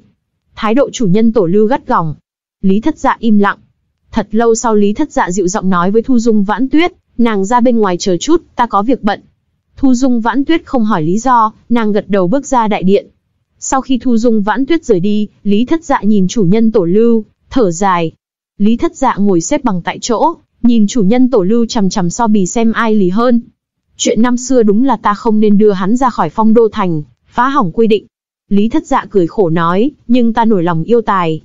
Người cũng biết hắn có được tạo hóa như vậy xem như ý trời, dù hắn là người hay quỷ, người biết hắn có tư chất thành tiên đế. Cuối cùng điều này được chứng thật. Ta chỉ thực hiện lời hứa, sau khi rời khỏi phong đô thành ta không giúp đỡ nhưng hắn vẫn trở thành tiên đế, thấy không? Chủ nhân tổ lưu lạnh lùng nói, ngươi cũng nên biết năm xưa xảy ra chuyện như vậy, lỡ đi nhầm một bước sẽ gây ra biến cố tay trời. Lý thất dạ gật đầu, nói, ta biết, nhưng hắn luôn đi đúng, không làm chuyện xấu với phong đô thành, ngươi thấy không? Hắn chỉ muốn đi ra ngoài, sau khi thành tiên đế hắn cũng bảo vệ phong đô thành nhiều lần. Ngươi không cảm thấy khiến chỗ đó thêm một cường địch là chuyện không tệ sao? Chủ nhân tổ lưu im lặng. Lý thất dạ ngồi yên, cũng im lặng. Thật lâu sau, chủ nhân tổ lưu mở miệng nói, chúc mừng, cuối cùng ngươi vẫn giành lại cơ thể. Lý thất dạ mỉm cười nói, người có trí sẽ thành công, ta cũng hy vọng có ngày ngươi rời khỏi phong đô thành. Năm tháng quá xa xôi, ngươi thấy đúng không? Chủ nhân tổ lưu lạnh lùng nói, nếu ta muốn đi thì tùy thời có thể. Nhưng ngươi không đi, đúng không? Lý thất dạ khẽ thở dài, vạn năm dài biết bao, ngươi ngủ say tại đây, năm tháng của ngươi toàn ngủ và ngủ. Ta biết ngươi không muốn nhưng ta vẫn hy vọng ngày nào đó ngươi đi ra ngoài nhìn xem. Năm tháng không cần dài dặc, quan trọng là sống sao cho đặc sắc. ủng hộ kênh qua linkhalazy.com gạch chéo ủng hộ tôi. Viết liền không giấu nhé. Chủ nhân tổ lưu nói, chuyện của ta, tự ta lo. Lý thất dạ nói, nhưng lần này là cơ hội, ngươi không cảm thấy sao? Ta muốn làm một vố lớn. Đầu tiên ngươi phải nói cho ta về dạ hải, ta muốn biết tình huống cụ thể và muốn mượn một thứ từ tay ngươi. Chủ nhân tổ lưu lạnh lùng nói, chìa khóa đệ nhất hung mộ đúng không? Lý thất dạ nói nhiều nhưng có vẻ chủ nhân tổ lưu không nguôi giận. Không. Lý thất dạ cười lắc đầu, nói, với tình cảm của hai tay, ngươi đừng nói cho mượn chìa khóa đệ nhất hung mộ, hay ngươi trực tiếp cho ta luôn. Lần này xem như ta mặt dày tình ngươi. Chủ nhân tổ lưu lạnh lùng hỏi, sao mấy lần trước ngươi không mặt dày? Lý thất dạ cười gượng, cái này. Sau khi xảy ra chuyện đó ta biết ngươi không thích ta, hơn nữa ta khá bận, đến đi vội vàng nên không dành ôn chuyện cùng bằng hữu cũ. Chủ nhân tổ lưu cười nhạt, lạnh lùng nói, ngươi muốn mượn đồ nên mới mặt dày tới tìm ta đúng không? Lý thất dạ cười gượng, xoa tay nói, ngươi nên biết rằng chuyến này ta định làm mẻ lớn, cần vài đòn sát thủ. Ta đã gom được vài thứ nhưng chuyện này không dễ dàng. Ta muốn đánh mở chỗ kia, có một số bí mật không giấu được, nên ta muốn mượn đồ của ngươi để có nắm chắc hơn. Chủ nhân tổ lưu im lặng, hoặc nên nói gã không nghe lọt tai lời Lý thất dạ nói. Thấy chủ nhân tổ lưu im lặng thật lâu, Lý thất dạ khẽ thở dài, thôi, không được thì thôi, ta không quấy rầy ngươi ngủ say vĩnh hằng. Dù sao thời gian là tất cả với ngươi. Lý thất dạ định xoay người đi. Lý thất dạ vừa bước ra ngưỡng cửa, chủ nhân tổ lưu mở miệng nói, ngươi nên biết rằng ngươi đang tìm chết, một con đường chết. Lý thất dạ xoay người, nhoẻn miệng cười, lắc đầu, nói, ta không cho là như vậy, ngươi nên biết ta chuẩn bị trọn vẹn, có cả mê thất thần đảo.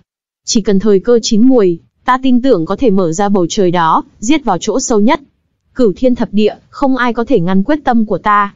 Câu nói này bá khí ngập trời, như Lý Thất Dạ nói, dù là thần ma không thể ngăn quyết tâm của hắn, trời cũng không thể. Chủ nhân tổ lưu nói, ngươi có biết sắp đối diện cái gì không? Lý Thất Dạ nhún vai, cười nói, nói thẳng ra thì ta không quá rõ ràng, ngươi biết không? Thứ đó trôn từ rất lâu mãi không ra, ngươi biết là gì không? Chủ nhân tổ lưu đáp thẳng, không biết. Chủ nhân tổ lưu lạnh lùng nói, nhưng ta biết nếu ngươi ra tay thì là tìm chết.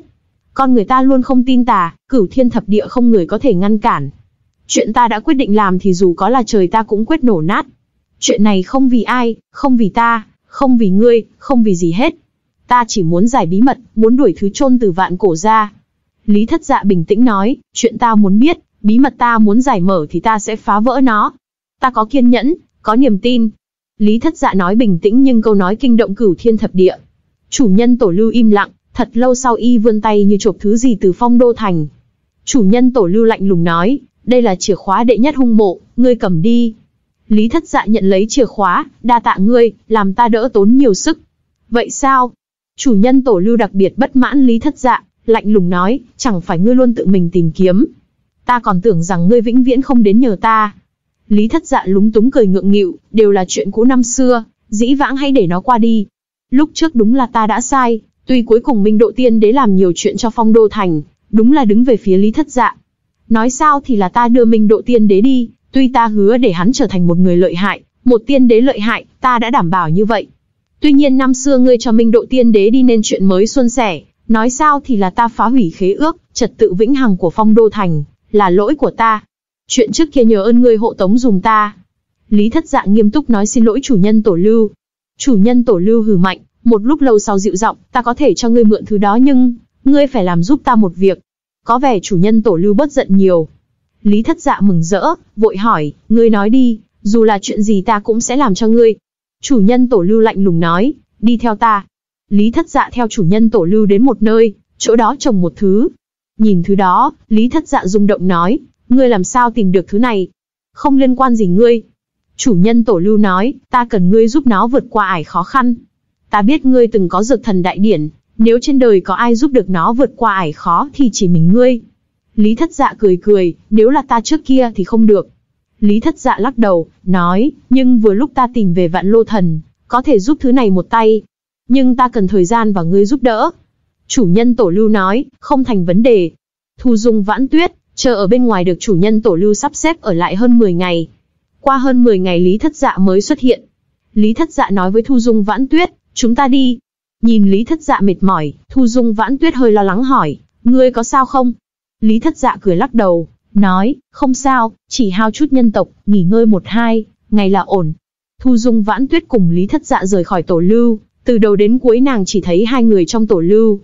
Một là quỷ sứ chạy chân, hai là chủ nhân tổ lưu, hoặc nói đúng hơn là một người một quỷ. Tuy phong cảnh tổ lưu, càng giống đế thống tiên môn nhưng sau khi rời khỏi làm Thu Dung Vãn Tuyết, thở phào nhẹ nhõm.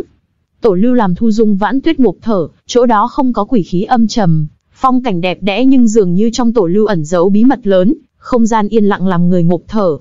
So với ở lại tổ lưu thì Thu Dung Vãn Tuyết, càng thích chỗ khác trong phong đô thành hơn. Tóm lại Thu Dung Vãn Tuyết cảm giác tổ lưu ẩn giấu cái gì đó. Trong lòng Thu Dung Vãn Tuyết có nhiều thắc mắc về tổ lưu. Ví dụ tại sao chủ nhân tổ lưu là người sống? Y làm sao trở thành chủ nhân tổ lưu được? Thu Dung Vãn Tuyết muốn hỏi Lý Thất Dạ nhưng không biết mở lời như thế nào. Lý Thất Dạ thấy Thu Dung Vãn Tuyết ngập ngừng muốn nói, hắn mỉm cười, có thắc mắc gì nàng cứ nói đi, có một số vấn đề ta có thể cho nàng biết. Thu Dung Vãn Tuyết không kiềm nén được lòng tò mò hỏi, chủ nhân tổ lưu là loại người gì? Chủ nhân tổ lưu là bằng hữu của Lý Thất Dạ, còn là bạn trí cốt thì nên là người trẻ tuổi trong u thánh giới mới đúng. Có thể trở thành chủ nhân tổ lưu là nhân vật lợi hại biết mấy, theo lý thuyết y nên là nhân vật thiên tài nổi tiếng lừng lẫy. Nhưng sự thật Thu Dung Vãn Tuyết hiểu sai hoàn toàn, nếu chủ nhân tổ lưu là người sống, nàng cho rằng chủ nhân tổ lưu là tu sĩ đương thời. Lý thất dạ ngập ngừng, cái này. Lý thất dạ lắc đầu, nói, đây là bí mật, nàng biết không có ích lợi gì, sẽ vời đến họa sát thân. Thu Dung Vãn Tuyết cười khổ, nàng không hỏi gì nữa. Thu Dung Vãn Tuyết là loại nữ nhân biết nhìn đại thế, nàng không muốn làm công tử nhà mình khó xử. Thu Dung Vãn Tuyết hỏi, bây giờ chúng ta đi đâu? Lý Thất Dạ híp mắt nhìn mỹ nhân xinh đẹp động lòng người, tươi ngon mọng nước. Lý Thất Dạ nói, tìm một người, ta lại giúp nàng một tay, sau đó vài chuyện nên kết thúc. Lòng Thu Dung Vãn Tuyết ấm áp, ngọt ngào. Thu Dung Vãn Tuyết không biết Lý Thất Dạ tìm ai, chuyện này không còn quan trọng với nàng. Lý Thất Dạ vừa rời khỏi tổ lưu, chưa tìm người thì người đó đã tự tới cửa. Lý Thất Dạ, Thu Dung Vãn Tuyết rời khỏi tổ lưu chưa được bao xa, một người bước tới. Đó là một thanh niên, một thanh niên ăn mặc như đầy tớ, áo vàng, mặt treo nụ cười, nụ cười bí hiểm. Nghe nói vị đạo huynh này tìm ta, thanh niên có bộ dáng hơi lưu manh nhưng đối mắt thì trong trẻo sáng ngời đầy sức sống. Đột nhiên có đến gần, Thu Dung Vãn Tuyết cẩn thận cảnh giác tim đập nhanh. Phản ứng đầu tiên của Thu Dung Vãn Tuyết là mở thiên nhãn, phát hiện thanh niên là một quỷ sứ. Thu Dung Vãn Tuyết là người cẩn thận, nàng thấy quỷ sứ thì tim đập nhanh. Thanh niên trước mắt là quỷ sứ nhưng đôi mắt lại tràn ngập sức sống. Thanh niên có bộ dạng lưu manh nhưng cách ăn mặc giống đầy tớ tầng dưới chót, một nhân vật nhỏ bé, đôi mắt thì tràn ngập sức sống. Chuyện này rất khó tin, mặc dù cư dân phong đô thành nhìn bề ngoài không khác gì con người.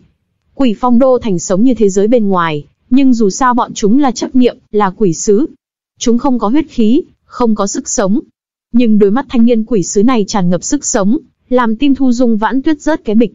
Bây giờ Thu Dung Vãn Tuyết thấy nhiều việc lạ, chủ nhân tổ lưu là người sống, đột nhiên chui ra một quỷ sứ có đôi mắt tràn ngập sức sống không làm nàng giật mình. Nhưng Thu Dung Vãn Tuyết là tộc trưởng, nàng luôn chú ý cẩn thận nên cảnh giác ngay.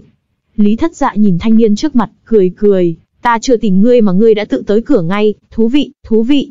Quỷ sứ áo vàng cười tươi, hì hì, ta thích nhất phục vụ khách nhân. Tiểu nhân chỉ buôn bán nhỏ, cần nuôi gia đình sống qua ngày. Có khách nhân tới cửa dĩ nhiên tiểu nhân phải phục vụ đến khi khách vừa lòng. Lý thất dạ liếc thanh niên áo vàng, hoàng kiệu phu đầy sắc màu truyền kỳ từ khi nào thành người buôn bán nhỏ, cần nuôi gia đình sống qua ngày. Không, phải nói là quỷ. Cái này phải xem khách nhân. Thanh niên áo vàng không để bụng bị lý thất dạ mỉa mai, cười tươi như hoa nói, cái gọi là sắc màu truyền kỳ chỉ đúng với khách nhân bình thường. Nghe nói quan nhân vào tổ lưu, được tôn làm khách quý. Quan nhân như tiên cửu thiên giáng trần thì dĩ nhiên ta chỉ là tiểu nhân vật. À, ta hiểu rồi, ngươi muốn bắt quan hệ với tổ lưu. Lý thất dạ cười nói, Hoàng Kiệu Phu ơi Hoàng Kiệu Phu, ngươi vẫn không sửa tính. Nói vậy khách nhân biết tiểu nhân. Hoàng Kiệu Phu bắt gậy leo lên, cười tươi thân thiện làm quen với Lý thất dạ. Lý thất dạ cười nói, Hoàng Kiệu Phu, ngươi chết mấy lần. Lý thất dạ nghiêm túc nhìn thanh niên.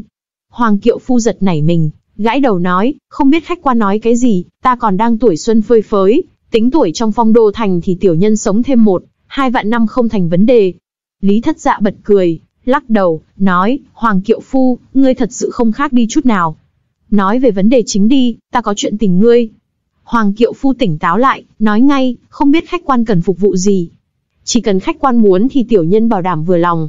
Khách quan cần gì tiểu nhân cũng sẽ tìm được ngay. Lý thất dạ cười tủm tỉm nhìn Hoàng Kiệu Phu, ta không muốn nhiều, bí kíp, mệnh công, thọ pháp, bí thuật của phong đô thành, mỗi thứ một ít, cỡ đẳng cấp đại hiền, loại dựng nước phong thần. Hoàng Kiệu Phu tươi cười, xoa tay nói, hơi khó khăn. Lý thất dạ nhìn Hoàng Kiệu Phu, nói, ngươi có tin ta ném ngươi vào dạ hải không? Nếu nói trong phong đô thành có thứ nào Hoàng Kiệu Phu, không tìm được thì không mấy ai làm được nữa. Hoàng Kiệu Phu vẫn cười, ha ha, đại gia khen ta hơi quá. Hoàng Kiệu Phu khó xử nói, đại gia nên biết giá thị trường, người chết trong phong đô thành, nếu để lại xác cơ bản chìm xuống đáy sông. Tuy mỗi năm có người đến chịu chết, có lão già vui vẻ chết tại đây, nhưng bọn họ thuộc loại chết không thấy xác. Lý thất dạ phất tay nói, được rồi Hoàng Kiệu Phu, đừng dài dòng nữa, ta không có thời gian trả giá với ngươi. Tìm bí kíp cho ta, muốn bao nhiêu cá dạ dương cứ nói thẳng. Hoàng Kiệu Phu cười tủm tỉm, gãi đầu làm bộ dáng vừa nhớ ra, vỗ đùi cái đét, ta chợt nghĩ ra hình như ta có một cái hộp, bên trong có mấy quyển bí kíp.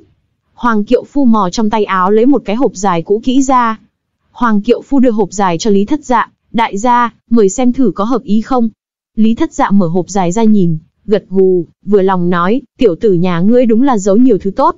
Lý Thất Dạ đưa hộp dài cho Thu Dung Vãn Tuyết, muốn tìm lại bí kíp đã mất của Tuyết Ảnh Quỷ tộc có lẽ không được, chỗ này có mấy quyển bí kíp thích hợp cho Tuyết Ảnh Quỷ tộc, chắc chắn là thứ tốt, nàng mang về đi. Thu Dung Vãn Tuyết kinh ngạc nói, nhưng mà, mũi Thu Dung Vãn Tuyết cay cay, trái tim hòa tan, rất cảm động. Giờ phút này, hốc mắt Thu Dung Vãn Tuyết ướt nước. Thu Dung Vãn Tuyết muốn lao vào ngực Lý Thất Dạ khóc giống, nhưng nàng cố nén, Thu Dung Vãn Tuyết là tộc trưởng, không phải loại người xúc động, ngược lại nàng trầm ổn trang trọng. Thu Dung Vãn Tuyết rất cảm động, nàng rất muốn lao vào ngực Lý Thất Dạ khóc. Thu Dung Vãn Tuyết, đến Phong Đô Thành là để tìm về pháp điển quan trọng của Tuyết Ảnh quỷ tộc, nàng không ôm hy vọng gì, không ngờ Lý Thất Dạ nhớ kỹ. Đây là bí kíp đại hiền đẳng cấp phong thần, ai cũng thèm thuồng, nhưng Lý Thất Dạ tặng cho Thu Dung Vãn Tuyết, nàng quá cảm động, kiềm lòng không đậu. Lý Thất Dạ cảm giác Thu Dung Vãn Tuyết cảm động, mỉm cười nói, công pháp của quỷ tộc không thích hợp với ta, cất đi. Thu Dung vãn tuyết hít sâu không để mình khóc, nàng lặng lẽ cất hộp dài, siết chặt nắm tay. Thu Dung vãn tuyết thầm thể công tử kêu nàng làm gì thì nàng cũng đồng ý hết. Thu Dung vãn tuyết nhận hộp dài xong Lý Thất Dạ hỏi Hoàng Kiệu Phu, ngươi muốn bao nhiêu cá dạ dương? Hoàng Kiệu Phu cười tươi nói, nếu là công tử ra tặng cho giai nhân thì là chuyện tốt, tiểu nhân không dám lấy nhiều, 100 con cá dạ dương đủ rồi. Thu Dung Vãn Tuyết rất khó tin, 100 con cá dạ dương tuyệt đối không mua nổi bí kíp như vậy. ủng hộ kênh qua linkhalazy.com gạch chéo ủng hộ tôi. Viết liền không giấu nhé. Lý thất dạ nheo mắt nói, Hoàng Kiệu Phu, ngươi trở nên rộng rãi từ bao giờ? Lý thất dạ nhìn Hoàng Kiệu Phu chằm chằm, được rồi, 100 con cá dạ dương, ngươi có chuyện gì hãy nói đi. Lý thất dạ giao 100 cá dạ dương cho Hoàng Kiệu Phu. Hoàng Kiệu Phu nhận cá dạ dương, cẩn thận lấy một quyển sách cổ ra, vẻ mặt nịnh nọt giao cho Lý thất dạ. Công tử ra, ta biết công tử là tiên nhân dáng trần, chắc chắn là chân tiên rất siêu. Tiểu nhân có một quyển sách cổ tên là Tá Long Thủ, coi như chút tấm lòng của tiểu nhân, đa tạ đại nhân ghé qua mua bán với ta. Tá Long Thủ. Lý thất dạ rung động nói, cổ thuật này khá lâu rồi, ta nhớ thật lâu không xuất hiện, đây là cổ thuật làm đế thống tiên môn phải động lòng. Hoàng Kiệu Phu cười tươi nói ngay, tụng ngữ nói dúng, son phấn tặng giai nhân, bảo kiếm xứng anh hùng. Chỉ nhân vật như đại nhân mới đủ tư cách xứng với cổ thuật này, đại nhân thấy có đúng không? Thu Dung vãn tuyết rung động, tuy nàng không biết tá long thủ là cổ thuật gì, nhưng thứ làm đế thống tiên môn động tâm đủ chứng minh cổ thuật đó rất lợi hại. Thu Dung vãn tuyết hiểu mới rồi Hoàng Kiệu Phu bán bí kíp cho Lý Thất Dạ, chỉ kết duyên. Hoàng Kiệu Phu ơi Hoàng Kiệu Phu! Lý Thất Dạ lắc đầu, nói, nếu ta không nhớ lầm thì ngươi nổi tiếng vắt cổ chảy ra nước, sao đột nhiên rộng rãi như vậy? Nói đi, có chuyện gì, đừng vòng vo với ta. Hoàng Kiệu Phu xoa tay cười gượng, gã do dự thật lâu sau nói, ta, ta có một việc cầu xin đại nhân, ta muốn đại nhân nói góp vào với tổ thần tổ lưu, vì, vì, tiểu nhân muốn rời khỏi phong đô thành. Thu dung vãn tuyết rung động, rời khỏi phong đô thành. Đây là chuyện không thể nào, từ vạn cổ đến bây giờ chưa từng nghe có quỷ sứ rời khỏi phong đô thành. Cầu tình với chủ nhân tổ lưu. Lý thất dạ liếc Hoàng Kiệu Phu, Hoàng Kiệu Phu, ngươi nên biết chưa từng có ai rời khỏi phong đô thành, ít nhất các ngươi không được. Không, đại nhân, có từng rời đi. Hoàng Kiệu Phu vội nói, có đã đi ra và còn thành công, tuy ta không mấy rõ ràng nhưng cuối cùng hình như được tổ thần cho phép. Thu Dung vãn tuyết nhìn hướng Lý Thất Dạ. Lúc trong tổ lưu, chủ nhân tổ lưu đúng là nhắc đến chuyện này, Lý Thất Dạ lừa người nào rời khỏi phong đô thành. Nói vậy công tử nhà nàng từng khiến một quỷ sứ thành công rời khỏi phong đô thành. Thu Dung vãn tuyết không biết năm xưa không phải quỷ sứ rời khỏi phong đô thành. Thu Dung vãn tuyết không rõ giữa Lý Thất Dạ và chủ nhân tổ lưu xảy ra chuyện gì, Nàng lờ mờ đoán được vì chuyện này khiến tình cảm hai người dạn nứt. Lý thất dạ nhìn Hoàng Kiệu Phu, Hoàng Kiệu Phu ơi Hoàng Kiệu Phu, quả nhiên ngươi không chết tà tâm, đã chết lần này đến lần khác nhưng vẫn nhớ chuyện này. Hoàng Kiệu Phu gãi đầu nói, ha ha, tiểu nhân không hiểu đại nhân đang nói gì. Bộ dáng Hoàng Kiệu Phu thật thả chất phát. Lý thất dạ nheo mắt nhìn Hoàng Kiệu Phu, nói, Hoàng Kiệu Phu, ngươi không phải con người, ngươi chỉ là một lũ chấp niệm trong phong đô thành, một khi bước ra phong đô thành thì ngươi sẽ tan thành mây khói, dù chủ nhân tổ lưu tha cho ngươi thì ngươi không thể nào rời khỏi đây, ngươi chỉ phí công. Hoàng Kiệu Phu hít sâu, nghiêm túc nói, đại nhân, ta cảm thấy mình có thể, ta cảm ứng được mạng sống của mình, mạch đập của phong đô thành.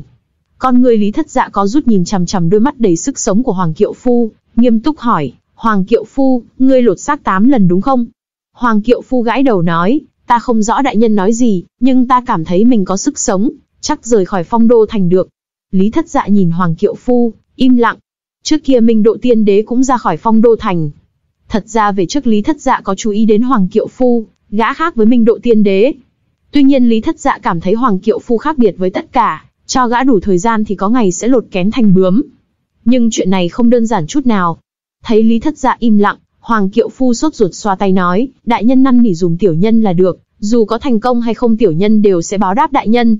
Tiểu nhân biết phong đô thành có một kho báu thần, là thần vật trong truyền thuyết. Miễn đại nhân nói dùng tiểu nhân thì tiểu nhân sẽ nói vị trí kho báu thần cho đại nhân, thu dung vãn tuyết rung động. Truyền thuyết nói có thần vật trong phong đô thành, nhưng chưa từng nghe có ai được kho báu thần, được thần vật trong truyền thuyết. Bây giờ Hoàng Kiệu Phu nói thì chắc không sai. Hoàng Kiệu Phu ơi Hoàng Kiệu Phu, ngươi quá xem thường ta. Lý thất dạ lắc đầu, nói, nếu ta muốn đào báu vật phong đô thành thì đừng nói là kho báu thần, núi báu ta cũng lấy được. Miễn ta muốn thì trong này không có gì ta không lấy được. Người biết tại sao năm xưa ta dưa người kia ra phong đô thành không? Chỉ vì ta yêu tài. Hoàng kiệu phu lúng túng, tiểu nhân hồ đồ, hồ đồ. Hoàng kiệu phu tát mình một cái, tiểu không nên lấy dạ tiểu nhân đo lòng quân tử. Lý thất dạ xua tay nói, được rồi Hoàng kiệu phu, đừng diễn kịch với ta. Ngươi có bao nhiêu cân chẳng lẽ ta không biết sao? Tiểu nhân biết đại nhân chính là chân tiên cửu thiên, không so đo với tiểu nhân. Hoàng Kiệu Phu biết đã tìm đúng người, miệng lưỡi trơn tru nịnh hót, Tình cảm của tiểu nhân dành cho đại nhân như nước sông cuồn cuộn, chảy dài không dứt, như là Hoàng Kiệu Phu định hót làm Thu Dung Vãn Tuyết dở khóc dở cười. Nhưng nếu Lý Thất Dạ chịu giúp đỡ thì Hoàng Kiệu Phu hết sức định hắn cũng không lạ. Lý Thất Dạ phẩy tay ngăn Hoàng Kiệu Phu tiếp tục nịnh bợ, được rồi, bớt vuốt mông ngựa đi. Hoàng Kiệu Phu cười gượng, xoa tay, cẩn thận nhìn Lý Thất Dạ, chờ hắn trả lời. Lý Thất Dạ im lặng, hắn biết chuyện này phá quy tắc phong đô thành. Mặc dù Hoàng Kiệu Phu khác với Minh Độ, tiên đế nhưng không phải chuyện tốt với phong đô thành. Lý Thất Dạ nhìn đôi mắt đầy sức sống của Hoàng Kiệu Phu, hắn thở dài. Hoàng Kiệu Phu là một nhân tài, mặc kệ gã là người hay quỷ thì đều là hạt giống có tiềm lực, một người có nghị lực, một quỷ kiên cường không bao giờ bỏ cuộc. Cuối cùng Lý Thất Dạ đồng ý, ta sẽ nói chuyện với chủ nhân tổ lưu, nhưng không phải bây giờ. Chờ ta giải quyết công việc xong sẽ năn nỉ giúp ngươi. Lúc trước Lý Thất Dạ giúp đỡ Minh Độ Tiên Đế, hôm nay hắn định giúp Hoàng Kiệu Phu. Hoàng Kiệu Phu chắp tay vái, cực kỳ kích động nói, đa tạ đại nhân. Mặc kệ thành công hay không, tiểu nhân khắc ghi mãi mãi đại ân đại đức, ơn tái sinh của đại nhân, suốt đời không quên. Lý Thất Dạ xua tay nói, thôi, đây cũng là duyên. Ta làm xong công việc sẽ đi cầu tình giúp ngươi, có thành công hay không phải xem số phận của ngươi. Đại nhân chịu cầu tình là tiểu nhân đã rất thỏa mãn, không bao giờ dám quên. Hoàng Kiệu Phu vội nói, không biết đại nhân muốn đi đâu. Nếu trong phong đô thành thì tiểu nhân nguyện làm trâu làm ngựa dốc sức cho đại nhân. Lý thất dạ cười tủm tỉm nhìn Hoàng Kiệu Phu, thản nhiên nói, dạ hải, ngươi đi không? Hoàng Kiệu Phu giật mình kêu lên, dạ hải. Hoàng Kiệu Phu cười gượng, dạ hải thì... Cái này, sợ là tiểu nhân không đi được. Lý thất dạ cười gắt hỏi, ta còn tưởng rằng ngươi muốn làm trâu làm ngựa dốc sức cho ta, vượt lửa qua sông không chối từ. Đại nhân, không phải tiểu nhân không muốn. Hoàng kiệu phu nhăn nhó nói, nhưng chúng ta không đi dạ hải được. Thu Dung vãn tuyết đứng bên cạnh Lý Thất Dạ giữ im lặng không kiềm được tò mò hỏi, tại sao quỷ sứ các ngươi không thể đi dạ hải? Có lý do gì? Hoàng kiệu phu cười khổ nói, đối với quỷ sứ chúng ta thì dạ hải là cấm địa, không đi được, đến đó là chết. Thu Dung vãn tuyết kinh ngạc hỏi, tại sao nơi khác thì không như vậy? Hoàng kiệu phu lắc đầu, nói, dạ hải có thứ khắc chúng ta, không đi được. Chúng ta đi thì không đơn giản là bị chấn áp, có thể tan thành mây khói từ đây. Còn lái đò thì sao? Thu Dung vãn tuyết tràn ngập tò mò hỏi, tại sao lái đò không bị khắc? Hoàng Kiệu Phu trả lời, lái đò không chung đường với quỷ sứ chúng ta, dù trong phong đô thành nhưng lái đò hoàn toàn khác chúng ta. Tại sao không chung đường? Chẳng lẽ các ngươi chia trận doanh sao?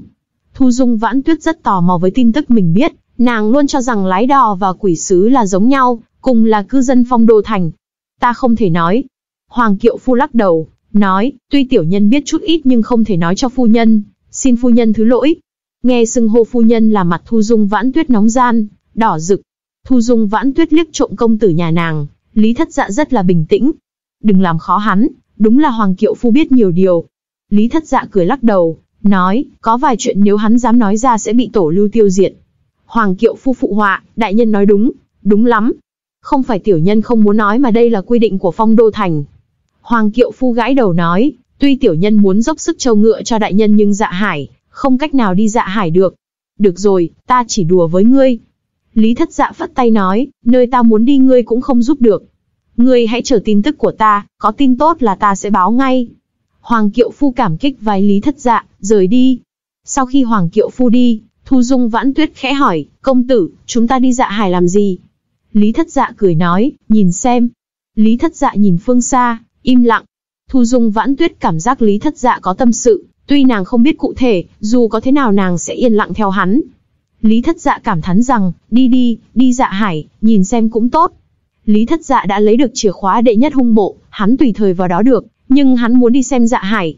Chủ nhân tổ lưu có nhiều điều không tiện, với vài thứ, vài chuyện, chủ nhân tổ lưu, người bảo vệ phong đô thành phải kiêng rè, làm quá đáng sẽ vời đến quỷ vật. Chủ nhân tổ lưu không tiện đi hay ra tay, nhưng Lý Thất Dạ thì có, hắn làm vài chuyện thay gã. Thu Dung Vãn Tuyết đi theo Lý Thất Dạ tới Dạ Hải, hắn không vội vàng đến nơi ngay. Lý Thất Dạ đi rất chậm, suy nghĩ lung tung. Thu Dung Vãn Tuyết hiểu công tử nhà nàng có tâm sự. Khi Lý Thất Dạ mang theo Thu Dung Vãn Tuyết đến Dạ Hải thì thấy nhiều tu sĩ, cũng vội vã chạy đến.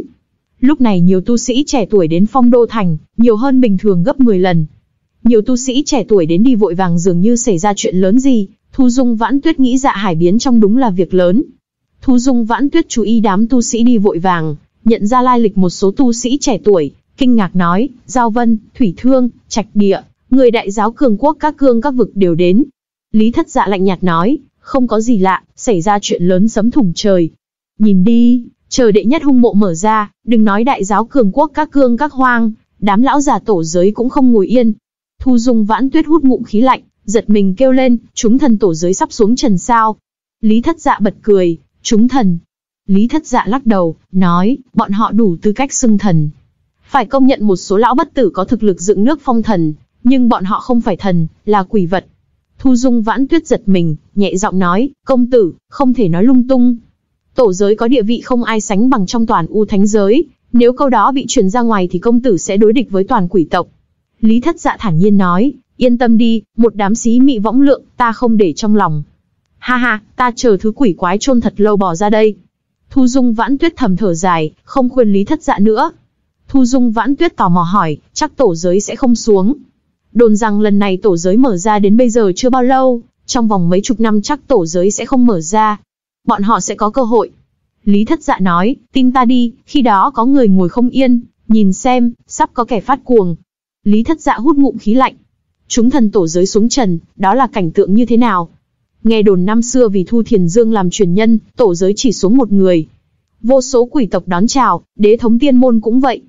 Nghe đồn vạn cốt hoàng tọa cũng phái người đi nghênh đón. Chúng thần giáng trần, tim Thu Dung vãn tuyết đập nhanh. Hoặc như Lý Thất Dạ đã nói, thật sự chọc thủng trời. Thu Dung vãn tuyết không biết sắp xảy ra chuyện gì, nhưng nàng hiểu trời sắp thay đổi, chuyện lớn sắp xảy ra. Khi Lý Thất Dạ, Thu Dung vãn tuyết vào tổ lưu thì tin tức đã truyền ra. Tin dạ hải biến trong khuếch tán siêu nhanh trong phong đô thành, rồi đến các đại giáo cường quốc Đông U Cương. Mấy chục ngày ngắn ngủi tin tức đã lan khắp U Thánh giới. Tin tức quá rung động, có không tiếc mở đạo môn, vượt qua các hoang, tốc độ nhanh nhất đưa tin đến tông môn của mình.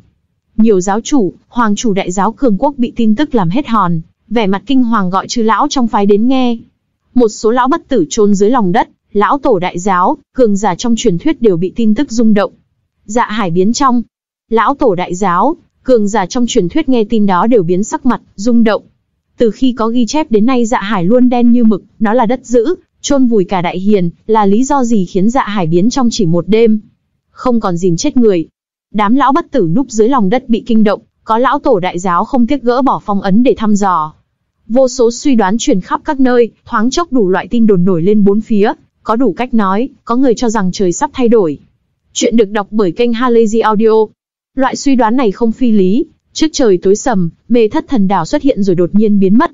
Bây giờ dạ hải biến trong chỉ một đêm, chuyện kinh thiên động địa liên tục xảy ra e rằng không phải trùng hợp. Điều này dẫn đến nhiều người suy nghĩ lung tung, có lão tổ đại giáo cảm thấy chuyện lớn sắp xảy ra ra. Chẳng lẽ đệ nhất hung bộ sắp mở ra? Sau khi nghe tin dạ hải biến trong chỉ một đêm, có lão tổ đại giáo suy đoán, hai đời này sẽ có tìm ra chìa khóa đệ nhất hung mộ. Không chỉ một, hai người có suy đoán này. Nhiều lão bất tử, lão tổ đại giáo nhận ra khả năng đệ nhất hung mộ mở rất lớn. Các đại giáo cường quốc biết phòng đoán này thì rất hăng hái, có phái nhiều tu sĩ trẻ tuổi vào phong đô thành. Xảy ra chuyện lớn như vậy cũng không lạ, đệ nhất hung mộ đầy cám dỗ với bất cứ ai. Những lão bất tử, lão tổ đại giáo thấy nhiều sóng to gió lớn cũng không chịu nổi hấp dẫn. Nếu có thể vào đệ nhất hung mộ sẽ có nhiều tạo hóa lớn chờ mọi người. Ai không muốn được kỳ ngộ trong truyền thuyết.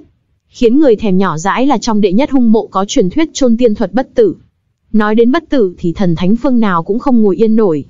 Đặc biệt những lão tổ đại giáo tuổi già sắp chết, hấp hối càng muốn có tiên thuật trường sinh bất tử. Nếu có tiên thuật trường sinh bất tử thì bọn họ sẽ thoát khỏi cái chết. Bất tử đối với tu sĩ nào, bất cứ ai, tiên đế cũng phải thèm thuồng, tim đập nhanh. Trong thời gian ngắn có nhiều tu sĩ trẻ tuổi Đông U Cương vào phong đô thành, Tu sĩ trẻ tuổi các hoang thủy thương, giao vân, trạch địa cũng đến. Ngày thứ hai khi dạ hải biến trong, có phát hiện một vòng xoáy trong dạ hải, vòng xoáy thông dưới đất. Có người mạo hiểm vào vòng xoáy, phát hiện bên dưới dạ hải có một đại dương bao la, mênh mông. Có vào đại dương dưới lòng đất, bị cảnh tượng trước mắt rung động. Đây là một đại bí cảnh, đại bí cảnh chưa từng bị phát hiện. Có người vượt qua biển cả ham hở tìm đến bờ, muốn xem bờ biển dưới lòng đất ở đâu. Rất nhanh phát hiện trong dạ hải bị truyền ra ngoài, dưới dạ hải có bí cảnh, còn là đại bí cảnh chưa từng bị người phát hiện, sao không khiến người rung động? Nghe nói dưới dạ hải có bí cảnh, một vài lão tổ đại giáo nghĩ đến một truyền thuyết, chẳng lẽ núi báu phong đô thành sắp xuất thế? Cho đến nay phong đô thành là thiên đường đào báu vật của tu sĩ trẻ tuổi.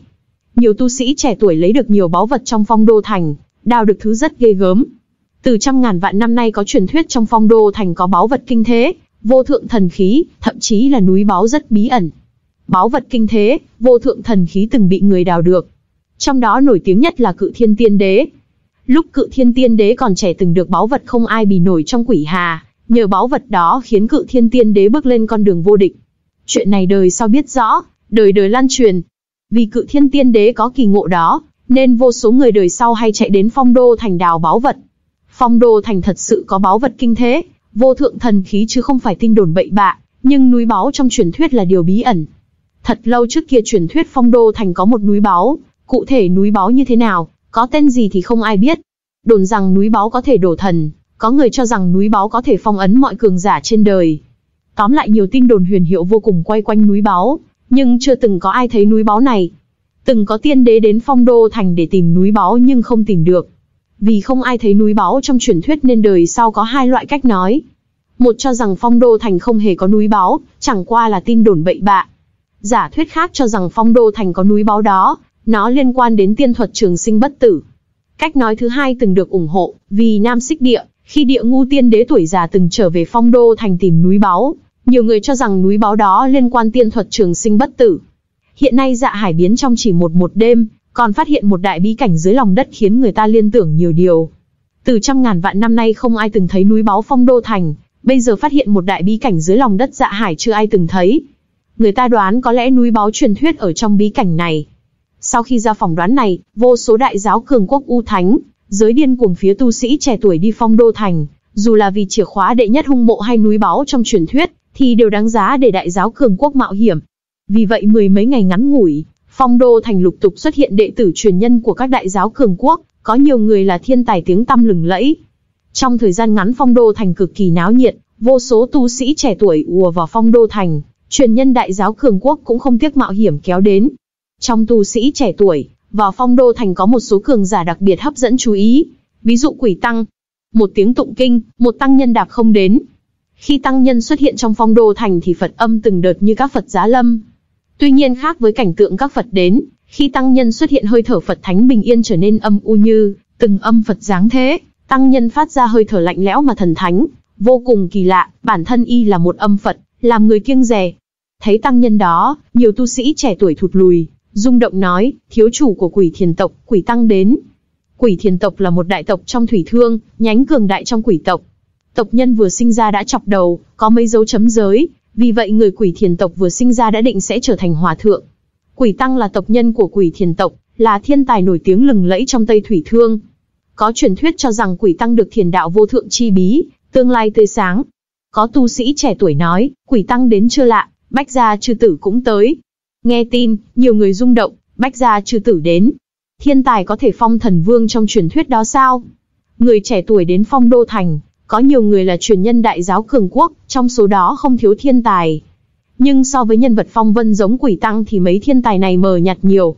Ở Tây Thủy Thương, Bách Gia Chư Tử cũng là thiên tài nổi tiếng ngang với quỷ tăng. Hai người được gọi là hai cao thủ Tây Thủy Thương, hiếm có trong thế hệ trẻ. Bách Gia Chư Tử xuất thân từ chư thần quốc, đại quốc từng ra tám vị thần vương, khiến người kiêng rè. Bách Gia Chư Tử được các lão chư thần quốc xem trọng, cho rằng gã có thể phong thần vương. Ta đến đây, khi một người khác xuất hiện càng rung động hơn.